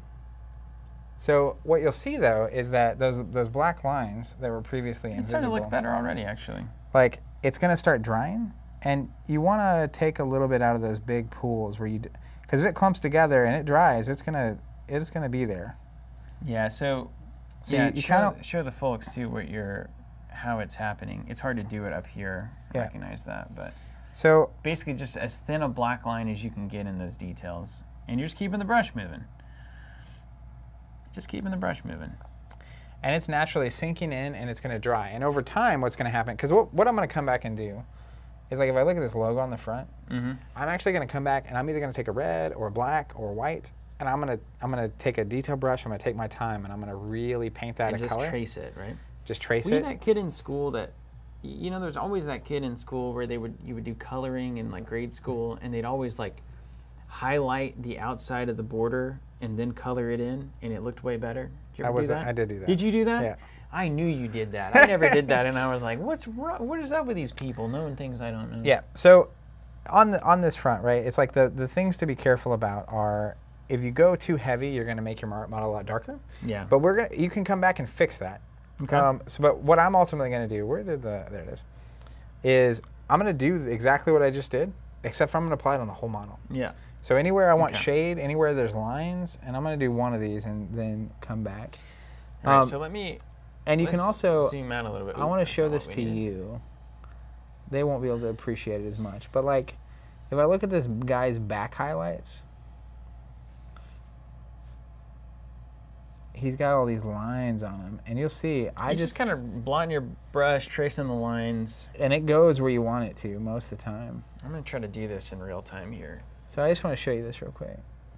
See those back lines Mm-hmm. that now have black in there? mm-hmm. That I didn't have to go paint every one of those little black Right. lines. Right, you never want to do that. That's what you're trying to do. yeah. See, show it to the folks here. You see the back know- here. I don't know if they can see. You can it. probably see it. There's like black. You're bringing the, the the details out in the back here. all the blacks just going down those little lines. And that's uh, that's the next phase. Okay, so I'm gonna try this Drakenhof Nightshade. You ever seen this Wim Hof guy? I think that's his name. His mm. breathing technique. Wim Hof? No. S- swims in super cold water. That's the end of my story. I have not. Okay, so You ever heard of the Tiger King? I have. I haven't seen it yet, but I want to. Have you been watching The Last Dance? Woo! No, I don't even know what that is. It is a documentary about the 1997-1998 Chicago Bulls, Michael Jordan's last season Oh of the yeah, you told me about that. I should have been and they they let the camera crew have that season access to them and it has none of that footage has been revealed until now and it i'm a big old michael jordan fan Yes, you are. and it is amazing Okay, so let's let's watch this. Let's just start with the back here. I'm just I'm just moving this around. Let me get some up in the hat here. And like it's really good I this really guy can't see what I'm doing, so this guy has his little fist he's making and like this paint's going right into those little slots in between his fingers to really make it look like his actual hand just you know pushing it around. So basically, what I just did, I'm going to take this and I'm going to do it in a more detailed way. I think this is going to work. I'm glad that you have now been convinced Now my little dropper doesn't really have the it didn't have the volume on the little. So did you shake it up? before No. opened it? So shake it before you open it, and then if my little dropper runs out, I just shake it again. Okay.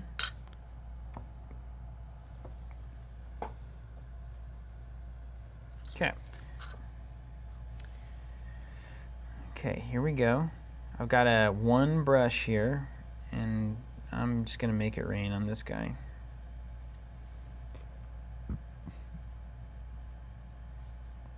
Mm-hmm. You can also like put your brush down in the thing and then drip it off in the little bucket, little spigot. You know what I mean? I do. And you'll be surprised at how much work this cuts out.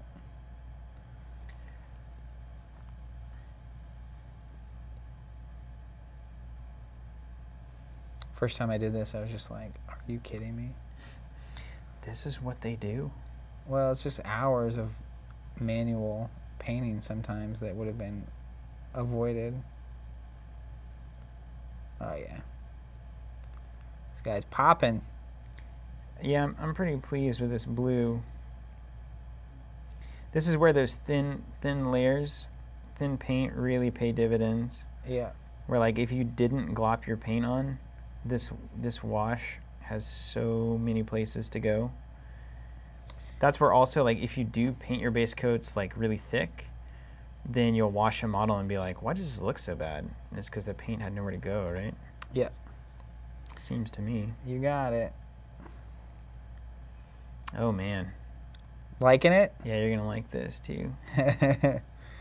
Excellent. This is just a night. It's so subtle uh, that blue on the green, and like this rock, it's got some nice weird little texture on it that it's really picking up.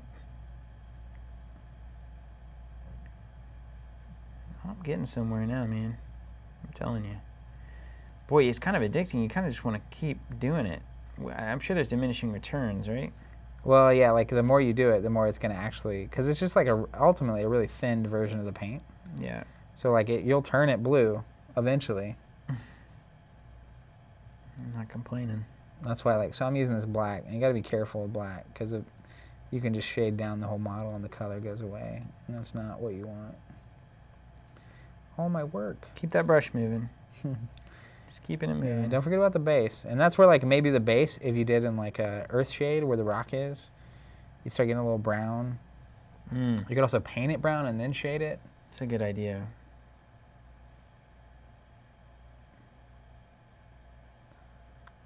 But I I'm digging this like monochromatic vibe myself. Do do do do do.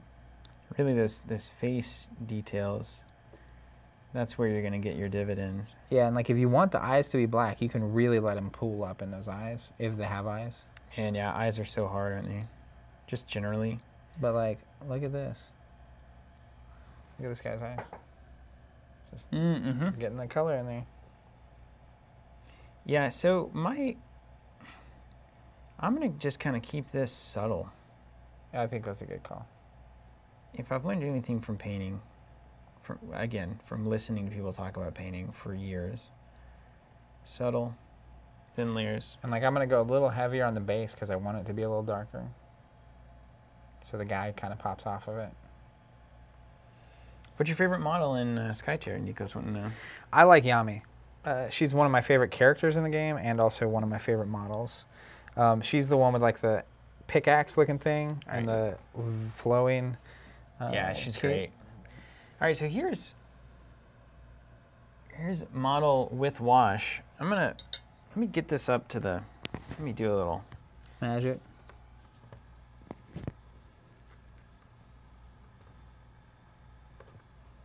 All right, stick with me for a second. I'm trying to make this happen. Hmm.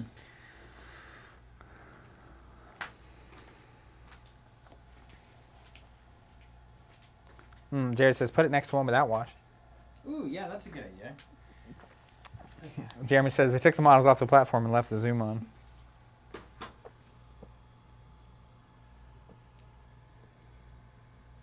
And again, as it dries, it will start looking uh, even more different. It's I don't know how much you can see it on the screen.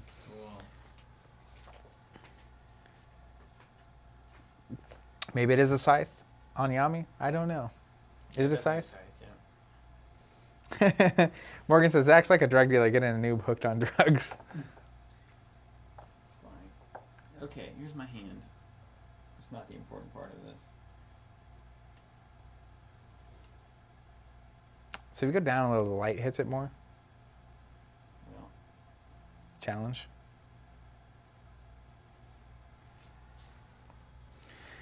I'm gonna keep on keeping. this is not easy. It's not easy being green. The way the light is hitting this is so much more obvious. Okay. Let's look at. Here's the OG. And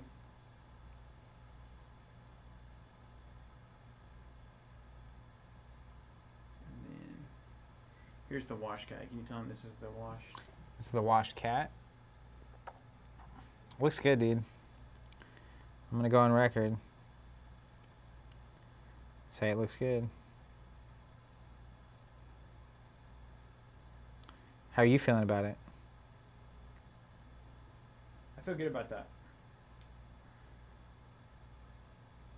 Zoom in.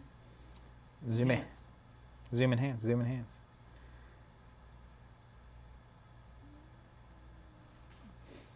Enhance, enhance. It's good, and the good models really help.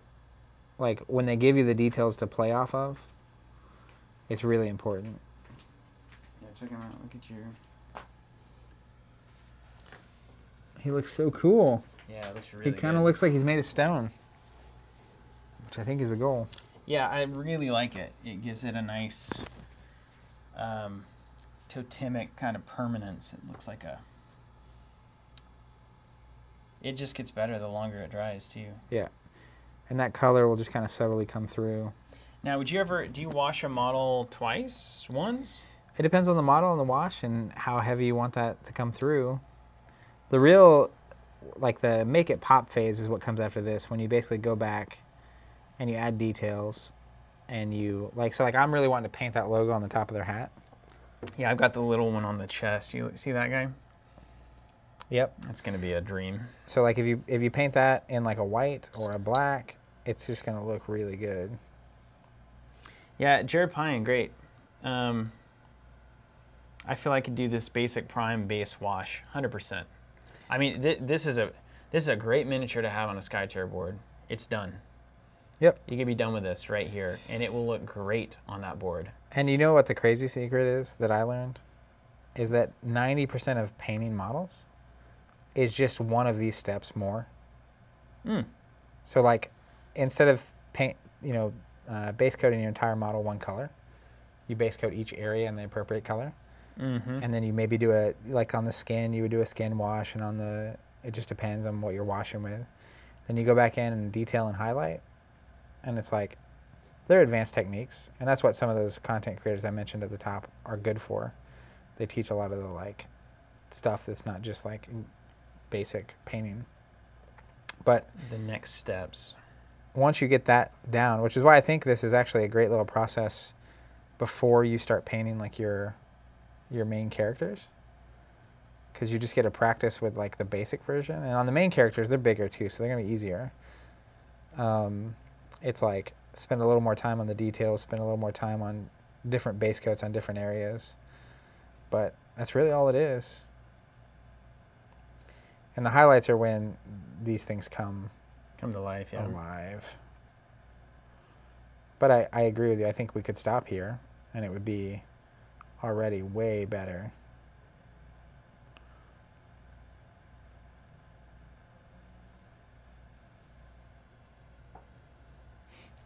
Nico saying these are going to look so much better on the stream now that they're color coded.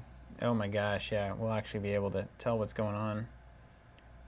And we've got we've got I, I saw Ryan on earlier. We've got four people from the chat that have models on the way to them right now from us, um, from the earlier Skytear uh, deep dive, and they're all gonna everyone's gonna be painting one of the factions. So we've got some painters of various levels basically taking on one faction, and we'll get those back, and so then we'll have everything painted Which is going to be awesome. and it'll be like we'll have done the minions, and then you guys in, in the greater context will have done uh, the rest.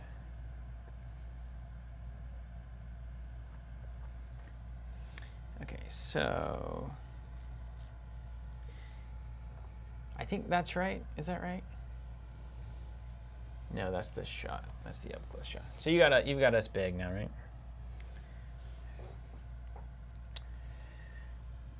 That's probably better than. SG Prometheus, you guys are working so intently, I almost thought the stream was frozen for a minute. I mean, I, I totally get this. I I will be here. Flip it. Okay. How strange. So, yeah, that's the big. Oh, it's because the effect is backwards. Ah, it's so hard to get that in my head. Why is it so hard? What were you saying before you? Uh... I, I mean, I get it. I get the painting thing. I want to paint all. I want to get all these guys done today. Like I don't want to stop. Yeah. This is how it goes. Once you really get into it and you get set up, it's like let's just get it done. Yeah, and once you have the like equipment, etc., it's pretty simple. That's what the big thing for me: setting my dining table up to paint Mm. during isolation. TM, ask my wife. Uh. It's just like on Saturday mornings I've been just painting. What are you painting these days? Uh, Crash Protocol at the moment, but this is next. All the we basically sent one of every model out, and I have the rest. Yeah, so we can compare you to Yeah. everybody else. It's amazing. You look at how, you know, it kind of all looked green, and now when I get this wash cone and I start to look at these models, I can definitely tell the back is way darker Yeah. from that dark primer. Isn't that crazy? It's nuts, man. Let's keep that brush moving. Keep that paint moving. A t-shirt with that on it. Keep that brush moving. And there are some. I'm getting into some areas now where like I feel like I'm actively wanting it to be a little darker. So I'm I'm hitting it again. Like in this, there's this big crevice here between the rock and the waist, Yeah. and it's like I really just need that to be as dark as possible Makes sense. Because there would be nothing but shadows back there. You wouldn't really be able to see much of anything. Yep. You got it. Just gotta put my brain on. Part of it is just like once you get some basic techniques on how to get paint on there, then you start like It's a lot easier. when you just know how to. It's one thing to know what you want it to look like, and it's another to know how to get it to look like that. Yeah.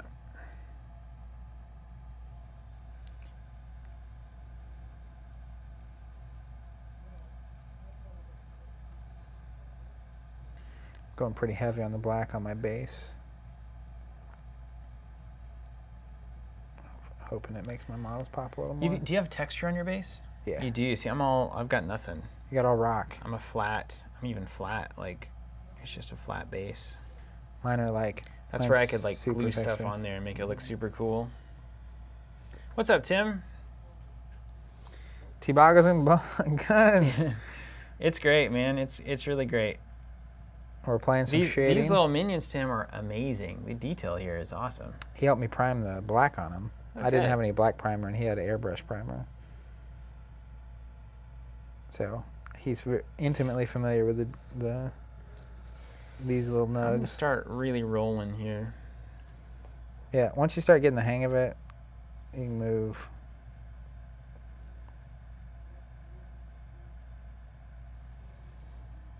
And it's scary because like they start looking dark and less vibrant. Mm-hmm. Then you make it pop. Then you gotta pop them. And here's the step.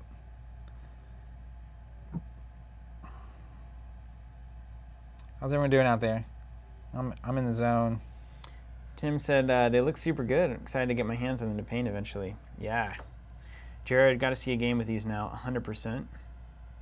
Thunder Chicken on uh, YouTube. Love the painting and chatting video. Y'all should do this more often. I truly miss working in Tulsa. Your store is always welcoming and the staff super friendly. I miss Thrones and Netrunner Nights. That's awesome. Fantastic. Who was that? Thunder Chicken? Who's Thunder Chicken? you know who Thunder Chicken I don't know who Thunder Chicken is. They're gonna have to reveal themselves, Uh-oh. or not, and I'll assume that I liked you. 100%.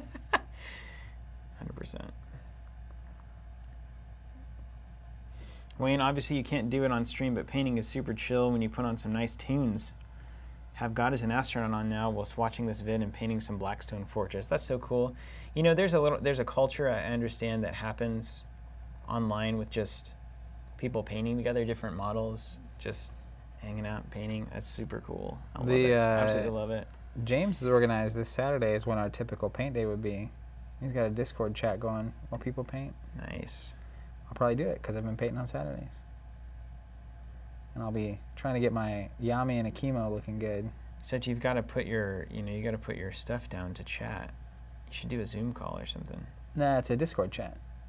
Is it video though? Uh, Like, can you just talk? you just talk, yeah. Oh, okay, cool, It's like a voice chat room. very cool. That that's works. what that's what Discord was originally. It was like video Really? game chat. And you just talked, like, It's like a platform. Like if we were playing Halo together, we could have a channel where all our team is chatting, cool. Okay, I didn't realize that. and then it kind of grew beyond that. A lot of people use it to like have like a chat room for anyone looking for TTS games of a certain game or what have yous.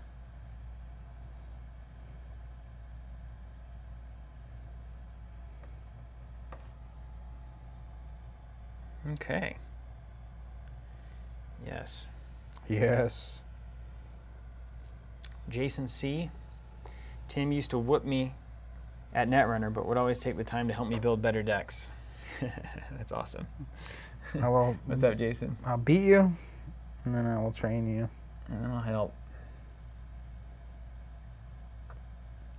One of my favorite stories involving Tim in the store and beating people was Earl, My gosh, wasn't that awesome? who spent months trying to beat Tim. Finally beat him at Thrones, jumps up from his chair and screams. We never saw him. Literally, I saw him one more time in my He life. Never came in. when Pokemon that. Go happened, he was at the farm at this big Pokemon event. I saw him at. That's the only way I knew. I, part of me thought something happened to him. He came in like every day, and then he beat Tim once, and then we never saw him again. It's like he had one goal. That was it. Mission accomplished, I guess. Yeah.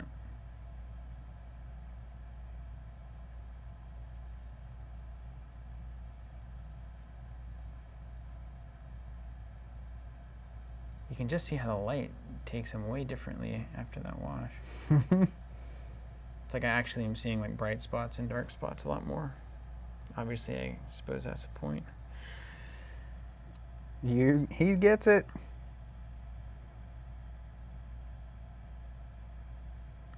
Man, th- these little rock backs on these guys really take this wash nicely too. It's like perfect for that. Yeah, there's a lot of little details on these guys that are popping for me. It's like things you didn't even know were there, really. Yeah. It's like, oh, there you are. Thin paint, man.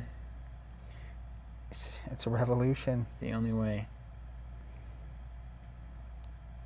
I'm glad you're getting to see this and apply it. Yeah. It's cool to paint the little minions. It just feels like lower stakes, but they're also super high detail. So you get to see actually your lessons happen in real life without having to be intimidated by a giant model you care about. Yeah. Totally. Carl Griffin, you guys are awesome. It's 2300 Thanks, in the UK, and I can relax with you guys knowing that I've managed to get a revised core set from Netrunner because you made it look so great. Yeah. Congratulations. That's not an easy feat. Oh yeah, Ventrilo, I, I- or Ventrio, whatever that was. I remember that. I do remember that. I think I used that for World of Warcraft for a time. Wow. Get it? Some good jokes. Thank you. I'm here all day. I hope so. I feel like a really good painter could like dominate this rock. You know what I mean? I like totally just put know like what you mean. spots of like light in the perfect place Yeah. and like highlight all the things. So, like, when you get to the paint level where you're painting light effects on, yeah. that's when you've made it. So like a level five, level six out of ten. That's like I think a six or a seven. Like I'm just trying to make sure there's not color where it's not supposed to be, and like it looks oh you know it's like okay. mm-hmm. It's not gloppy. You can see the details. But like the people that are doing like real fabric work on these models is like they're the they're the real heroes here. Jasper asking a, a very relevant question here. How much have you played the game? Coming, uh, f- is it hype or does it have everything for a long-term relationship? This game, Yeah, Skytear. I mean, I I think it's got the goods. That's why we're so willing to talk about it the way we do and and uh, support it in the ways we're supporting it. But I also think that if I've learned anything in my time in tabletop, it's that uh, you know indie publishers, smaller publishers, newer publishers. Um, don't have decades of experience behind them. They don't have usually the the re- like a endless supply of resources, and so like bad development, bad design, production delays, uh, any number of things can be difficult. And I, I think PvP Geeks behind Skytear uh, has a, a lot. Uh, we talked a lot, and so like I, I believe in their capacity to, to succeed and carry this thing through. Um, but I think the core game itself and the work that's been done so far and everything that, that has happened so far really is a good sign to their ability to be successful is. and last. And I think the design of the game has enough in it to go 5, 10, 20 years um, or more. And I know that the, the one of the most refreshing things about working with Skytear is that you, you have a company and a group of people that are working on a game that they want this to be around 20 years from now. That's like their their life's goal right now. And so like at worst I know it's not going to fail from a lack of care and effort. Mm-hmm. And like that's a lot of the games that I've seen go by the wayside in the past 5 or 10 years. Felt more like a, a lack of try and a lack of effort and a lack of care than anything else. And short-term thinking. Sure. A lot of short-term thinking. Um, I to answer your question, Jasper, I I fully intend and would absolutely be thrilled to be playing this game five years from now. It's it's my miniatures netrunner, I guess I'd say. It's Only kind of miniatures. I know, but it's the only thing that.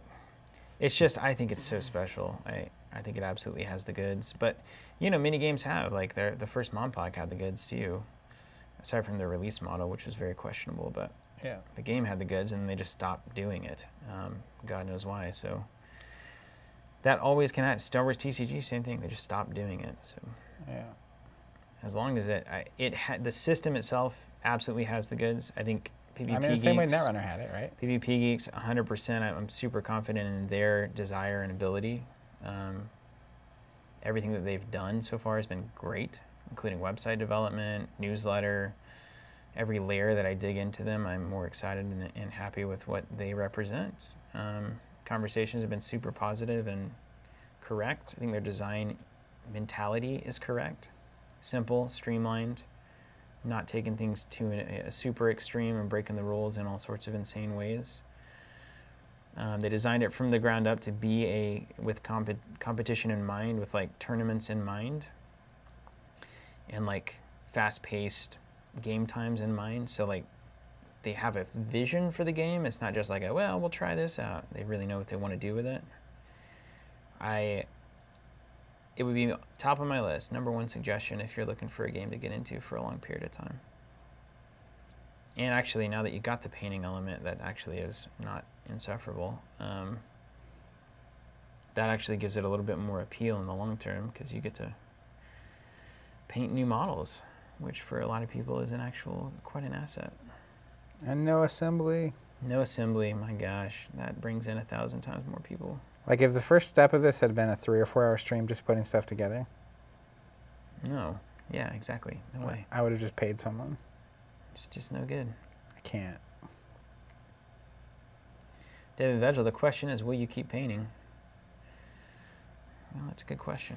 I mean, as long as new minions are coming out and new models that I want to as, play, uh, you know, isolation is top of mind. It's pretty good activity. I probably I don't think more I'd paint by myself yet. more of a question for you. I think I like this. I like the idea of just, you know, being Socially in the same painting? space. It is way better. I'll say that. Um, but painting is very meditative for me. Yeah. So like I can paint, and I used to when I was a kid, I used to draw a lot and like sketch a lot. And Yeah, that's something that I didn't fully appreciate. Yeah, I actually it's, it's a sort of a, traumatic, sad story. Um, so in my house, growing up, you did not get bees. That was okay. that was- like not the bees like Nick Cage, but bees like the grade. the grade. Yeah, that was unacceptable. So that's an above average grade, isn't it? So you gotta have the A's. You gotta have the A's. Um, and so B's were really bad. And then in I, as a kid, I drew all the time. Like, I really loved drawing Dragon Ball Z characters and Pokemon characters and like Did you like the six packs on them and stuff? Dragon. Yeah, Dragon Ball Z is great for drawing because like the way those characters are, like you can even do faces and it's totally not, Yeah, not yeah, yeah, awful. yeah. Um, but then I took an art class in sixth grade because I had to, and I ended up getting a B. Mm, And that it- is a sad story. It was drama because, like, of all the things to get a B in, art's hilarious. and the thing you actually liked. yeah. Uh, so then I definitely didn't want to have We didn't have the most robust art class, as I remember. no, I don't think I did very well either. but uh, that was kind of the end of my like. Huh. It's like, all right, well, I'm not gonna do that anymore. Got in trouble for it. Blake uh, saying on YouTube, thanks from Boston for all the isolation content. Would you say there's a way to enjoy this game more casually? I'm worried about the complexity and multi-hero deck building. 100%. So here's the thing about it is um, a game that's designed for, like I said, is designed like with tournaments in mind. What that really means is this is a game that has been thought about in a, in a real way, in a good way. Um, and it means that it's going to be streamlined, that the rules are going to be tight, it's going to stay uh, true to itself. It's not going to like, it, it's going to be very, very particular about not going out of balance, which sometimes casual games, casual first games are like, whatever, it's a fun, cool ability. Like, it doesn't matter if it breaks things a little bit. Uh, so even as a casual player, which I would consider myself mostly that these days, I appreciate a game that's designed with competitive players in mind because it means that it'll be a fair, balanced game. Um, and then on the complexity of the deck building, the thing about the complexity of the deck building is you can't really make a wrong decision in deck building. Like there's a lot of games where you can just include cards that are worthless and bad. Every single card you can include in your deck for any of these heroes is going to help in some way and to varying degrees. So as unlike in Arkham, like if I just run like seven hand slots and I just fail and there's really nothing I can do to, to fix that, I think in Skytear it's really fascinating. Like you and I could take one hero and build it, build the seven cards in entirely different ways, and they'd both be completely relevant. So I think just choose your favorite cards. I mean, they're so well balanced that you're you're not gonna you're not gonna ruin your your experience by you know feeling like you don't have the most optimized deck. It, it's not even that that kind of game right now. Because you know your your cards are gonna have pluses in the top right. They're gonna have mana cost in the top left. They're gonna have abilities, and no matter what you take, they're gonna be good in some way. So just just dive in. I mean, I, I don't know what I'm doing in deck building at all. I've got like seven different lists built up, and they're all different, and probably who knows if they're any good, but they will all be good to a degree. Yeah, I also think uh, there's no like I don't think that this game is big enough that like it's gonna be one of those like intimidating competitive environment uh, games. Mm-mm. So like while it is intended to be played face to face, and I assume there will be tournaments and whatnot. Uh, I, in any case, any game I've ever played that even is competitive, even Magic, which is the granddad, it's like I, I think the vast majority of people that play Magic play it very casually, Oh yeah. and so like, I think there's going to be a ton of people. I, I wouldn't even really. I mean, like, I will play enough that I hope to get good at this game, but I wouldn't even consider myself truly competitive at any of these games. Like I'm still consistently in the Not games I chasing play. the dragon anymore. Well, Destiny, yeah. we but even then, it's like we consistently are choosing Mm, flair and theme over objectively just busted. yeah. Because like the moment I stop having fun with a game, I have no use for it. Yeah. So like I am competitive in that that with that caveat of like I need to enjoy it. Here's the. This is a great. Wayne asking, super early in the Skytear game, but do you see any potentially overpowered core minis like Royal Guard and Imperial Assault seem to be initially? Here's the here's the thing about this game. This is the thing you have to understand about the the champions particularly. All of the special abilities are so minor in the grand scheme of what everybody can do. Like everybody has a super strong attack, no matter what. You can always kill a minion. Everybody can do a decent amount of damage to each other. Um, everybody can contribute to a control point more or less equally. The differences in models are in one tiny tweak. It's like one thing. It's like this one can hit an additional minion at you know one plus a card. This one, when you're next to it, you have to attack it when you start your activation. Um, there's like one ability on each one of them, and and kind of two with the the synergy with the worship mechanic. But it's not like a stat card with like seven things on it that when put together could be way better than these other seven things. The, it's also controlled and tight in there that even a model that is worse than another model is like 2% worse rather than like 100% worse, which can happen in Imperial Assault. Everybody moves the same, everybody targets the same. Um, hit points are more or less static. Armor is either a 0, 1, or a 2. It's not like there's a 16 armor model and a 0 armor model. Your assassins are attacking with four plus two cards. Your weakest here is attacking with two plus one card. So the variance there is not super high. Um, it's just, it's all in this, such a nice little controlled pocket that you don't have the giant variance that would make this thing broken compared to this thing that's useless. Uh, I think I could play any list of any heroes and have a great time with them and find a way to make them work together, which is everything I want in a game. Have I watched this guy already? Looks like I have. Put them next to an unwashed. Better be able to tell, or I'm just wasting my time. Oh yeah, he's washed. It's very hard for me to paint and then pay attention to I haven't washed the back. That's what I was doing. Now you know.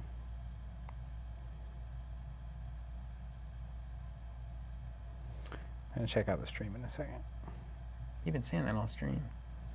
Well, What's the next step for these guys once we get in? I've got two, three left. I'm I have one left after this, so I'll beat you to it. We'll walk through it.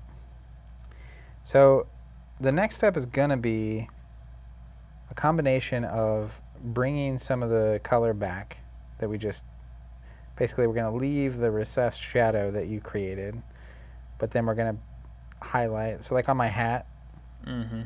a lot of my models are like looking dark. I want the, the dark and the shading where the lines are, but I don't want it as much on like the logo or the top of the hat. So I'm gonna take red and I'm gonna just it, it won't be as it's not like super detailed work yet. Um, and I'm just gonna bring up the color on a lot of that, and that's it's gonna be probably one of the quickest parts of this process. And then past that, it's the detail. So like for me particularly, I have that logo on the top of the hat that I'm looking to bring out. You probably have like a logo on the chest. I've got the logo, yeah. yeah. Tanuki saying, very much looking at playing Skytear casually. I'm too old to chase a meta. Yeah, 100%. And I, I don't even think, I, I that's what I mean. I don't think there would be a super, like, super defined meta that's like, oh, you got to counter this thing or you're going to lose. Um, Every model is just too fundamentally. every sound. model's every model's fundamentally sound. Every card is so fundamentally sound so far. The way this goes sideways is the content being introduced gets way off the rails. That's what I was saying. It's like I mean, any company can make that mistake. Yeah. I don't think that they will, there, it's certainly against the philosophy as they've explained it to us. Razan, I just wanted to pop in and say thanks for making these videos during this trying time. You're absolutely welcome. Happy to be here. Glad to connect with you guys too. Thanks for being here. If even very tempor- temporarily. Hmm? temporarily. Temporally. Temporarily, yeah. From the future. Via time.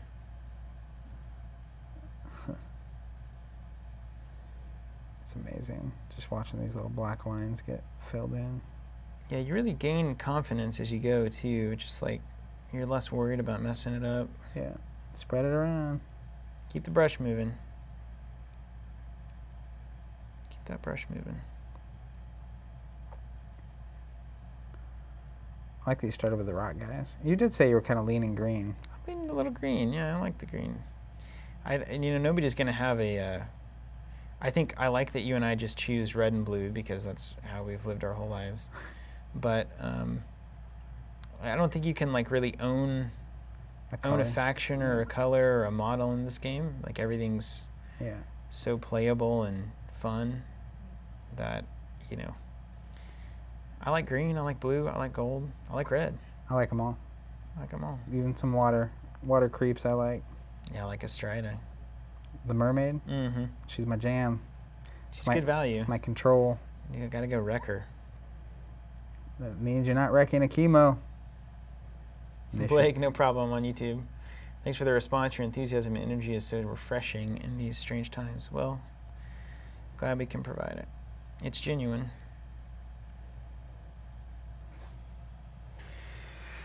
Whew. All right, let's look. Tim, I always say you want your lights and darks at 11 out of 10.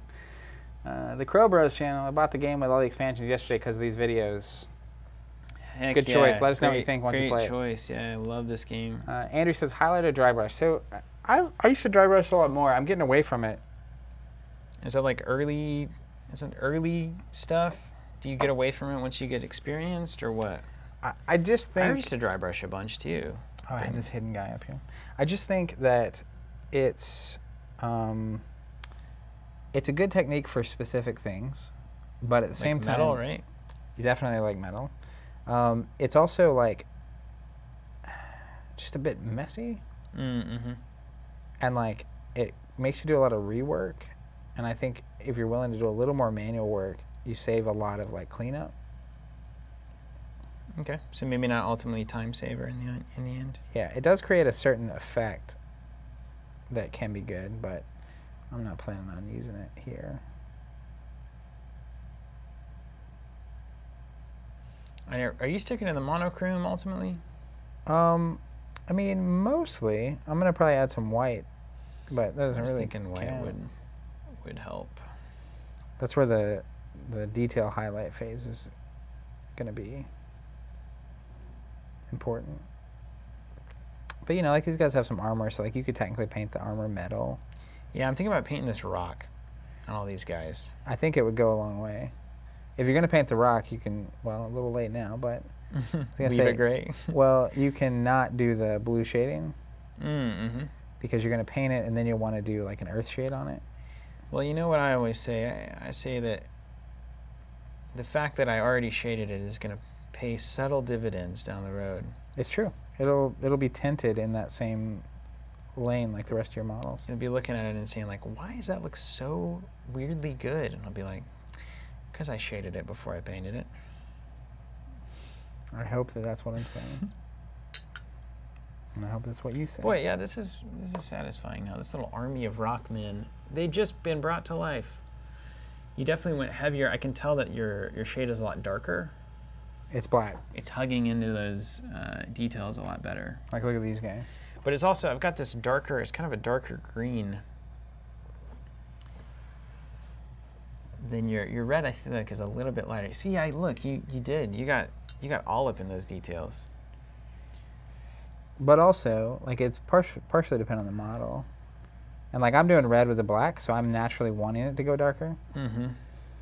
I'm kind of keeping it organic here. And I'm gonna bring out some of those in a minute. Keep it alive. Keep that brush moving and keep this model alive. You do sound a little like Bob Ross.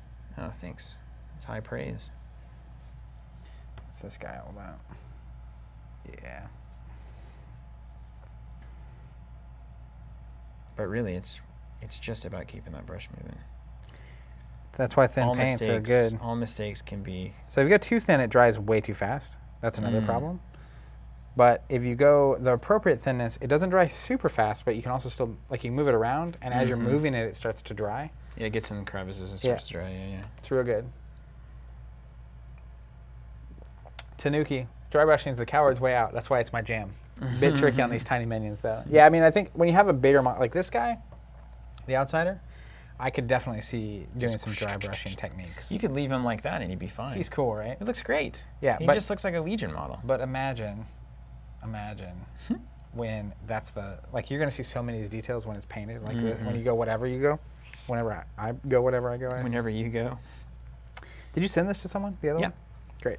Yeah, Dan's handling that one for us. Whew. How's everyone doing? Let me see if there's any question marks. It's going up a little bit.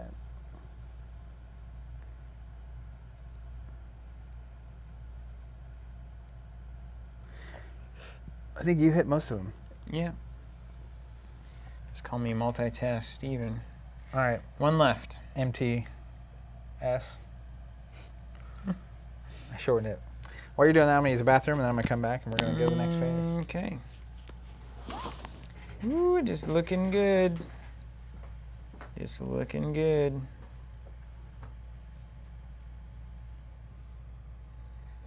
Yeah, this is cool. I get it.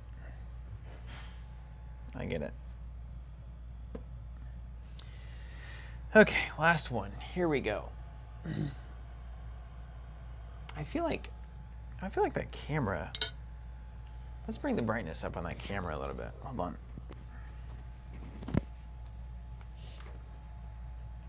Could be the monitor.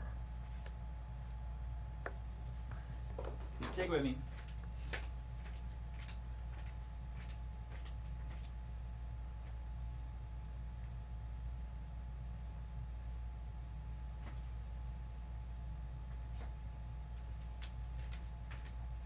Is that better? Is that too bright? How about that? Can you see those better? I feel like that. I feel like they need to be a little bit brighter there. Easier to see. Hopefully they're not blown out. It's hard because we got these monitors and they don't really reflect real life.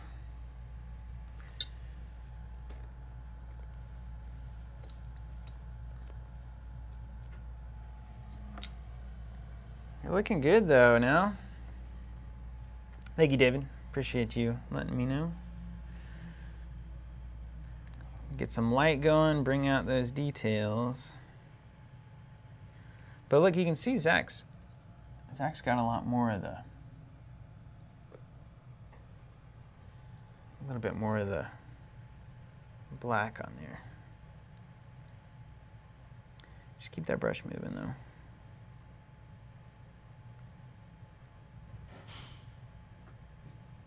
I turn that camera brightness up. I feel like that helps a lot. Great. To be able to see it. Ah, that does help. You can see this way better. Yeah. Here's all my dudes.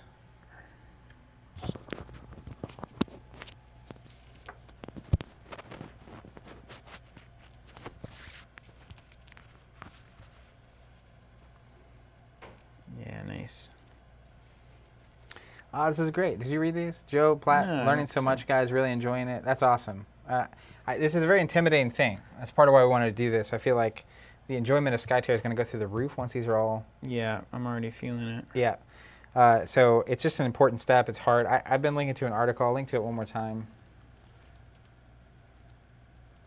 And there are a lot of people out there that are way better at this than us, but sometimes that also can not be helpful because you just feel like you're already so behind that it's impossible to catch up.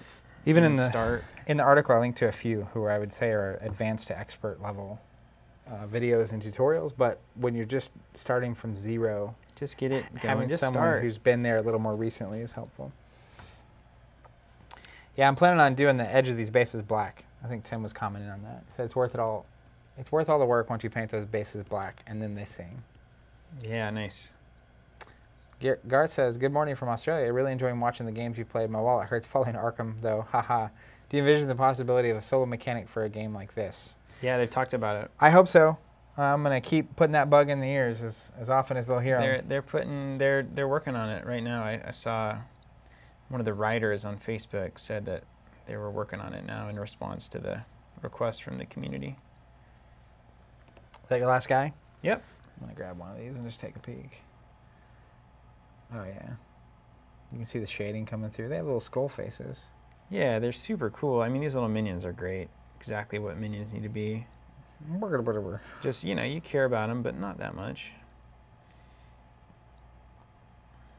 This is great. Yeah, you got a little shading going on. How good. Yeah, they take to it. These models. Very cool. Okay, they already look way more finished. All right, so here's my next step. And- And, your next step might be different based on because like I went a darker. So what I'm gonna do is I'm gonna take a, a smaller brush. So this has been the one I'm working with. Do I need to clean this guy? Yeah. From the wash, It's, it's way less bad, but yeah, you can. It's good. It's a good habit to get into. A little red paint. So I'm gonna take a uh, smaller brush, basically. I'm gonna show you what I'm gonna do. I'll show it on camera. That's a good example. Hats. see that blue come out of that brush. Hmm. You don't notice it until you notice it. Yep. Machination. How's the hardcover book for this? Is it fluff art? So it's, it's basically fantastic. It's fluff and art. fluff and art. Uh, I loved it. It was one of the things that got me in, really in. Dive into this world. Because I was like sitting here, and then we had the game on the table, Where and did that was, end up? I think it's over there somewhere. Is it? don't- I saw it. I'm gonna. I'm, I feel like I want to find it because I really want to engage with that more. Now you're like, hey, wait, I want to know more about Yeah, I had forgotten that that, that was in here. I don't know. Can't have gone far. You think it's on your desk in there? Could be one of those stacks. I, we can look on the desk. I don't think it's on the desk. Okay. Okay, what's next? So here's what I'm doing. Uh, Whether or not it's the right step for you, I cannot say. Um, I can give you advice, though, of course. Uh, so I'm going to take a. I'm going to actually need more. More, more. So there's a double zero and triple zero. More detail. So here's my triple zero. My handy dandy favorite brush. Okay, Where- that's a tiny one. So do I have a tiny brush as well? We yeah we have tinies. Let's see. I think this is. Here's their zero. Look at that. Triple? It's yeah, It's like someone didn't soap it. Someone borrowed my brush and didn't soap it. Who was it? I don't know. Probably someone at paint day. I was being kind. That's what kindness gets you. Never again. So. Hey, these look good now. They look pretty good up there on that screen. I think too. if you stopped right now, but you you're gonna love this next. I think painting the base is going to be a big deal. What do you think? Yeah. I'm gonna go black around the outside. Yeah. Yeah, that's just. I mean, that's just what you got to do, probably. Someone wrecked this brush. I can use the zero. Well, I'm gonna let that soak for a second. I want to show you this. As long as you have a, a steady hand, a zero can do everything you need. Well, I have a, a double zero here if you want to use it. Take it back. Adepticon exclusives. huh? Uh, Cool. yep. Remember I bought those excitedly? I do, yeah. Um, all right, so I'm gonna take some red. Now, I'm gonna still thin it down a little bit, but I'm not gonna thin it down as much. You with me? Red, thin it down. So I did red very thin earlier, and I'm gonna thin it down a little Let's see if we can get you. Uh, on the screen. Let's just go. Yeah, there we go. All right, so it's hard to tell, but my little thing of paint's here, and I'm putting some water in there, and I'm mixing, and I'm leaving the big clump here that's not mixed in with my little pool. Um, but essentially, I want it to be a little thinner than what I was doing earlier. And earlier we wanted to be thin enough where when I spread, I could kind of see through to the design on the plate. Um, so ideally, I can barely, which is exactly where I want it right now. I can barely see the design uh, through. Let me see if I can get it through. The, I just smeared this paint, and I can kind of see the design under it. So, what I'm going to do, if you want to put that little table back, I'll show Yeah. a helmet. So, I'm basically gonna take, Let's remove. Let's get some of these guys out of here. yeah, I'm gonna take the tip of my brush, and let me find where we're at. All right, so this is where I have my wet paints mixed. So I'm gonna take the tip of my brush, and I'm gonna I'm gonna get the tip of it with paint, but not not more than the tip. I don't I don't want more than like maybe the last 10% of the tip having paint on it. So then a good example of this on my little hat dude is like I have the layers of the hat that aren't the line, right? That have the shadow in them. Yeah. The, the line has a shadow in them. But then the raised portion of the hat, I'm actually going to go back in and I'm going to put red on. Mm. This is that painting work. Yeah. And so what's going to happen, I'm going to go ahead and do this Ooh, my two has the best point on it. this hat on this guy. And it's going to basically be bringing us back to a higher point of red. Mm-hmm. So now that you've gotten all of the shading and the cracks, you're going to come back through and paint the non-shaded parts back to its original color, basically. Yeah, and it's going to be a little less. So it's a for me, and again, it's it's detailing what you really want detailed. A little less translucent than the layer you were doing earlier, because I only want to do this once, Mm. And I'm just A kind of little bit thicker than you. Yeah, a little thicker, so it doesn't run as much, and the color should also be a little brighter. And once I paint this one hat, I'm gonna put it up there so you can see it. Okay, so I can start looking at this minion and basically say, what of this should I be thinking about for highlighting? So I'm immediately exactly thinking right. like, like, so I think the top of this, like if I did a stripe along the top of this, that's going to be eye catching on the table to have that a little bit brighter. I could come back through here and add some color to each of these blades. You know? Um, there's a symbol here, so I could come back in here and do like, uh, there's a little earth symbol there, so I could kind of come back through here with like a white or something even and pop that out from the, the body. That would, that would make that look a lot nicer. I could like, you know, if I wanted to leave this rock green, what I can really, I can almost like set it, set the light kind of where it was whenever Zach primed. It's exactly what you And want And then I do. just look at where the bright spots are, right? So like I see there's some brightness around the, the bottom of this rock. I can come back through here with a green, a brighter green or a wider, basically a brighter color and kind of give that a little bit of pop there. and other things you could do, like you Little could joints here, I can give a little pop to. you could think about putting color in the eye. Could yeah, could mess with the eyes. So like if you wanted them to have like white eyes or red eyes or or blue eyes. blue eyes, yeah. Over here on the back, we, you know, this is a rocky surface, so almost like everywhere the light touches, just give it a little hit everywhere I'm going to show you this hat in a second. light goes. Now, is, am I going to do that well? No, but you know, at least understanding kind of what you're what you're trying to do is at least the first step to doing it well. Let me finish this hat and then I'll put it up there next to a old model and you'll see. And again, you want to you want to get a point going if you can.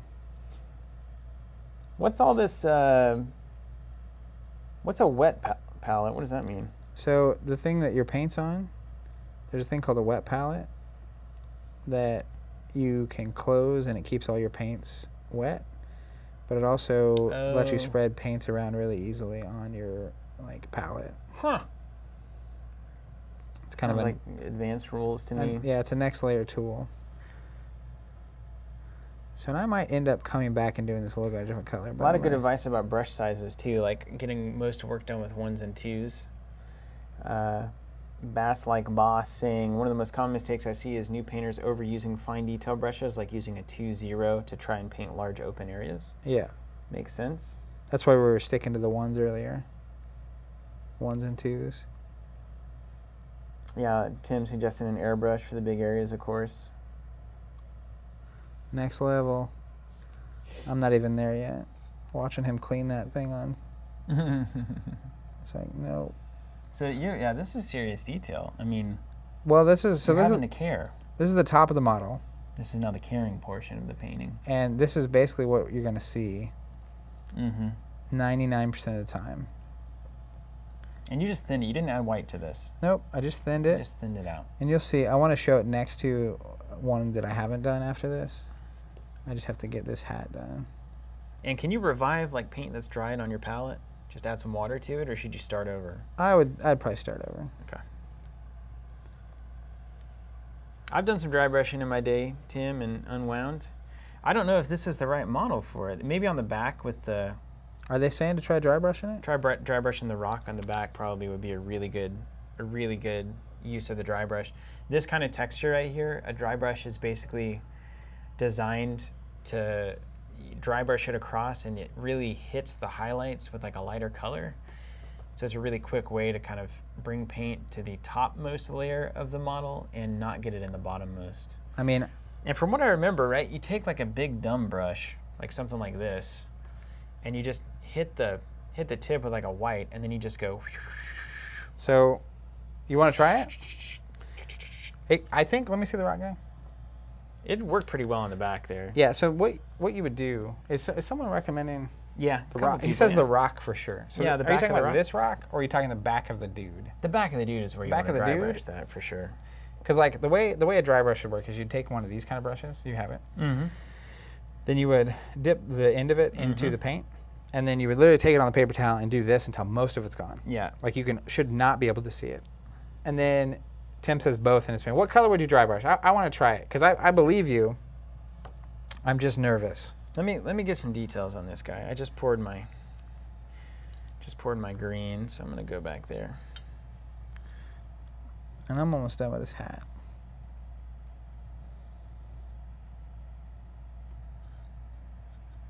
But you're not thinning. You said not thin it too much because you want one coat to get it done. Yeah.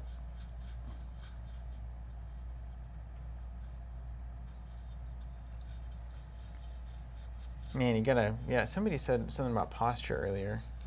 Yeah. It's important. It's easy to to lose that. Maybe a mixture of a highlight of a green or some browns. Ron on YouTube said Youth, Ulthian Gray, Luthen Gray, whatever that is. I mean, I know what it is, probably a color, but so, look at these hats. Can you tell you look at that? Oh yeah, yeah. See if the see if you can show the. One hat is fresh. The other hat is not. Yeah, you can see the one the one on my right at least. This This one? this hat definitely has more of a shine to the top there. Looks way more like done. Yeah. The other one now looks muddy by comparison. Very cool, man. Well done. Let me see what I can get into with the green guy here. Uh, Tim says unless you want the rock to actually look like a rock, which is completely fine, you can actually paint it brown and highlight it with some of lighter browns until it looks rocky. Man, are you? You got? I got shaky hands. I think.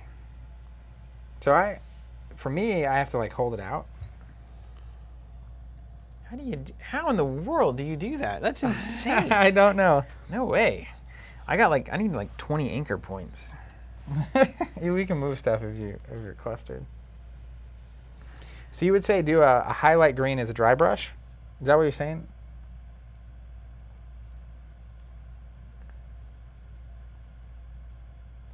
Because that that could actually look really snappy on yours.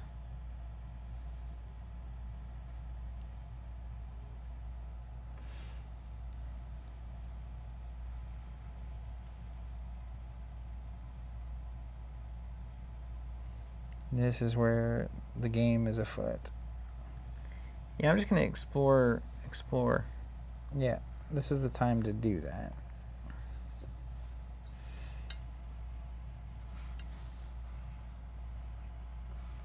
You really just got to make your make your mark here.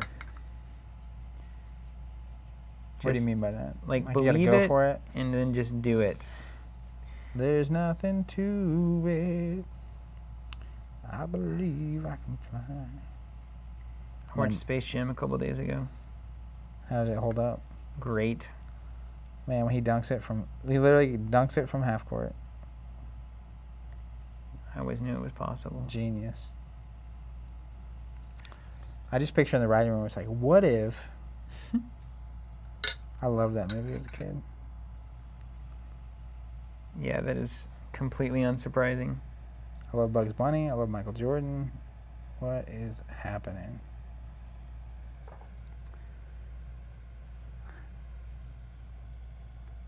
I think about it every night. Now, can I add some white to this to make it a little lighter? You could. So that's what I think if you want to try it on one, the dry brush technique would be putting white in this. So like I'm going to borrow this for a 2nd Mm-hmm. So like we have his little paint bucket. It has the green. And then the trick is two down, doing the white, and then using the one in the middle to combine them to get a, a texture. I think it'd be worth trying a dry brush in that technique because of what you that model is and what you've decided to do with it. I will do that. I've got some some detail work that's looking good, so I'm gonna keep doing it because I've never had this happen before. That's awesome. There's nothing to it.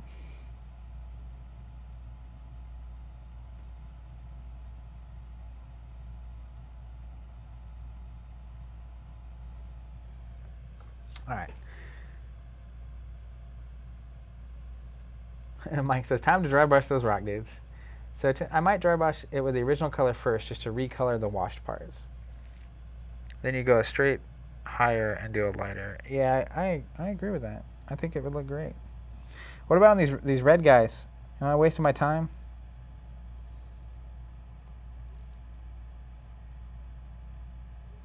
There's nothing to it. It's in there, doesn't it? hmm I'm happy that you're feeling progress.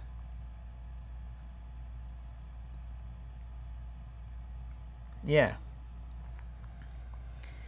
I mean, I don't even know if it's noticeable. It'll all be noticeable in the end, won't it? Yep. Every detail. That's actually the worst is when you spend hours doing something, then you like dry brush it and everything you did just seems like it goes away. It's like, uh, what was I doing? Okay, so let's do the dry brush. I think I'm finished up. Let me get these. And are you wanting the rocks to be rocks? Like the rock that he's holding. Mm-hmm. Yeah, I'm not dry brushing that. Not yet. I haven't made decisions there yet. Well, that would be more like a base coat. Yeah, but so I'm gonna dry brush the the back because I that's something I definitely want. I know what I want to do, and that's it's gonna achieve the look that I want. So what I'm ultimately going to do on these like flame sticks they have, I'm going back in and adding red, and then I'm going to go back in and add a little less white to make it seem like it's really going. But it's going to take me some time. It just takes some time. Okay, let me look at now. Here's what you do: you look at this guy compared to a real, a normal guy, and you say, better or worse? What's the verdict? Better. It's a good sign. I Ah! think. I think it's better. Okay, dry brush on. All right, let me help you. with this. White. All right. So I have dry brushed a few times before. what is it? There should be white. Don't Blanco get, white? Yeah, that's what you want. Okay. Shake it up.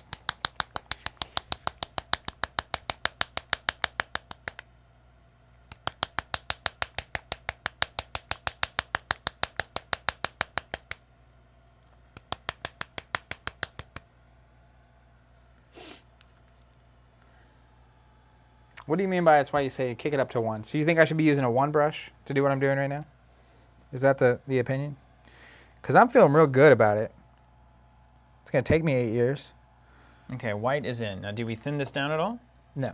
Okay. So, what Is that you- enough? Let me let me show this. So, do you have your brush you've been using the green with? Mm-hmm. Uh, I just came in here with this too recently. Where that is? Okay, so this is your green Mm-hmm. and this is your white. Mm-hmm. You just gave me a task. All right, so I'm gonna take task. this this white and I'm going to put a couple drops next to the green. You can't see the green there. Pull it back. Yeah, there we go. I'm going to put it next to the green bucket. And then I'm going to take I'm going to wash that out a little bit so we're not contaminating our green. Right on. And then I'm going to take green I'm going to mix it with the white. So now you don't want to go too crazy in how light it is. So if you want it to be darker, you just grab some more green. And I think that's a nice little highlight. Yeah, let's do that. Let's just see what it looks like. So go ahead and rinse this bad boy out. And then I'm gonna go ahead and show this as well. So I'm gonna take this dry brush, which this is actually literally a makeup brush for my wife. Where is the other one? Someone was suggesting a makeup brush earlier. Yeah, it is- Soft brush. It is the way out. Here it is. So I, I like this one actually because of the little smallest of the guy. So what I'm going to do is I'm going to dip this in. Uh, there it is. Uh, just dunk it a little bit. Get a little on there. And so then I'll usually use the edge of this to just go ahead and paint a lot of this off. So then we're going to come and I'm going to actually grab your paper towel. And so I'm going to literally do this until almost nothing's happening. So like, I'm going to keep going because that's too much. You don't Yeah, this seems like the mistake I would make. yeah, and if you do, you just glop paint on and you just ruin your whole life. All right, that's pretty good. So then, is this your guy? Mm-hmm. Do you want to do it? Sure. So you're basically, I'll do the with the fake one here on, on this uh, this guy. So if this were the actual brush and this were the, the dude, you would just basically, you don't want to go too, if you go too far, it's going to get the paint down in the recesses, which is not Mhm. what you want. So you just want to kind of like brush it along where you want it. And you start with the back and uh, go from there. Okay. Here's bro. Bro, bro here. Okay, we're gonna start dry brushing.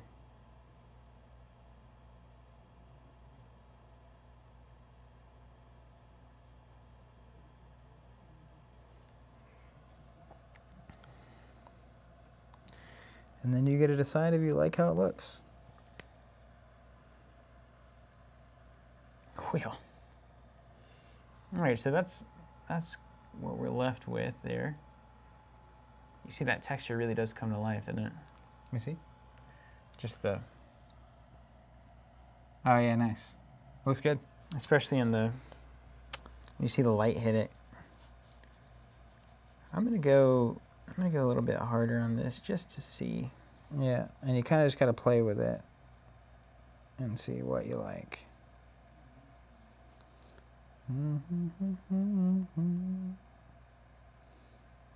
Man, I am digging what is happening. Okay. So let's just compare it. Let's see what actually, if this actually had an impact. Oh my gosh, look at that. Oh, Let me see. Look at that. He looks like a real thing, doesn't he? With the light hitting him. So there's the difference, guys. Now that's something, isn't it? wow. Look at you. So I, honestly, in my mind, like I think if you dry, have you dry brush the front yet? Huh. That's your call too. Just go for it, you think? like it's up to you. Um, That, I think that looks, I mean, that captures, like, that captures the, the details so nice. Like, it's, it's alarming. It's terrifying. Look at that. yeah, I think that's ultimately what you do on the rest of your dudes. Hmm. Okay. Now the real question is going to be if you're going to paint the rocks brown. Let's hit the front and then we'll make decisions. There's nothing to it. How long does the paint on this dry brush last, you think? Uh, It- Longer than I think? probably longer than you think, but you can always dip it more and do the whole technique until there's nothing showing, and then do it again. Because if you dip it, you're not going to lose any paint off your brush. Yeah. There's nothing to Wow. it. Yeah, that's a pretty cool. And it should be really cool with the zenithal side.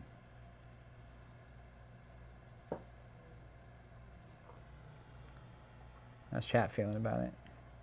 So it'll last longer than I would expect. Yeah, it does. Because you're literally on the paper towel, it looks like nothing's happening. And then the model is really still happening. Yeah, that really does bring it out. Now, on the front, I did, and I kind of like this. Maybe this is good, maybe not, but I went in manually and did the highlights, and then I came back through with the dry brush. Is that is that right? If you manually do the highlights, it's going to be stronger there.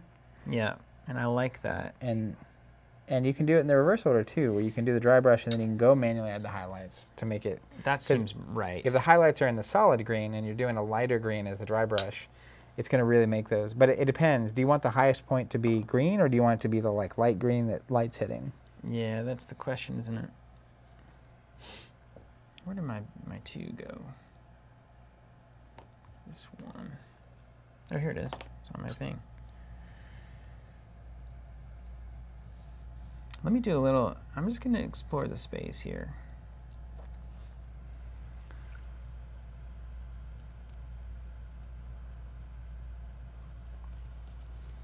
Danger, danger. Mm-hmm. I dug too deep.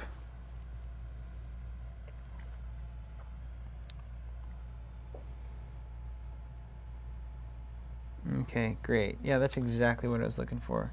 Yeah, Michael, I have some clear coat lacquer. I linked to that in that article I've been linking over and over, um, which would be the plan after it's painted, how we are comfortable with calling it done.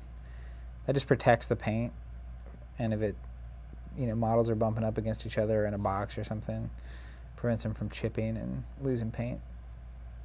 And just table use.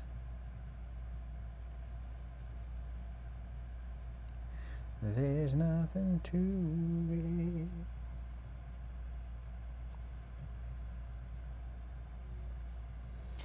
it. Okay, I see. I get it. It's just about light. a m- whole lot of it is about light because otherwise you just have flat colors right but nothing looks like a flat color in real life even things that are flat colors because if you can see it there's light involved Okay, I'm gonna make I'm gonna make a big move here. making my luckily you have a whole bunch of minions So- Yeah.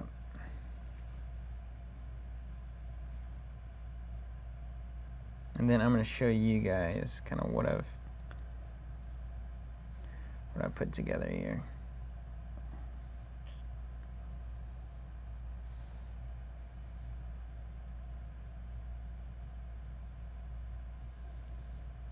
I'm sure this only makes your hype for playing even more Oh my gosh.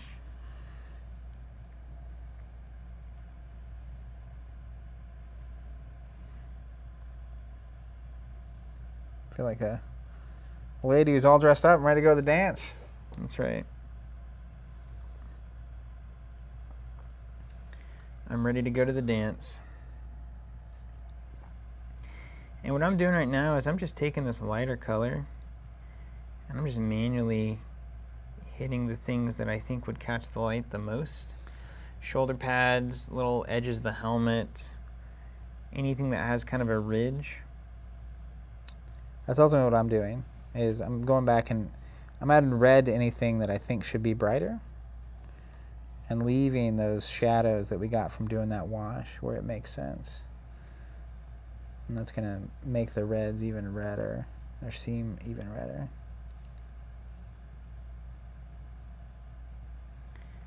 Apparently, it's about contrast, right? Yeah, as Tim was saying, he wants you want your lights to be and darks to be 11s. So the more extreme you make it, the more contrast and it's going to pop more. And that just depends on if that's what you really want. Which I do.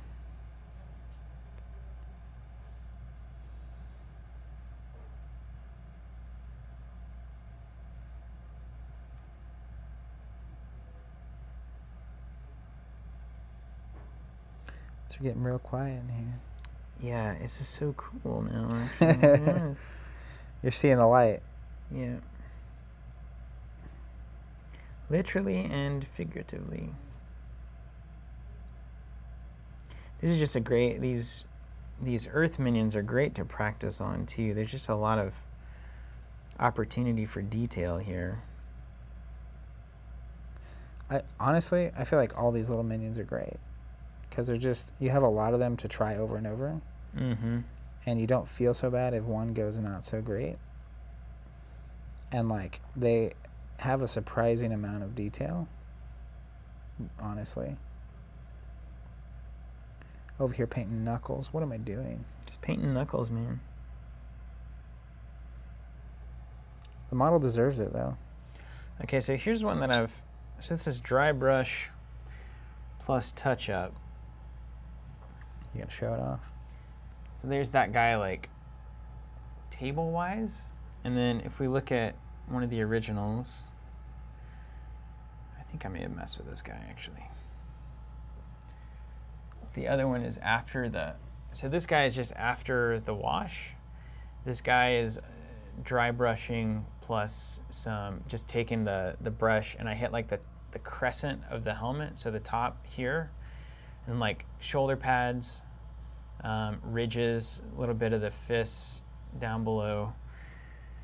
So it's like I was just trying to emulate art, like art. I was trying to emulate light and kind of where it would catch, right? So if you imagine like the sun shining down, if something is lower and covered up by something else, obviously it's not going to be as bright. So I'm trying to hit the hit the things that are sticking out with the, the highlighting. I really like the effect. So now my next move is there's a little symbol on the chest. I'm going to try for a white here. And just just going to see if I can get it done. I, uh, I'm halfway confident it could work. I believe in you. Thank you. So a lot of times you just gotta let the the brush do the work. Just talk to the brush. Well, it's like if you have a little bit of paint on there, and you just if you can get it lined up on the thing right, and it'll do it.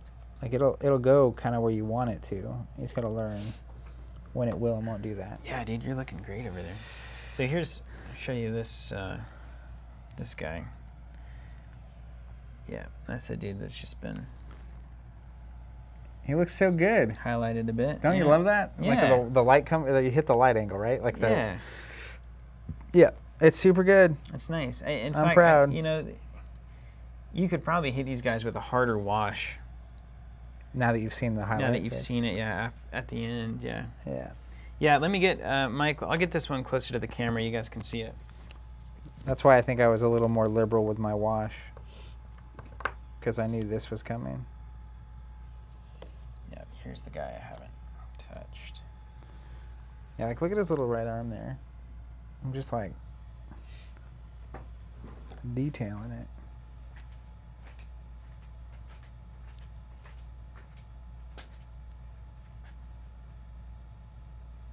Okay, coming in. Be kind of awkward here for a second. All right, so here, here's the untouched one. This is not untouched. This is the dude that's been washed.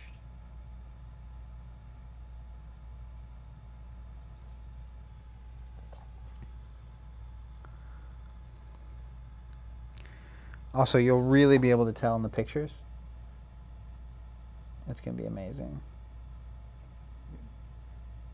Failing at this. Well, There go. you gotta learn somehow. Okay. Okay, and then we'll go to the highlighted version.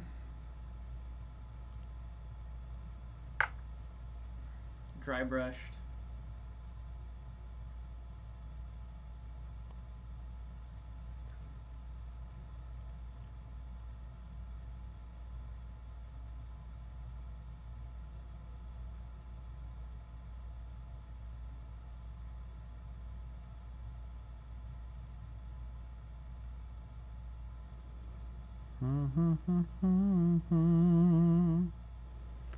I believe. It's so stuck in my head. It's unreal. It's unfortunate how stuck You in put a my model head. on the, on Here. the dock. Pull focus there. All right, thank you. All right, I'm almost to the point where I'm gonna show this guy. You can really tell on the back, especially that dry brush is very cool. Cause it, that's the darker side, right? Mm-hmm. So you're giving it a lot more light, which Very is nice. good. Thanks, guy. Thank you for the support. What are they saying? You're Very great. nice. Very good job. All right, so now let- let's just try to finish one. That's kind of where I'm at.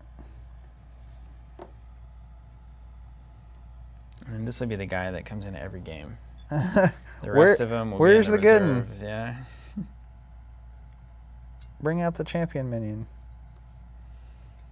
And when you're if you're doing like a white on a symbol, you know, you don't want it really runny because then it'll run into the crevices. As so long as you- you're just barely putting any on the tip of your brush, that's the key. I, I don't even know that I would thin it down, honestly. Okay. Pretend I didn't.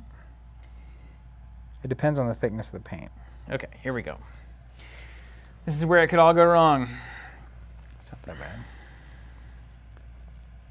You trying to get that little symbol?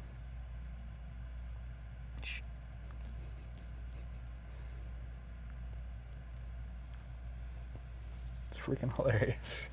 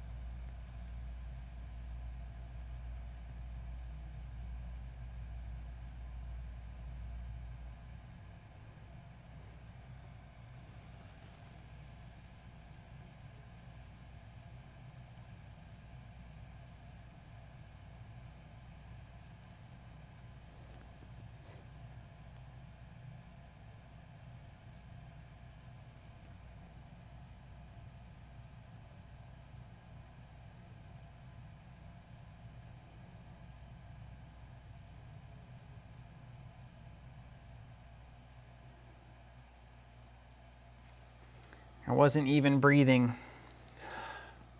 Did you do it? Uh, I think so. Hold on.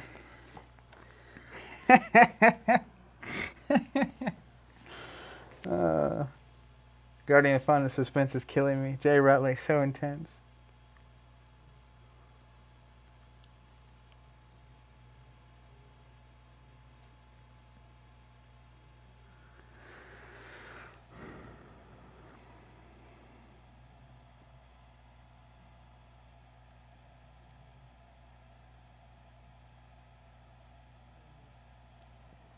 Mm. Oh, wait. Looks good, doesn't it? What do you think. You nailed it. Got it. Look at that. That smile on his face. That's good. See if we can see it on the. You're officially a painter. You're doing it, Harry. Harry. Got the little symbol done there.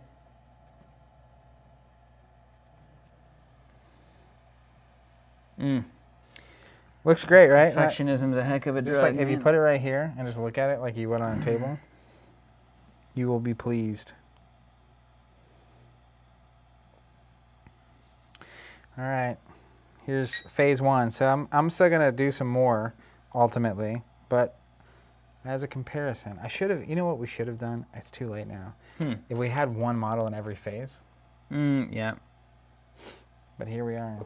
I don't know if you can see it. I don't know if you can tell. Hopefully one of them looks better than the other one.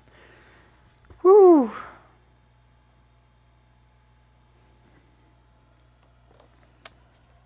I'm probably gonna like a. I'm probably end up gonna paint the rune on the guy's hat a white color. Is there like a hook or anything? I feel like there was like a little bit of pigment, like dried pigment or like brush hair or that? something that's stuck. You see in the middle of the symbol? There's like a little Mmm. You need. piece of something, like a needle or a. Well, I have. I got a little pin. That's not quite enough. I have tools for this. I have tools. My uh, like an exacto knife. Yeah. You want to get one of those I blades? can get I can get a blade. Yeah. Yeah. You just need to get in there and like pop it out. Mike, glad Zach is better at painting than he is at Destiny. Yikes. Guardian, that might make sense. Sam, paint it yellow.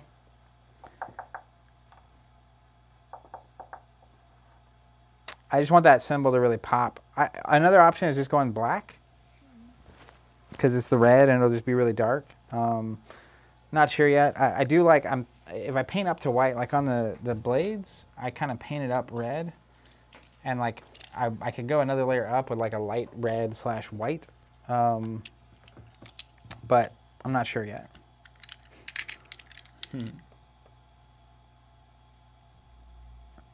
Got it. yeah, orange orange is probably the right call actually, like a flamey yellow orange color. I'll probably do that on the uh, uh, the the flame itself to make it a little more flame-like.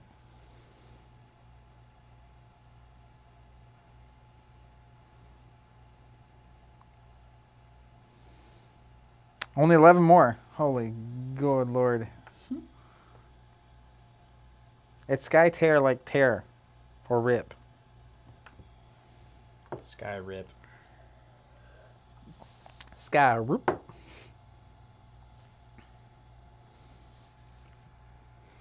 Well, ain't no party like a painting party. Does it feel like we've been doing this for five hours? It certainly doesn't, Isn't that great? depending on who you ask. Like this feels like we've barely been doing this to me. Mm-hmm. That's part of why I like painting so much.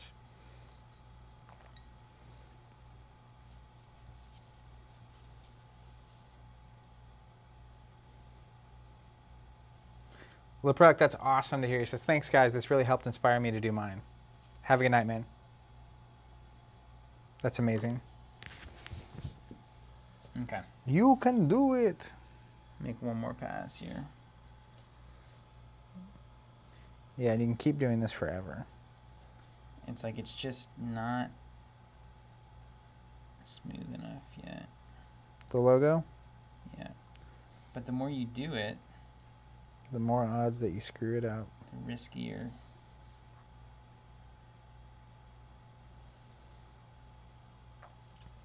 Pleased.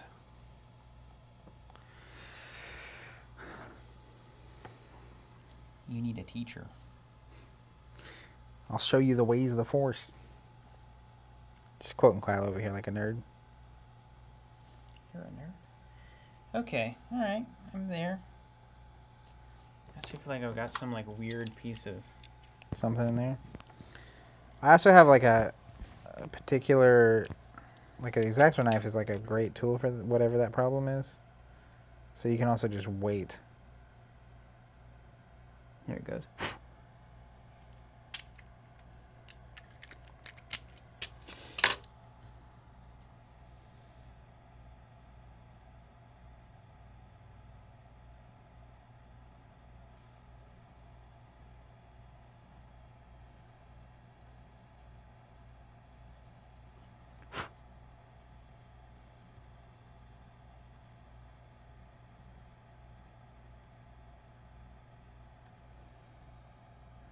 Okay. There. Man, it's amazing how much time you can spend on one stupid little symbol. It's the difference maker though. That's gonna pop. And I plan on using these minions for a long time. Does that mean I have to do this on all of them? That is up to you. But yes. Yeah, we all know the answer is yes.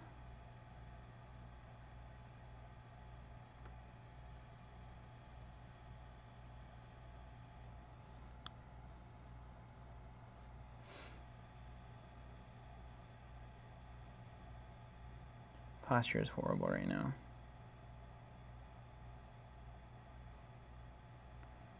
I have to fix that. Or you get like hunched over too No much. No time. Okay, there we go. I'm calling it done. Okay, let's put this one up.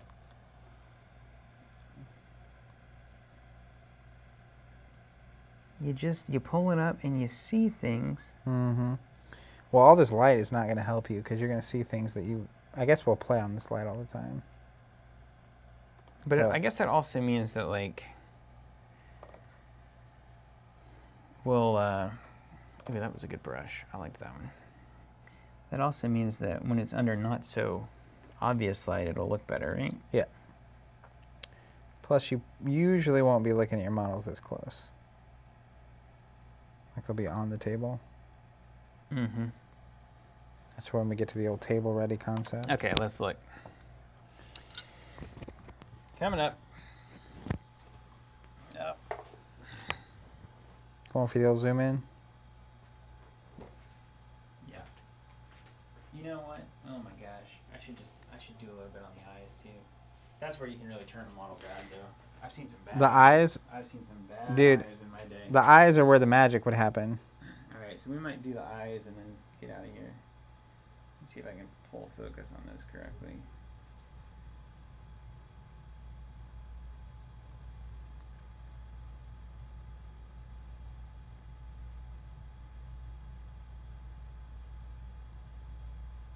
Symbol painted.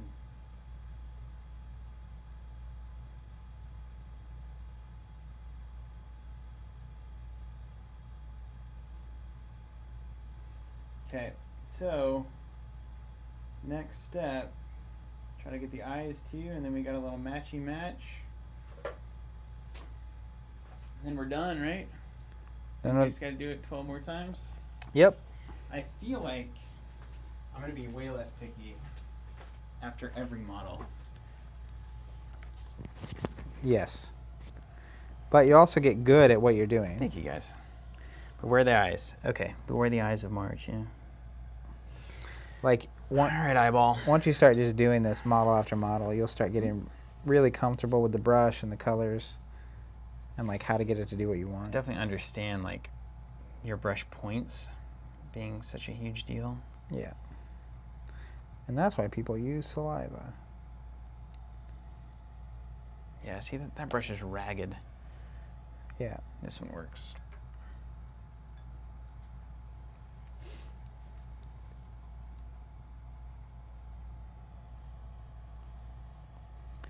Giving you high praise on that bad boy. Yeah, I got some good, gorgeous from Guardian of Fun. My Christian looks hot. It's it's good.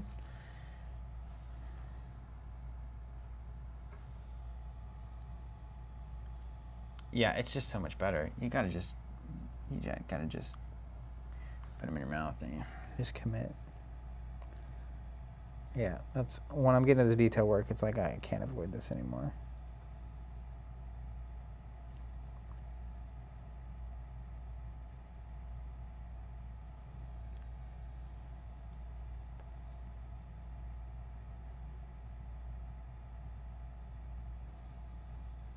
So the spit technique is you can basically twirl it in your mouth and Mm-hmm. make it form a fine point, which when you're trying to apply very detailed work over and over again, it's very helpful.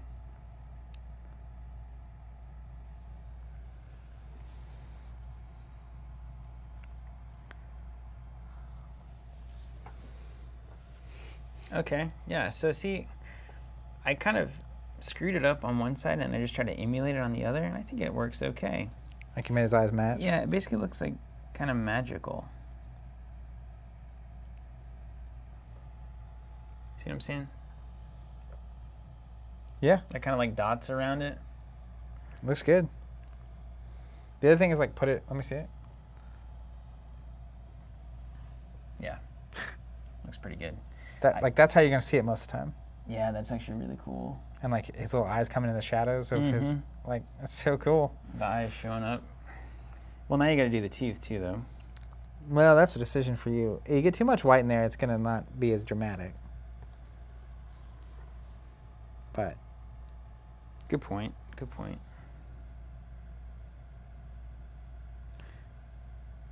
We may as well try one, right? that is where we're at.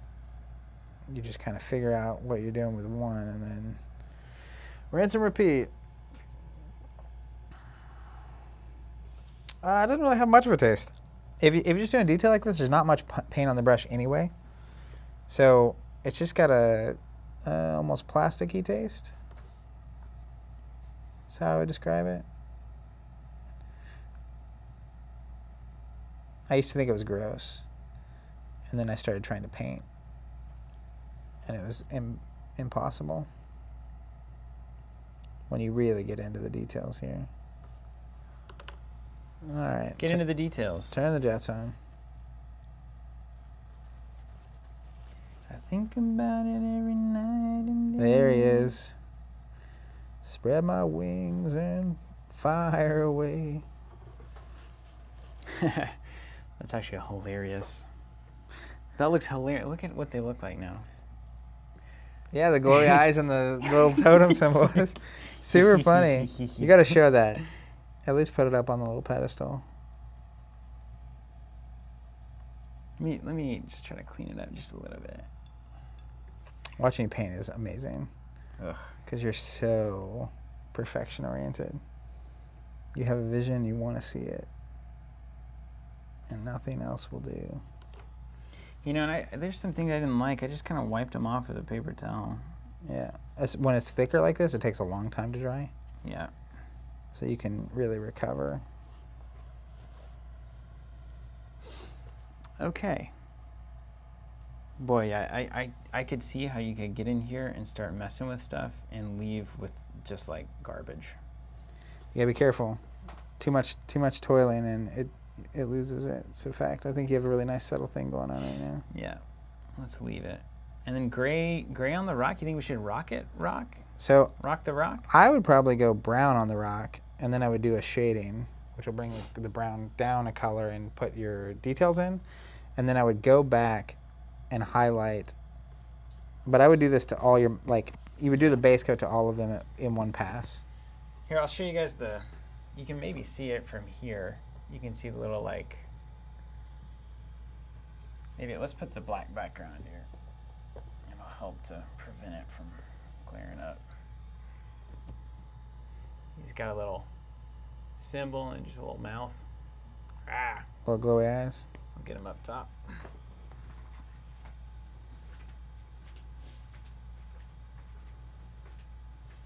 It's hilarious. You spread my wings. And fly away.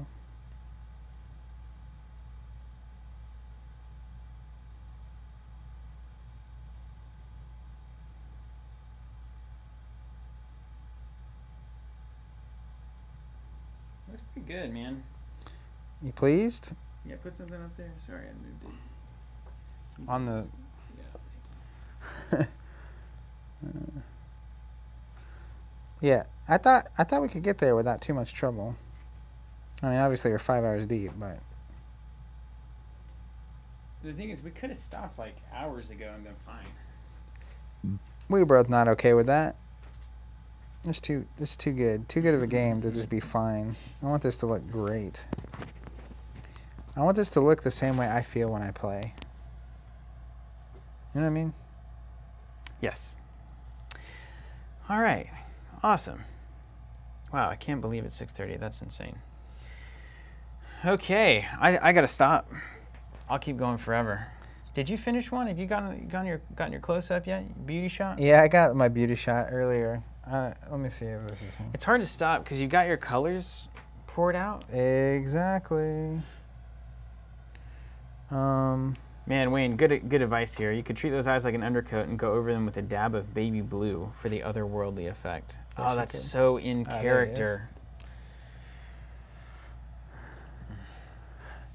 I'm gonna Yeah. try that. so like I got my paint here, and like it's gonna last me a while. I just have to decide how far I'm going down this rabbit hole. Okay, let's try it, Wayne. I think he's absolutely right on this, Yep. but it's just a matter of how much detail work you really want to put in.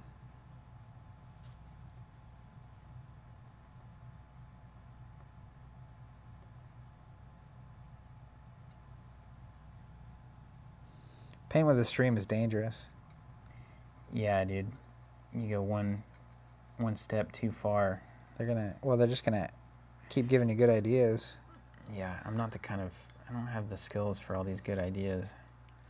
You'd be is you get 'em, surprised. though. You, would, you would be surprised.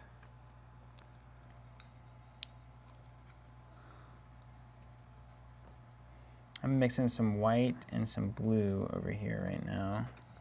To get a light blue. Yeah. How you do it. From what I've heard. Let's get, uh, there's your normal one up there.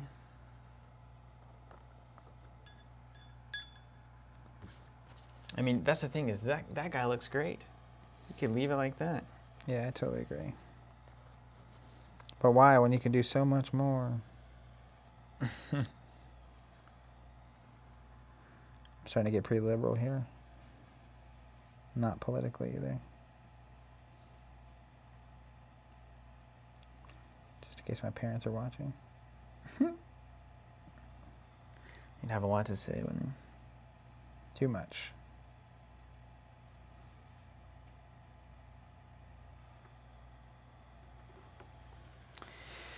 I love it. ah. I'm going to do some experimental jazz now. Yeah. I go pretty light on that bad boy.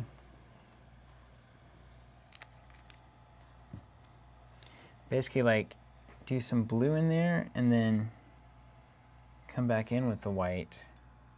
and Bring it back out, so it should give it a little bit of a shimmer, right?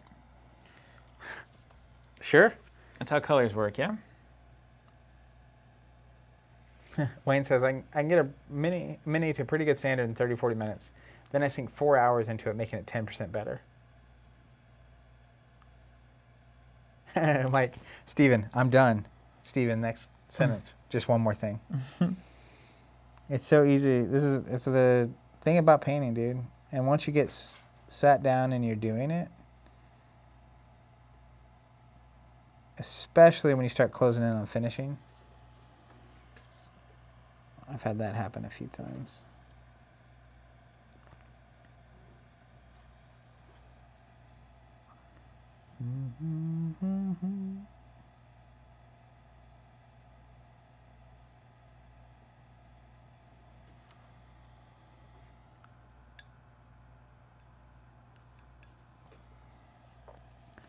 Honestly, the more liberal I'm being with this, the more I like it.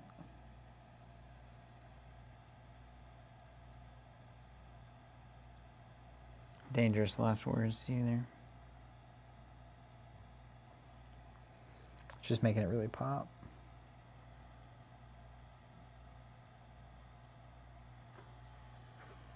See, I, I definitely think that was the right call. The blue? Just check that boy out on the on the table. Yeah, it looks great. I think there's a nice little It's a little softer. A little background to the eyes. Yeah, you can't really see it until you get it in the light. Wow, it's insane. That's how shimmer should work, right? More when there's light. Here, Wayne, I'll show you this. It's, I mean, it's not good, but it's interesting. I wouldn't say that. I mean, it's not bad. It's not bad. I think you could do it better, like be more precise with your eye sockets. A good technique for that is toothpicks. Toothpicks, right on. That makes sense.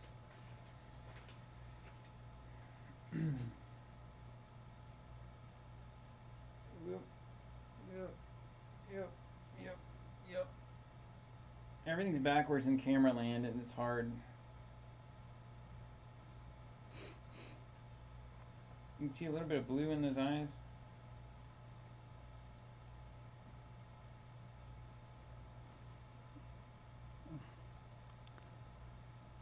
There's blue in my eyes.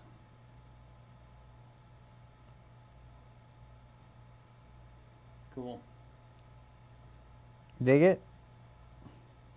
Focus. Left, we left the dude there. Yeah, he's done. Not I- touching him. I think I'm gonna finish this model. we gotta end at the same time, yeah? Well, I'm like, That is much better. Wait, that's like a tiny little detail that really does make this better.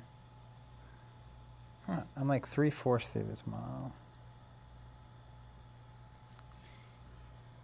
Cool. Man, I can't wait to play with these on the table. Whew. Whew, child. Now the real problem is finishing the rest of them. Yeah, so the rest of them is definitely going to be dry brush, all of them, and then come through and hit the same highlights. You can get that dry brush done right now. Right now, okay, let's that, go. that would not take you much time Let's go.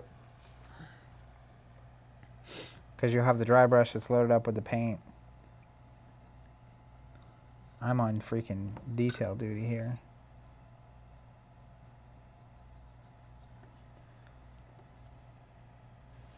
Let's see if we can wake this up. Now, with the dry brush, did you um, dilute it at all? Nope. Because you're going to knock most of it off.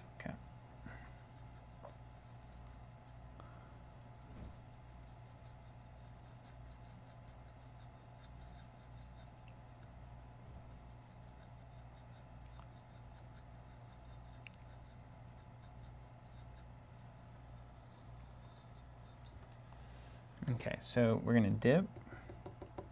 Yeah. Then you can brush a lot of it off in the little circle, Okay. and then you'll use a paper towel to get 90% of it off, 99% of it. Yep. Okay. Then I take this just until it disappears. If you're doing this at home for the first time, really, it needs to disappear. Okay, that that's gone. That's well gone. Okay, let's get a little buddy.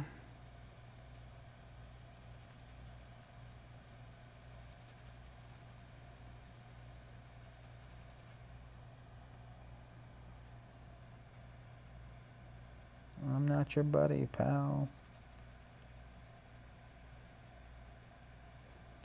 I'm not your pal, man.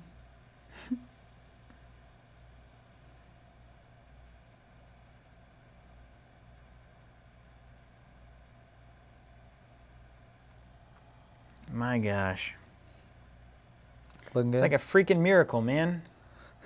The heck? It's ridiculous. My God. That's amazing. Goodness, Them's are the beats. whoever, whoever paints otherwise, man.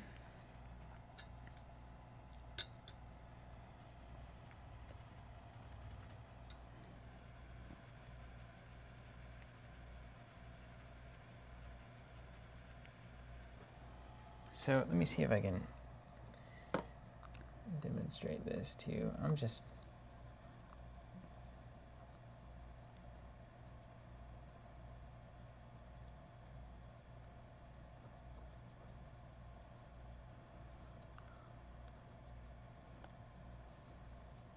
Doing your dry brush? see those details just popping out.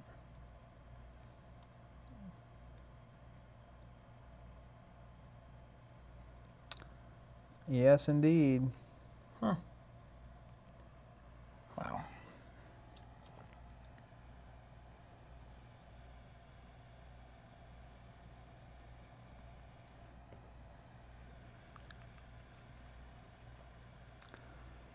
Okay, let's just go on these guys. Yeah. The dry brush is great. Little technique. That that I've been doing a lot of organic, so like heroes lately. This is just yeah, this is meant for dry brushing this model.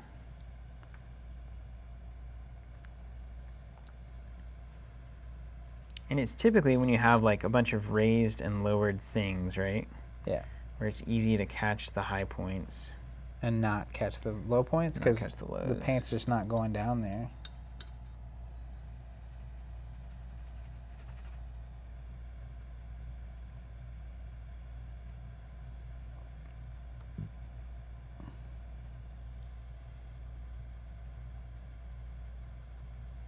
And I think it's probably best to keep one angle, right?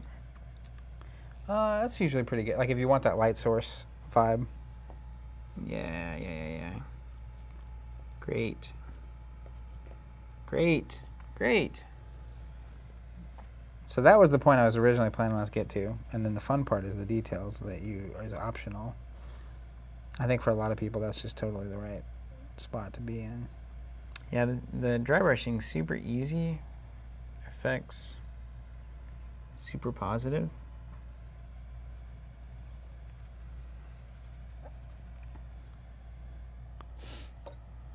Get a little bit more made up here. Mm-hmm. My grandpa used to do this thing when my grandma would make biscuits and gravy. He'd run out of biscuit and have gravy, and he'd say, "Whoops, have too much gravy, and I guess I need another biscuit." then he'd run out of gravy. "Whoops, I have a little too many biscuits. I need a little more gravy." And uh, that's how painting goes. I'll just I'm gonna go until I run out of paint. Well, I'm almost done with this model, so I just need a little more paint. Ah, I got a little too much paint.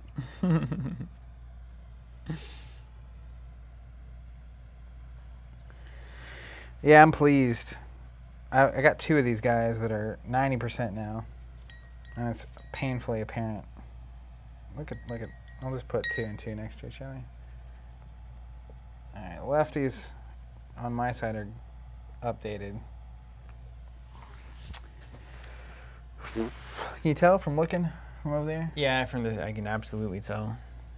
Look at this. Let me just look at him here. Did you look at him? You tell me which guys are Did you look at that? step further. Like look at their hats. Gorgeous hats. Gorgeous hats. Absolutely. My little fire minions. Brighter, yeah, way brighter. So I'm looking at the little the little things up here. They're flaming torch swords. I'm probably gonna go with some like yellows and oranges to really make them look like flame. I'll probably do the same color on the logo on the hat. What are you gonna? What's the method? Just detail? Are You gonna? Are you doing any dry brushing on your end? No. I mean, look at the backs. It's it's literally it's built for dry brushing. I mean, I could have tried the same technique on dry brushing. The model's just like like that hat doesn't have the same pronouncement as your Mhm. things. Um, and like even the little grading on the back of this guy, which I'll show, it's like a little too wide and deep for the dry brush. The dry brush would get all into the shadow, like back here. All this stuff, little metal. grading. Yeah, it's not. It's no rock texture. Let me tell you. But I think the uh, the like uh, um, the monochromatic. I love these guys in monochromatic actually. So like I, I was originally thinking about doing the metal and like an armor color. That kind of makes me want to leave the rock green. I, mean, so like the the brown will make the green pop. In my like so it's you're the like convincing me. well it's like a picture like a tree. Like that green gets way more vibrant when you have Yeah, the- it would be super organic, wouldn't it? Yeah. That is where I'm at with it. But you do you, man. Man, look at these. I just can't get over how much better It's these so textures good, look right? when you get it going. Ah, that's good. Did you do this one yet? Is this blanky? Uh, We should Nope. go to one. It's amazing, right? man, this the paint on this dry brush also lasts forever. yeah. Earlier they said longer than you'd think, which is absolutely accurate. Man, I'm just I'm just wrecking this thing, and it just it works. I'm pumped to paint like this. Look at this. Think about this guy now with what you know. Woo! I was thinking I was calling Rangosh Yeah, from the old uh, from Godtear. Right. Wasn't Rangosh Godtear? Oh, that big model you liked. Remember Thagrosh Thagrosh? was Legion, yeah.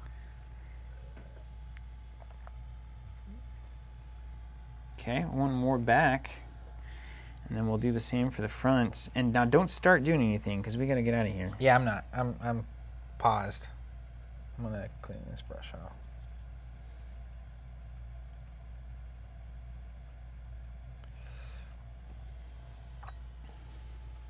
Okay, backs look great, Where's your logo guy? so great. My logo guy, The guy with the logo. yeah, he's right here.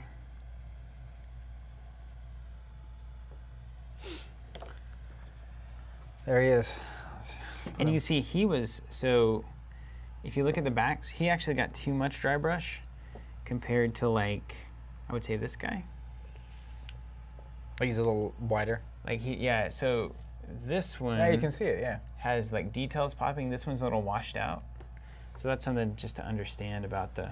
Now you can fix that really easily. Wash it again. Just put the wash right back on the back, Yeah. and you're dry brushing right now. Do you want to do it? I mean, I'm just sitting here.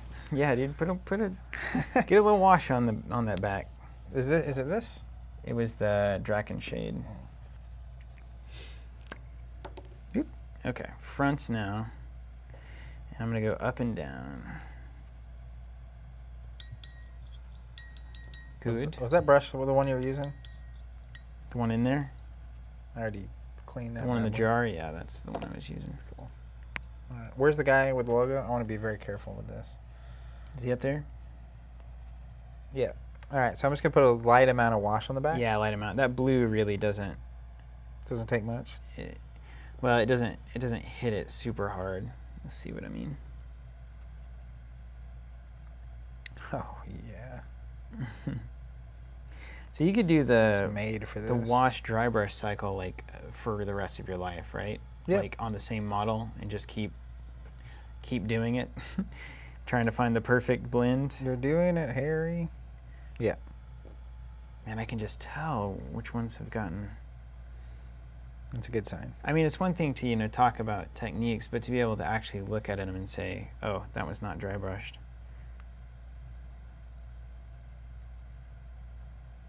Pretty impressive. Give that one a minute. Yeah, those look great. They they have like dimension to them, Yeah, there's like the ones you've dry brushed. That's really good. I'm a little jealous with how good it looks for how fast it happened. Yep. I can't complain. Stephen Bain is uh, Stephen can't help yourself now, can you? Nico says very impressed. Yeah, it's it's honestly it's not as bad. Uh, There's a lot. I mean, there was literally like that list I linked to earlier is like so many things, um, and like even just basic techniques and mixing paint and thinning paints down and etc. There's a lot, but ultimately once you get a couple fundamentals down, it's not that hard to get something looking pretty nice. All right. I'm going to save one of these guys that hasn't been dry brushed on the front so we can really appreciate that. Nico, week one, Steven introduces Zach to the magic of Arkham. Week X, Zach introduces Steven to the magic of painting. These little guys, I got to tell you, like this is the best painting experience for sure. The just the details, I'm so impressed I, at every turn with this game. I'm so impressed. It's like it's so approachable here. Okay. Yeah, now look at these guys. Put them up here, man. My gosh. And do you have the one that isn't done? This guy didn't have. He may have been hit once with the front. He, they've all been hit on the, the, back. Show the backs, though. Look at all these backs. Just great pops here, and then the front. This guy ha- haven't is my last one, and then this guy is one that I've done. So just the difference between this and this, Nico says, well, Steven, startling. what do you think? Do you have fun? Yeah, yeah, yeah, yeah. Now, the thing about this is also so, so much of the fun of this to me is like I'm thinking about having these guys on the table and playing Skytear with them, and it's going to improve my experience with Skytear like to a ridiculous degree to not just be like gray blobs of mass moving around. Yeah. Um, so I'm super excited about that aspect of this. I don't know if I could paint without an end goal in mind. I think most people paint with the idea they'll eventually play them. Yeah. But, you know, All right, here they are. Let's get the let's get the Earth Army up here. Stephen Bain is, he's already a pro. That's the third time he's been finished. and, like, there's there's so many cool things, though. You could leave them there, mm-hmm. man. I mean, I, I think they're, what else are you going to do to them? And I could come through. I'll, I'll do the white logo and eyes with a little blue on them, and then I'll be done. Uh, I'm gonna do the rocks. I think the rocks are going to make it happen. I'm gonna do the rocks. All right, Zach. Let's get out of here. What do you think? Thanks, guys, so much for uh, joining us on this. Let's. Uh, Yeah. Uh, I would love to know before we get out of here. Uh, this was very chill. We didn't do a ton of talking. We talked as we were painting and interacting. Um, I'm, I'm actually surprised with how many people were watching this the whole time. So I'm curious what your thoughts are, were on the, the painting stream in general. Did you enjoy it? Did you learn anything? Uh, what would you like to see? Because we may well paint again. I mean, there's a ton of stuff for us left to do. I, I've been painting on the weekend, so that this Skytear is going to be my new project. So this weekend, I'm probably going to finish these uh, fire minions. I'm going to do some flamey colors on the little swords and the logos on the yeah, hat. get them in there. Yeah. Bogart in your Um, space. Uh, you're good. You got way more done than me. That dry brush for the for the win. Dry brush for the win. Uh, let's see. Now the next step is coming through. cleaning these brushes. Yep, we got to do it. Here's your uh, stuff. Let's see. All right, coming back. One second. Uh, Guardian of Fun. Can't wait to get supplies and paint mine. That's awesome. Yeah, Uh, just Guardian of Fun- it. I, this is literally. It's like I just. That's it. We, So- we did it. Guardian of Fun saying, Zach, did you use zenith- black, white zenithal on those? Yep, it was just a even black coat and then one angle of white where I would pr- project the light coming from. And that was that was it. Uh, Nico says, love the format. John Deere says, good job, guys. Thank you. Guardian Fun says, please do more. Matthew says, thanks for everything. Definitely enjoyed the casual atmosphere. Wayne says it was great. Was painting along myself for most of it. Uh, Daniel says this was great. More of it would be great. Uh, Nameless says enjoyed it and learned a lot about painting. Good. Uh, that's that's what we're, we want here. Like, it's gonna make your Skytear experience or any experience with any game that you have that needs painting just so much better. This is great. Birdman says never painted and learned a lot. It doesn't seem nearly as overwhelming to get started. I'm gonna link one more time to Yeah, that. yeah, uh, and I'm gonna add this video, and then I'm also gonna add basically the tips and techniques we use through this. And that are, the thing I'm gonna link to also links to a couple other content creators that create a ton of content around painting specifically. They're way better than us. Um, but I, part of what's cool of this is that you can see people who are just okay at this and new, relatively new, um, putting models to a pretty decent point. Like I'm really happy with. I'm looking at these Super hats, and every time it. I see that hat, I'm like, don't you just want to get them on the table? Can you imagine once the finish them, champions are, are painted and everything's running around in a beautiful, vibrant environment? So that's where like I get it. I want to finish these minions, and then I want to paint Yami and uh, Akimo the most because I plan on using them the most. But like, we'll get there. We will get there. Uh, so I'm gonna link one more time. And it doesn't matter that this water is like dirty, yeah? Nope. Okay. You're all you're basically doing is like putting soap into it to help break the paint down, then getting the water to rinse it off, Okay. and then we're letting it dry so that it is doing its thing. But you're basically just getting the so- bru- brush soapy, and then you know we can look and like you got a little green tint here still, on that little guy. but it's it's fine. We'll wash them good. Alrighty, well, we're gonna wash these brushes. Thank you guys so much for joining us. This has been a, a blast. Hopefully, it's it's helpful. Um, one last look at the at the models here. Full screen. Get some more of those. Get some Yeah, more of your the Kool Aid. Look at these. This is what we need for the the thumbnail. Yeah. Is it cheers with our Kool Aid cups? look at your old. Look at these, this old tired model over here. Yeah. Nothing I mean, I think it's a big difference. And I'm excited. I, the logo will pop and the flames will pop, and that's kind of my. And I'm gonna do black around the edge of the border, um, just to give you that dark under, undertone as well. All right, I'm here. I'm gonna turn the stream off. Yep. Uh, tomorrow, quick update. So tomorrow we're doing L5R Skirmish, the LCG. They released a new version of the game. Excited to check that out. Thursday we're doing Throwback Thursday to the Middle Earth CCG from the 90s, and we're finishing the week again with Freaky Friday, Arkham Horror LCG. I think we're doing the second scenario of that Carcosa campaign, maybe the third as well. Uh, thanks again for everyone for participating, asking questions, being on chat the whole time. You're great.